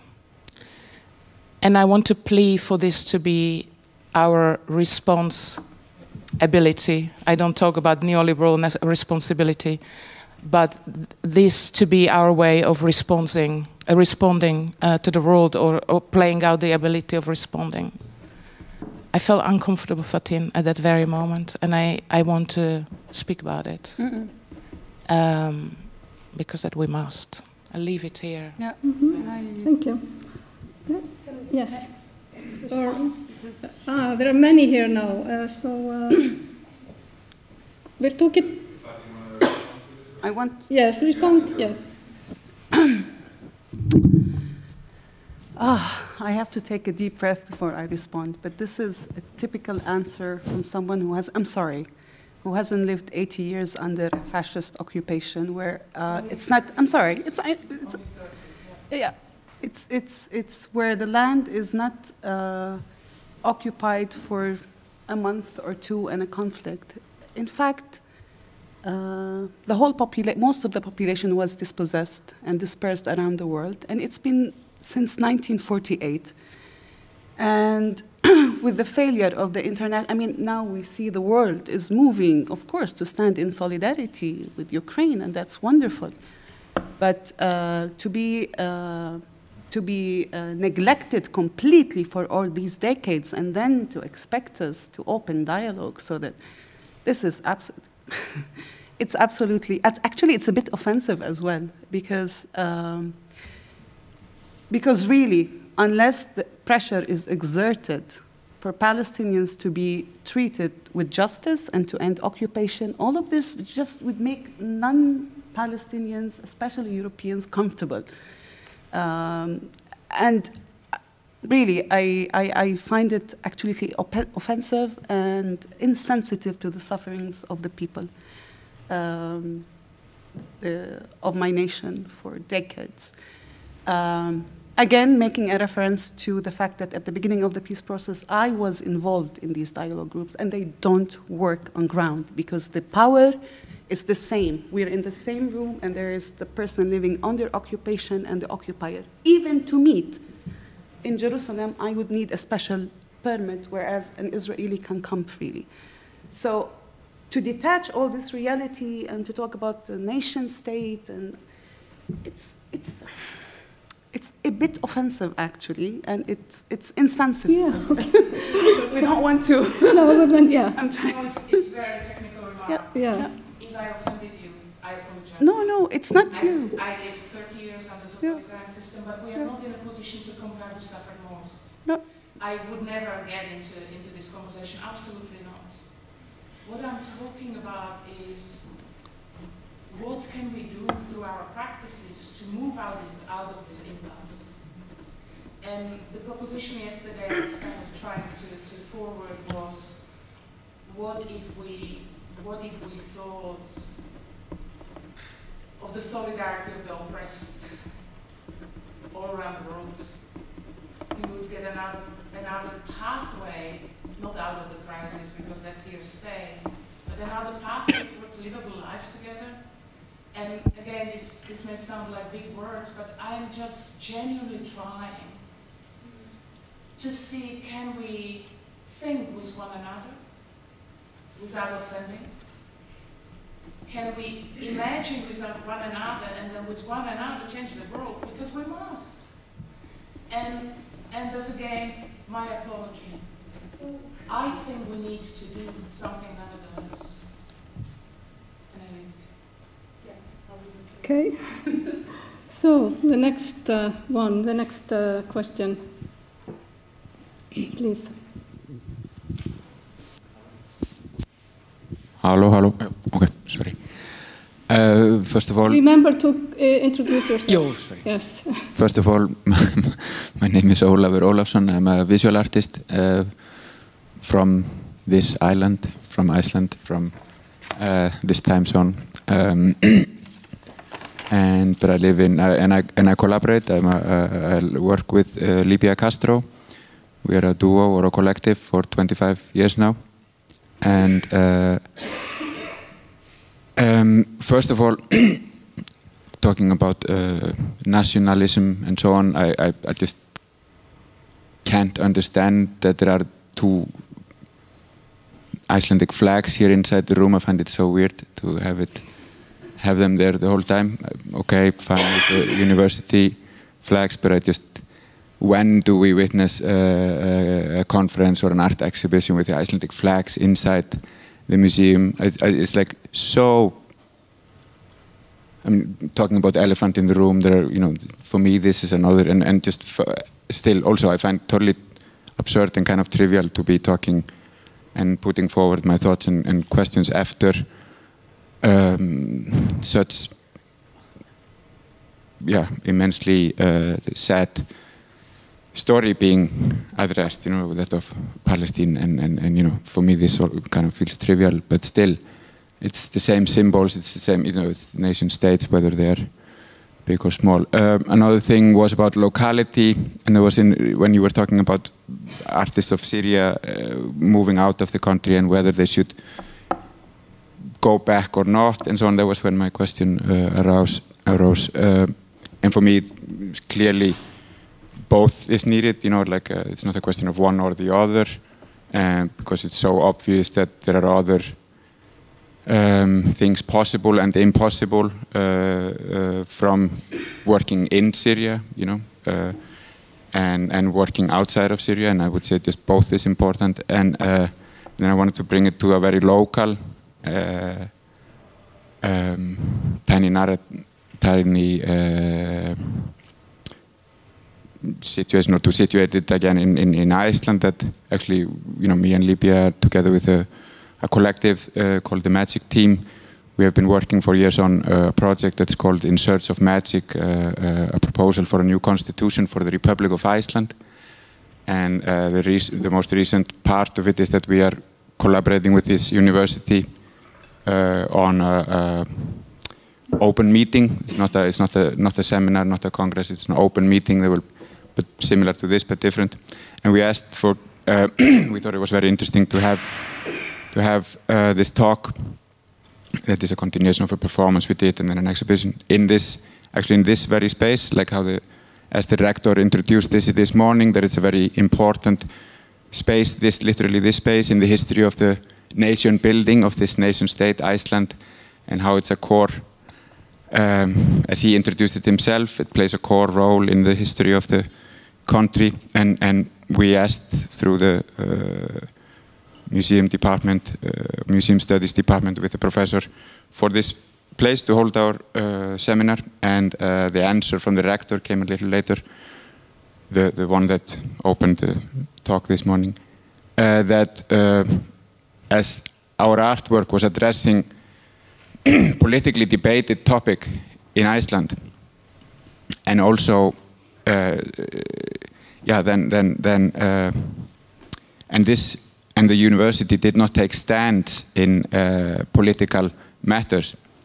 Uh, we could not be granted uh, permission to work or to have our presentation in this space. Actually, it was also about socio-politically engaged art. We are contextualizing it in a in a larger thing, in a larger context. So uh, and we also actually asked for having an artwork on the facade of the building. But I find it, it's like it, I can't, it doesn't, can't, I, I can't leave the thought how interesting it is then that the very same rector that says this to an Icelandic project, talking about locality anchoring and so on, uh, is more than happy to, to, to host and to celebrate exactly the same or exactly very closely to relate, related, you know, because I mean the Icelandic constitution was written in the aftermath of the crash 2008. Uh, the Arab Spring started with a with an Icelandic autumn, we could say, you know, and then the Arab Spring, and then and so on and so on. So it's a very important for us that it's a, that the Icelandic the Pots and Pans revolution and the, and the constitution that was written after that takes place in this global moment. You know, Iceland certainly played a role or was taking part in global socio-political events, and and you know, so we but we are not allowed to speak in this room uh, to use this room. I mean, we were offered another room of the university and they offered us money. But just to put it in a context, you know, that we're talking about socio-political engaged art. Mm -hmm. So, uh, and I wanted just to, you know, bring that in, that and, and, and you know, uh, find it quite interesting when talking about locality and local, global, and so on. Okay, thank you.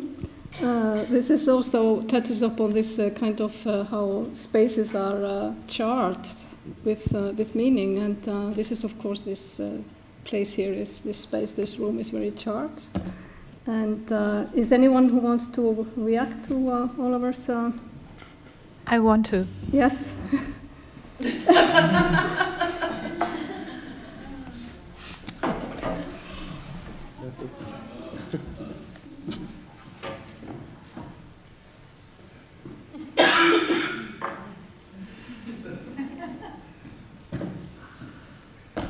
okay, so we have a.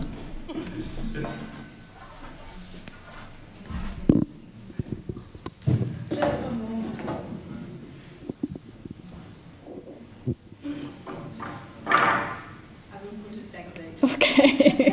Are these? what are these about? no, no this about? is university. Yes. Maybe we can- can leave that. Okay. No, uh, yes. Uh, Um, this was not my only reaction. But Yes. Uh, I just wanted to say something about the nation state, and um, maybe we can think a state without the nation, and uh, the whole idea of this way how to imagine communities that works in this nationalist way.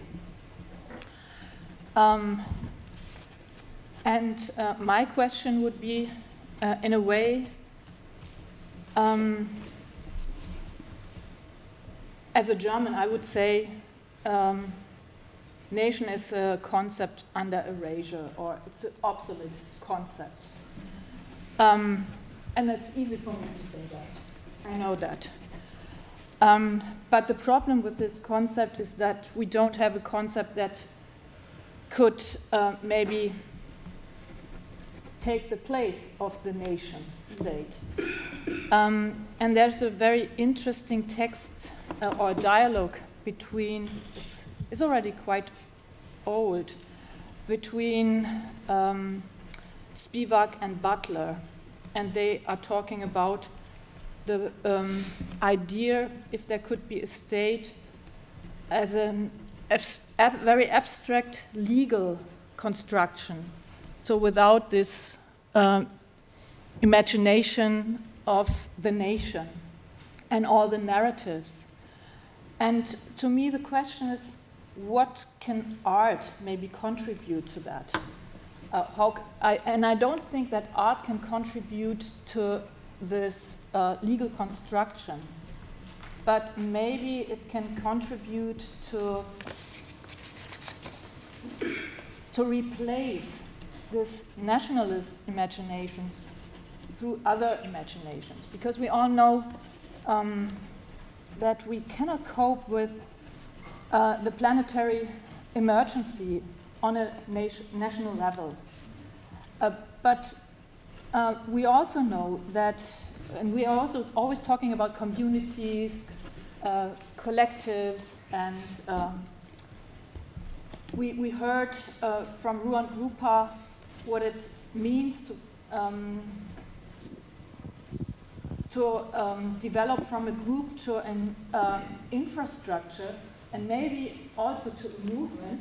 Maybe that works. Um, but what we need to maybe inspire such a movement is imagination. So I think this is what maybe art can contribute to, um, to this development and to the replacement of the nation state. Um, and then I would say from the legal side and from maybe other sides, it's to, to, to do the work on an ab abstract idea of the state. So that's my statement. Mm -hmm. Thank you. Yes, please. Uh,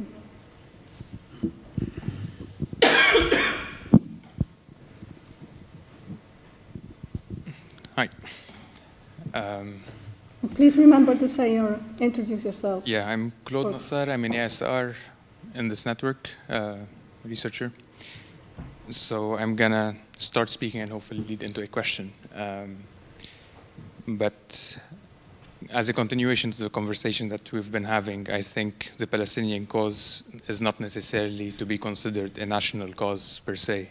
I think due to the inter intergenerational dispersion, but also the apartheid against the Palestinian people, whether by the Israeli state or by other Arab states as well, within itself, the Palestinian cause is accordingly not a national one per se. Um, and I imagine that the through Palestinian resistance, there's also resistance against the formalized state of Palestine, if I'm not wrong, and maybe you can correct me on that. Um, and I imagine as well that within this resistance, there is a resistance of the idea of a neoliberal state itself. And I think it's a bit hard while we're here talking, which I agree with the critique of the nation state, and I think in Lebanon this applies. But I think in Palestine there's a different conversation to be had uh, because of this association, not necessarily against the idea of critiquing the nation state, but because the nation state itself is understood differently due to the dispersion of the Palestinian people around the world.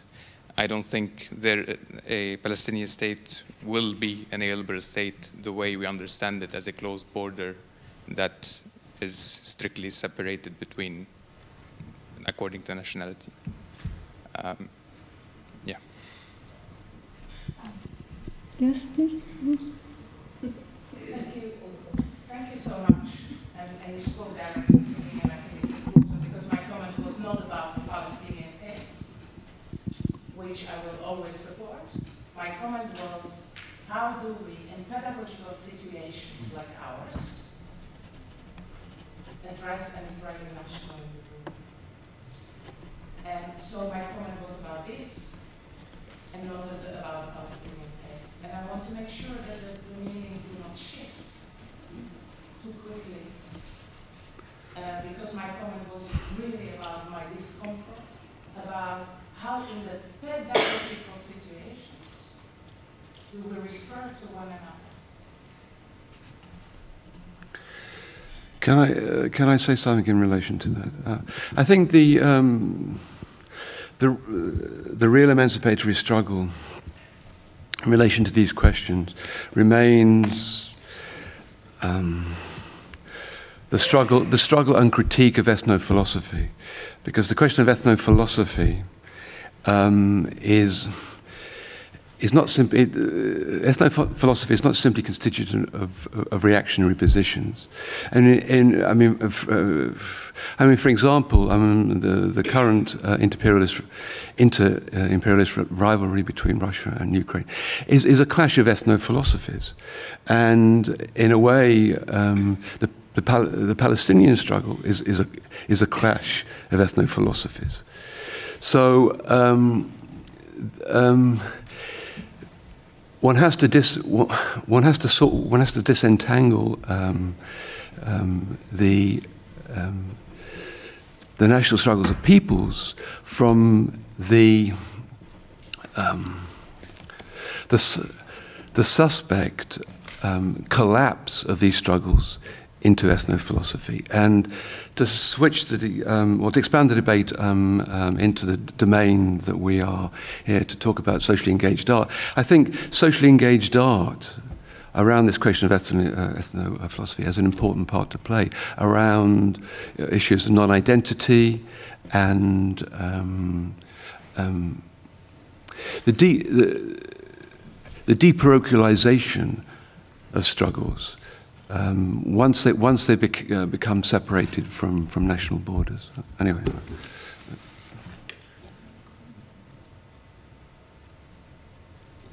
Yes? Some, anyone want to react on that? Well, uh, yes, Seirun?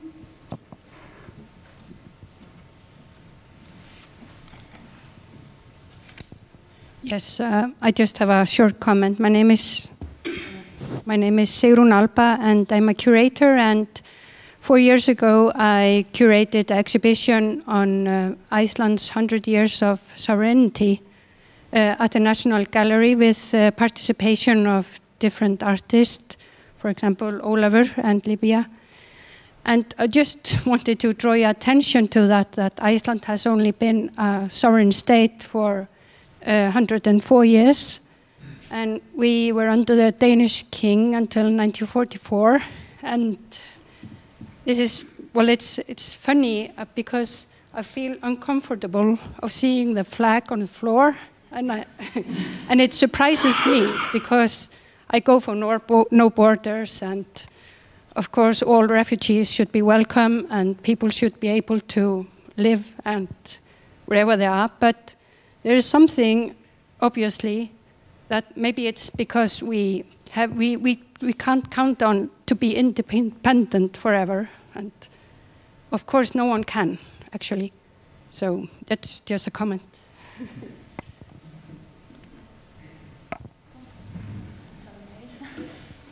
Thank you.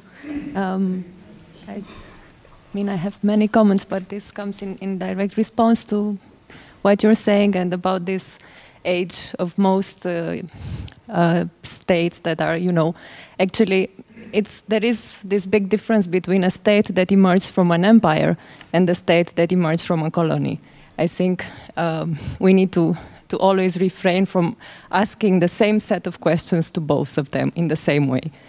Um, and uh, I, I, would like to uh, uh, remind you of this, uh, this comment of Dan Perjovschi, uh, this Romanian artist who uh, some many years ago he was commenting on, on how he was placed, identified by, by, by different in, in, different moments in this uh, in these last 30 years.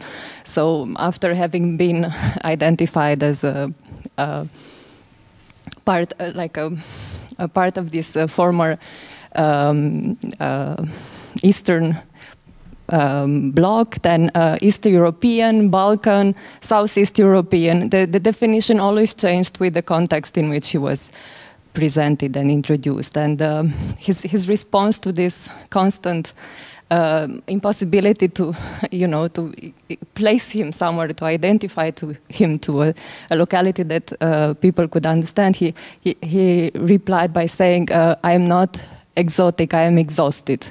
This, this was one of his most famous lines, I think, and that we so often identify with. Just very recently, uh, last week or so, there was this um, reporting in American media on the on the current war in Ukraine, and they were showing these maps. I mean, not only American, also French, I think, and they were showing these maps, and there were three different maps in which, uh, in one, Romania uh, had invaded Hungary, so basically uh, corresponding to, to Hungary, uh, it was written Romania. In other, um, uh, I don't remember exactly, but it was uh, the same situation with Bulgaria, only that Romania disappeared. In each, uh, in each case, it showed that uh, there is an ignorance of these specific uh, regions, specific localities. It's like today I was looking with, with Maria, one of the ESRs in, in this program. We were looking at the map uh, to see a specific place in Russia. And um, uh, the moment, uh, in the first moment, I didn't realize that why was why was I seeing Lithuania so close to Russia? And it was just because the map was upside down, and it, it, had no correspondence to my to the mental map that I used to have. Um, so um, um, if we go back to this question of what can we uh, uh, learn from the artists. Uh, I think we can learn a lot. And for example, it's been a while since we don't identify, in, in, let's say in peaceful countries, yeah, we don't identify the artists with the nation. We don't talk about Dutch artists and Romanian artists. We talk about artists based in Utrecht or in Bucharest. We, we hardly ever talk about American artists. Yeah, we talk about artists based in New York, or and so on. You know, when when we can afford it, we avoid this identification. And um, we are used to this global art world where artists are sort of pollinators themselves, you know. They, are, they move from community to community. They are able to permeate um, different kind of, you know, stuck situation and prejudices and, and so on. So, um, of course, there are there are solutions and they are so much at, at hand, but it's it's a question of when can we actually enact them? When can we um, can we have the privilege to, to, to reformulate them, to, to change the vocabulary and so on. It's, it's really, you need the context to do that. And in other times, you just have to be humble and to, um, to listen to those who have other problems, like really survival is, is um, uh, something you cannot lecture on. You, you know, you cannot lecture to, to these people. You just step a bit back back or you know aside and, and listen because I mean, yeah. Otherwise, this this power power relation never changes. Mhm. Okay, thank you. Uh, I would like to uh, continue a little bit, and uh, I would like to pick up this uh, because I think there have been two things in, that have been said that are interesting, and uh, uh, I would like to address this to the Ruang Rupa, and uh, it's a question of uh, the pedagogical situation as these. I mean, uh, very delicate pedagogical situations. I mean, uh, is this something that uh, you are integrating in your Documenta project? And uh, could you maybe speak a little bit about that? What kind of tools you are using, and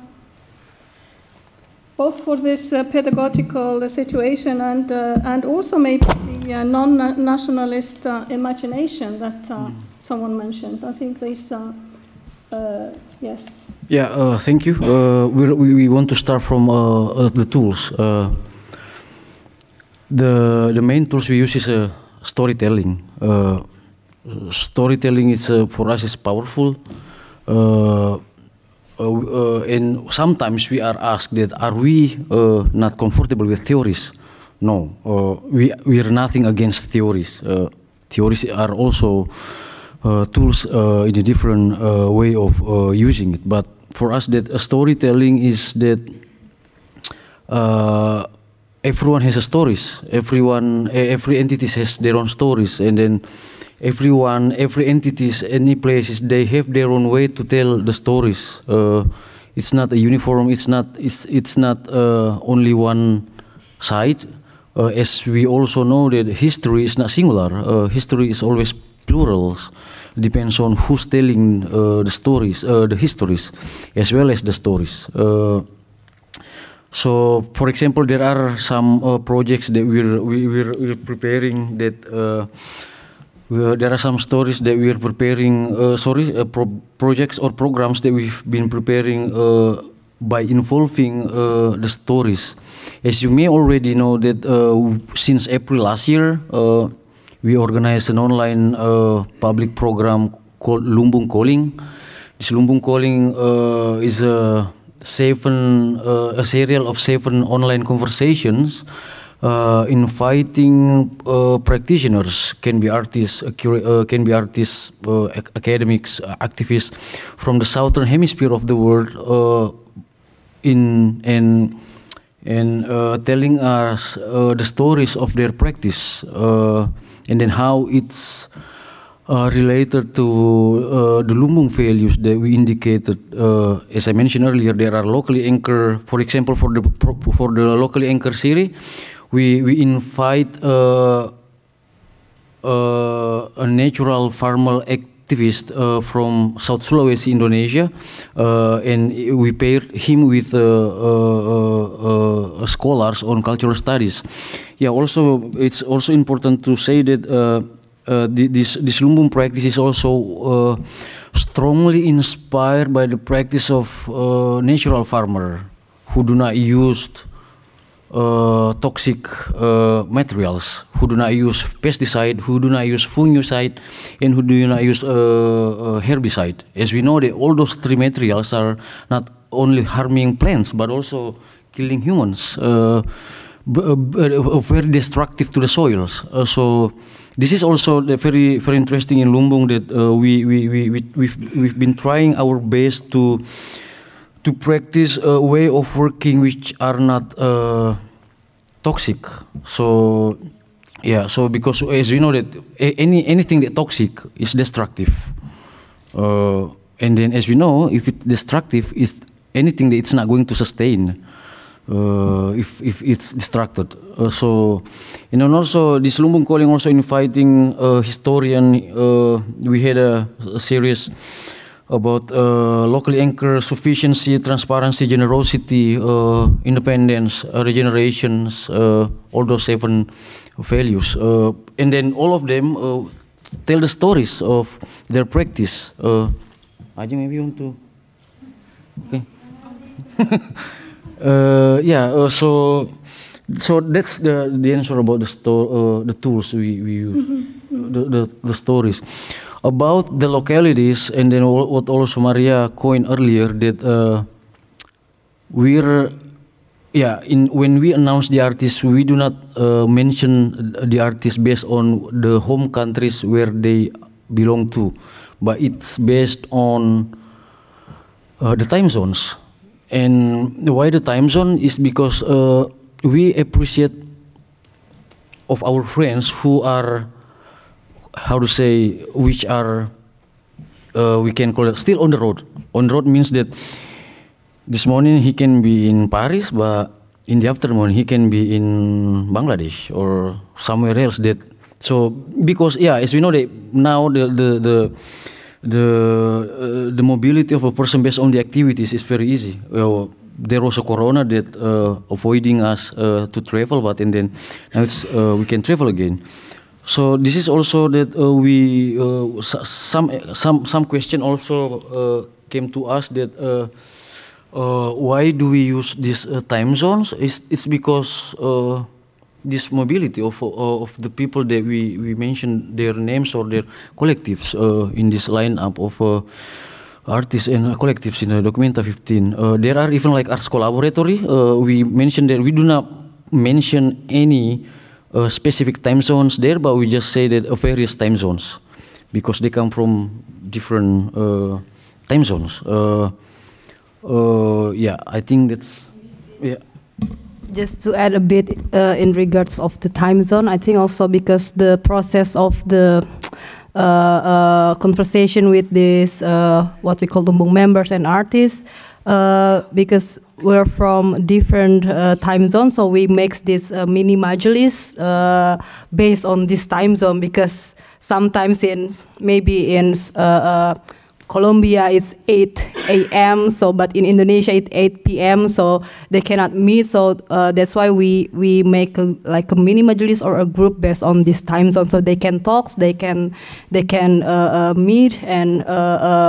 Uh, uh, uh, discuss about the collaboration that possible that they do, and then so this idea is also when we mention or we announce them in the in the official announcement we think uh, uh, rather to have the alphabetical way. So we why we don't use this mini majelis group as a as a things that we to announce them. So there's one question. Also, also sorry. Also yeah. during during the process that uh, because it was mostly uh, we did in Zoom, which we didn't need passport when we want to sign in in Zoom. So there's no recognition of where we come from, uh, which state, and then which passport we hold uh, when we sign in in Zoom. So that's also kind of metaphor that during the process we are stateless in terms of we're in a digital uh, platform. Yeah. Yeah, when uh, I've I've got a question to Ruang Rupa and also to Thomas. Um, because when I listened to your talks, I was wondering um, on which scale you're planning to work. And I was also uh, curious uh, to hear more about what happened, for example, to Ruang Rupa when they, when you expanded your group, and uh, you, you said that you um, professionalized yourself and uh, founded a company. And um, I was also also asking myself what happens now after Documenta or with Documenta to the group, um, working on not, not, not anymore in those, this community scale, but now on another scale, on an international scale. So what does it mean to the group? How does it change your work? And also, um, Thomas has been asked the question, um, yeah, what can actually art uh, do in, or what, what's the role of art in, uh, in uh, planetary emergency? Uh, so how, how can art contribute? And this again has to do with the, the scale on, when, uh, on which we are planning to work. Um, so, yeah, maybe you can both react to that.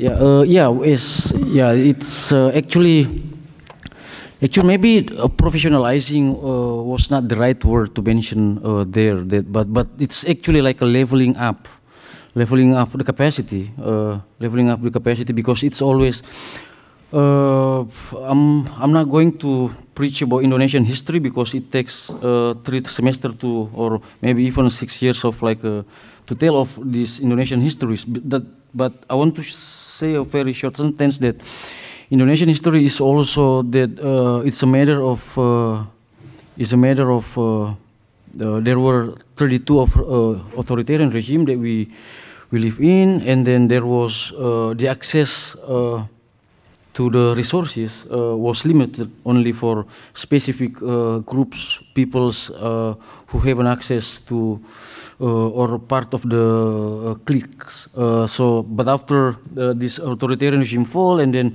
there are openness, and then that's also anyone can just start something, including it's in, in order to access the resources. You know, in, in order to access the resources to sustain uh, in order to access the resources to expanding the capacity. Uh, so uh, when it was started, it was a foundation, but and then later uh, we started a so-called registered company. Uh, because some some actually some some projects uh, require this not it was it was not really like a commercial a commercial project but it's it requires uh, and also, it's we always saying a word siasat uh, in working. Siasat, correct me if I'm wrong. Uh, yeah, uh, but we call siasat is a strategy. We, we're, we're, we're always strategizing, strategizing to sustain uh, because. Uh, because sustaining for us that we we've been witnessing many initiatives like like starting and then dying, starting dying and then uh, and then we've been witnessing that if we sustain, there are many things we can do. There are many, there are there are if it's if we if we sustain and regenerative, uh, uh, there are always new things happen. There is uh, also a very good notion that we learn uh, from our culture that uh, I come from a culture called Bugis people in in South Sulawesi, Indonesia. We call it matolapalalo, means that we are really happy if we see the young people can achieve something much better than us, uh, but also at the same time we learn a lot also from uh, Bruce Lee, Bruce Lee, uh, the martial artist, uh, who said that uh, a teacher is a teacher who can protect uh, his students from his influence. So yeah, so so so so that's that's actually that uh, uh, it's actually strategizing, strategizing in order to sustain and then to to be regenerative. Yeah, yeah. Yeah. Uh, also to add, and then uh, actually, what Ruang Rupa uh, with with when we make this uh,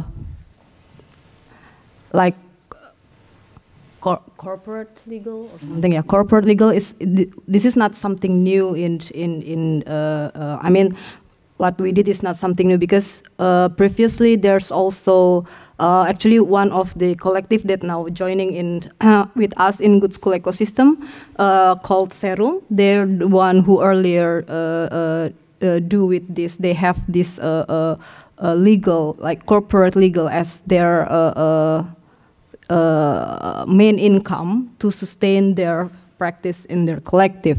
Uh, they're focused in art handling, so and they're quite uh, uh, very uh, professional art handling in, in Jakarta or Indonesia.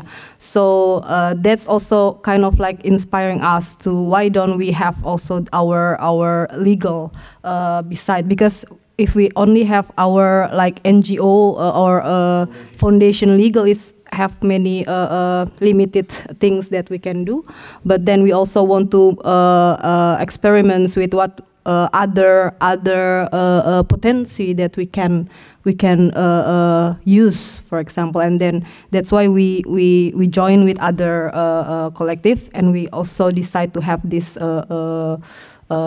corporate legal or, or, or, business legal to to use this as one of the, uh, the, the to generate income then to sustain our practice as well. And also to ensure about that what is going to be after Documenta because uh, it's another level, it's another context and it's another. Uh, actually, uh, uh, we've been discussing what we always call beyond Documenta, beyond 100 days because Lumbung is a matter of sustain So uh, that's also a challenge for us. That's also a challenge who anyone, anyone in the Lumbung process, anyone who's been part of the process, that uh, let's question ourselves after. Are we doing this Lumbung only for the sake of documenta? For us in Ruang Rupa, no. We want to sustain. Uh, we want to experiment how how it's going to be uh, in the future. Uh, how how uh, we want to experiment. Uh, we want to experiment all the metaphors that we've been we've been discussing uh, both on paper uh, during the process uh, when we discuss and so on and so on. Uh, uh, and when it comes to internationalization, that, that's also that's also actually in, maybe some of you already know also that in 2016 we work as a curator for Sonsbeek uh, in Arnhem, Netherlands, and and uh, uh, and some some of our uh, interaction with the international scenes they were started I think from 2002 when we were invited to Gwangju Biennale. And then uh, later after that, there was Faroe Island project where we also, where we also participated. Uh, Istanbul Biennale, Sao Paulo Biennale, uh, Asia Pacific Triennale, Asia Triennale Manchester, and all those events. That that and that's also like a, that's also like a, uh, we don't want to call we don't want to call it as a training, but we call it as a as a as a room to experience, as a room as a as a as a as a time as a space to experience uh, what is called internationalis- interna- internationalization internationalized because also in the past time our our like uh, all, all, all in Indonesia was actually uh, started by people who uh, who also uh, when when somewhere else uh, in terms of different country and then uh, thinking about the independence of uh, this the, the, this this entity called Indonesia that was colonized by the Dutch. And uh, uh, and uh, and we, yeah we, we we're also we're, we're also learn a lot from this uh, that in terms of uh, uh, internationalized it's not a historical it's not a, a, a, historical in our context but it's already in there as part of our history yeah. Yeah, maybe also uh, uh, in the in the in the process of Documenta 15 when we when we uh, like invite the the Lumbung members or artists, uh, the first thing that we also uh, uh, explain is that or we, we we imagine is this is not something that just finish or not just only for the 100 days but also something that can have impact in their ecosystem on their local. So that's kind of like uh, maybe we cannot just uh, uh, and also we have this mm, many uh, collective projects during the, the documenta 15 the, the process. And this one is something that we imagine that can uh, uh, in the lo- uh, stay in the long term. So that's that's maybe uh, we cannot just we, we, we actually we don't know what, what will happen after the documenta 15 but hopefully with this collaborative project and also with this uh, uh, uh, like the process right now with the artists or Lumbung members that they do for the for in the context of documenta but it's can uh, it's still relate with the, their local so it's still you know like can can can sustain until the documenta 15 uh, ends yeah yeah sorry Thomas if you talk Yes. no Maybe Martin, Martin, we,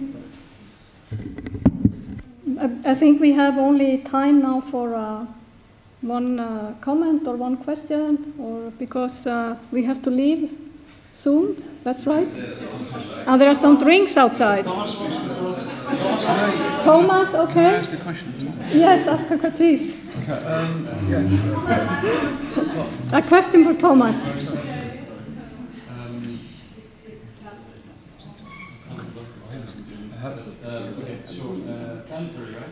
Thomas, what's the question? Can I ask you a question? Yeah. No, no, there was a question already. From I think yeah, or at least I I, I heard something. yeah. So quickly, uh, two words: planetary and locality. Uh, re- yeah, I can answer me quickly around that. So um, I think at least in my uh, field of research, which is looking at you know uh, ecosystems and ecology in different ways. Uh, there is this idea of planetary sensing, which is, you know, um, that we have the technology uh, to basically uh, gather information which is not, you know, uh, depending on a certain uh, nation or a certain, you know, country, which is information which comes from, you know, sensors which are all around uh, the world, and this information can help us to take decisions uh, then locally in terms of what should be done for climate or biodiversity or other pressing issue, food production. Uh, so that's one thing. Uh, and then the other thing, which is, uh, I think it's also uh, because my, my point is not to be like a super techno optimist and to say that we should surrender all, you know, all decisions to uh, sensors. But um, uh, there are projects that go in that direction. For example, a project called Terra Zero, which is about self-managed forest. Um, which is quite interesting if you want to look into it. But uh, so this idea of maybe how do we keep, you know, the, the local knowledge of people who are living in, in, in specific regions. And uh, as I was preparing for this, I asked uh, Vikram, one of our students, to help me to look at projects which were similar to the Swamp Pavilion that I was mentioning, this sort of school around swamps, uh, international, and if he could find other things, but maybe from his kind of um, uh, where he comes from, which is India and stuff. And so he was showing me this project, which is uh, um, this called Hills. It's like a school which is basically uh, based around this uh, glacier that's been started by an Indian um, inventor. Uh, unfortunately, I forgot his name, but I can find it. But basically, his idea is really to. Uh, he was realizing that all the knowledge was being lost from people from that area that were going to universities.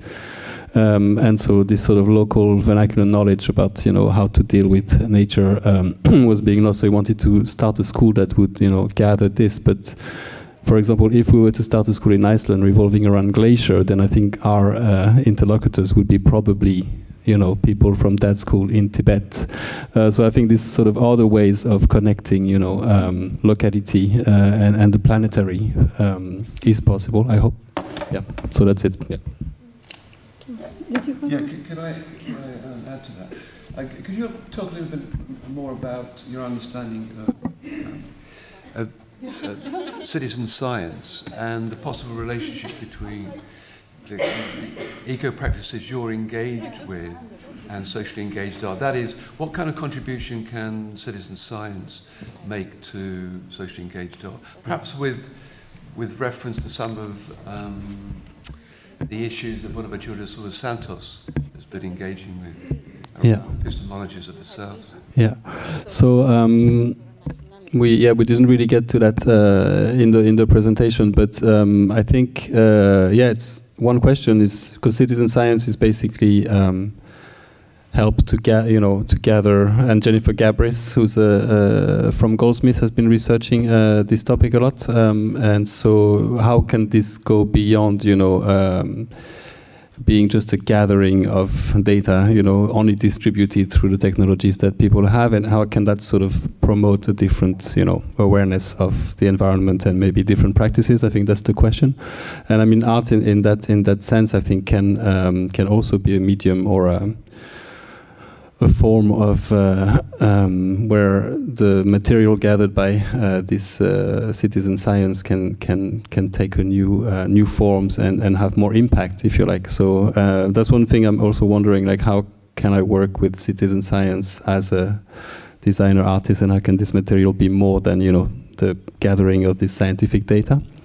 Um, and particularly, um, I don't know, I'm at the moment quite interested in uh, things like sonification of data. That is a very, more like the form of the, what the data takes, um, because apparently uh, we have a really interesting uh, research lab at the Iceland University of the Art called Intelligent Instruments.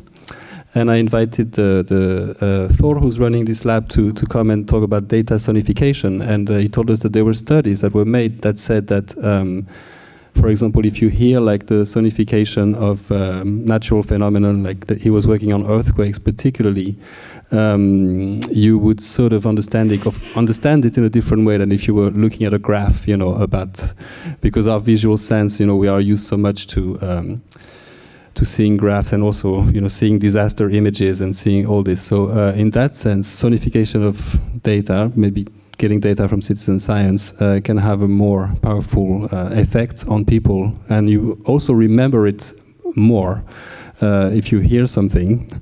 Um, so anyway, that was just maybe one technical point of view, but this idea of just sonifying, you know, uh, things from uh, natural disasters, for example, um, uh, could have more effect and listening to it than you know reading it. So there's just just some Mhm. points there. Yeah. Okay, thank you. Uh, well, Jon.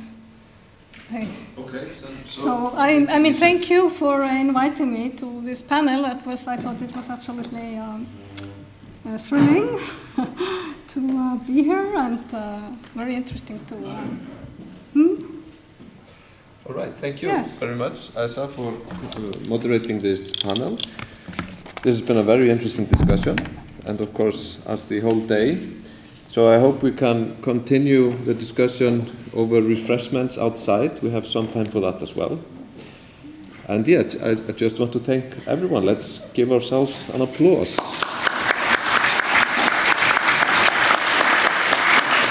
One thing. I, I always forget the most important thing. So uh, I wanted to make one announcement before we quit.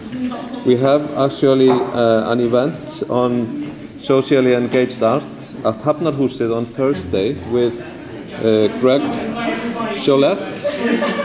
Thursday, 8 p.m. and a bit of a about art activism. It's kind of a brief history about art activism, admitting that there's no such thing as a history of art activism. So please, if, you, if you're around, So, so those of you who will still be here on Thursday, it's Thursday evening at 8 o'clock in Hafnarhúsið, downtown Reykjavík. Okay.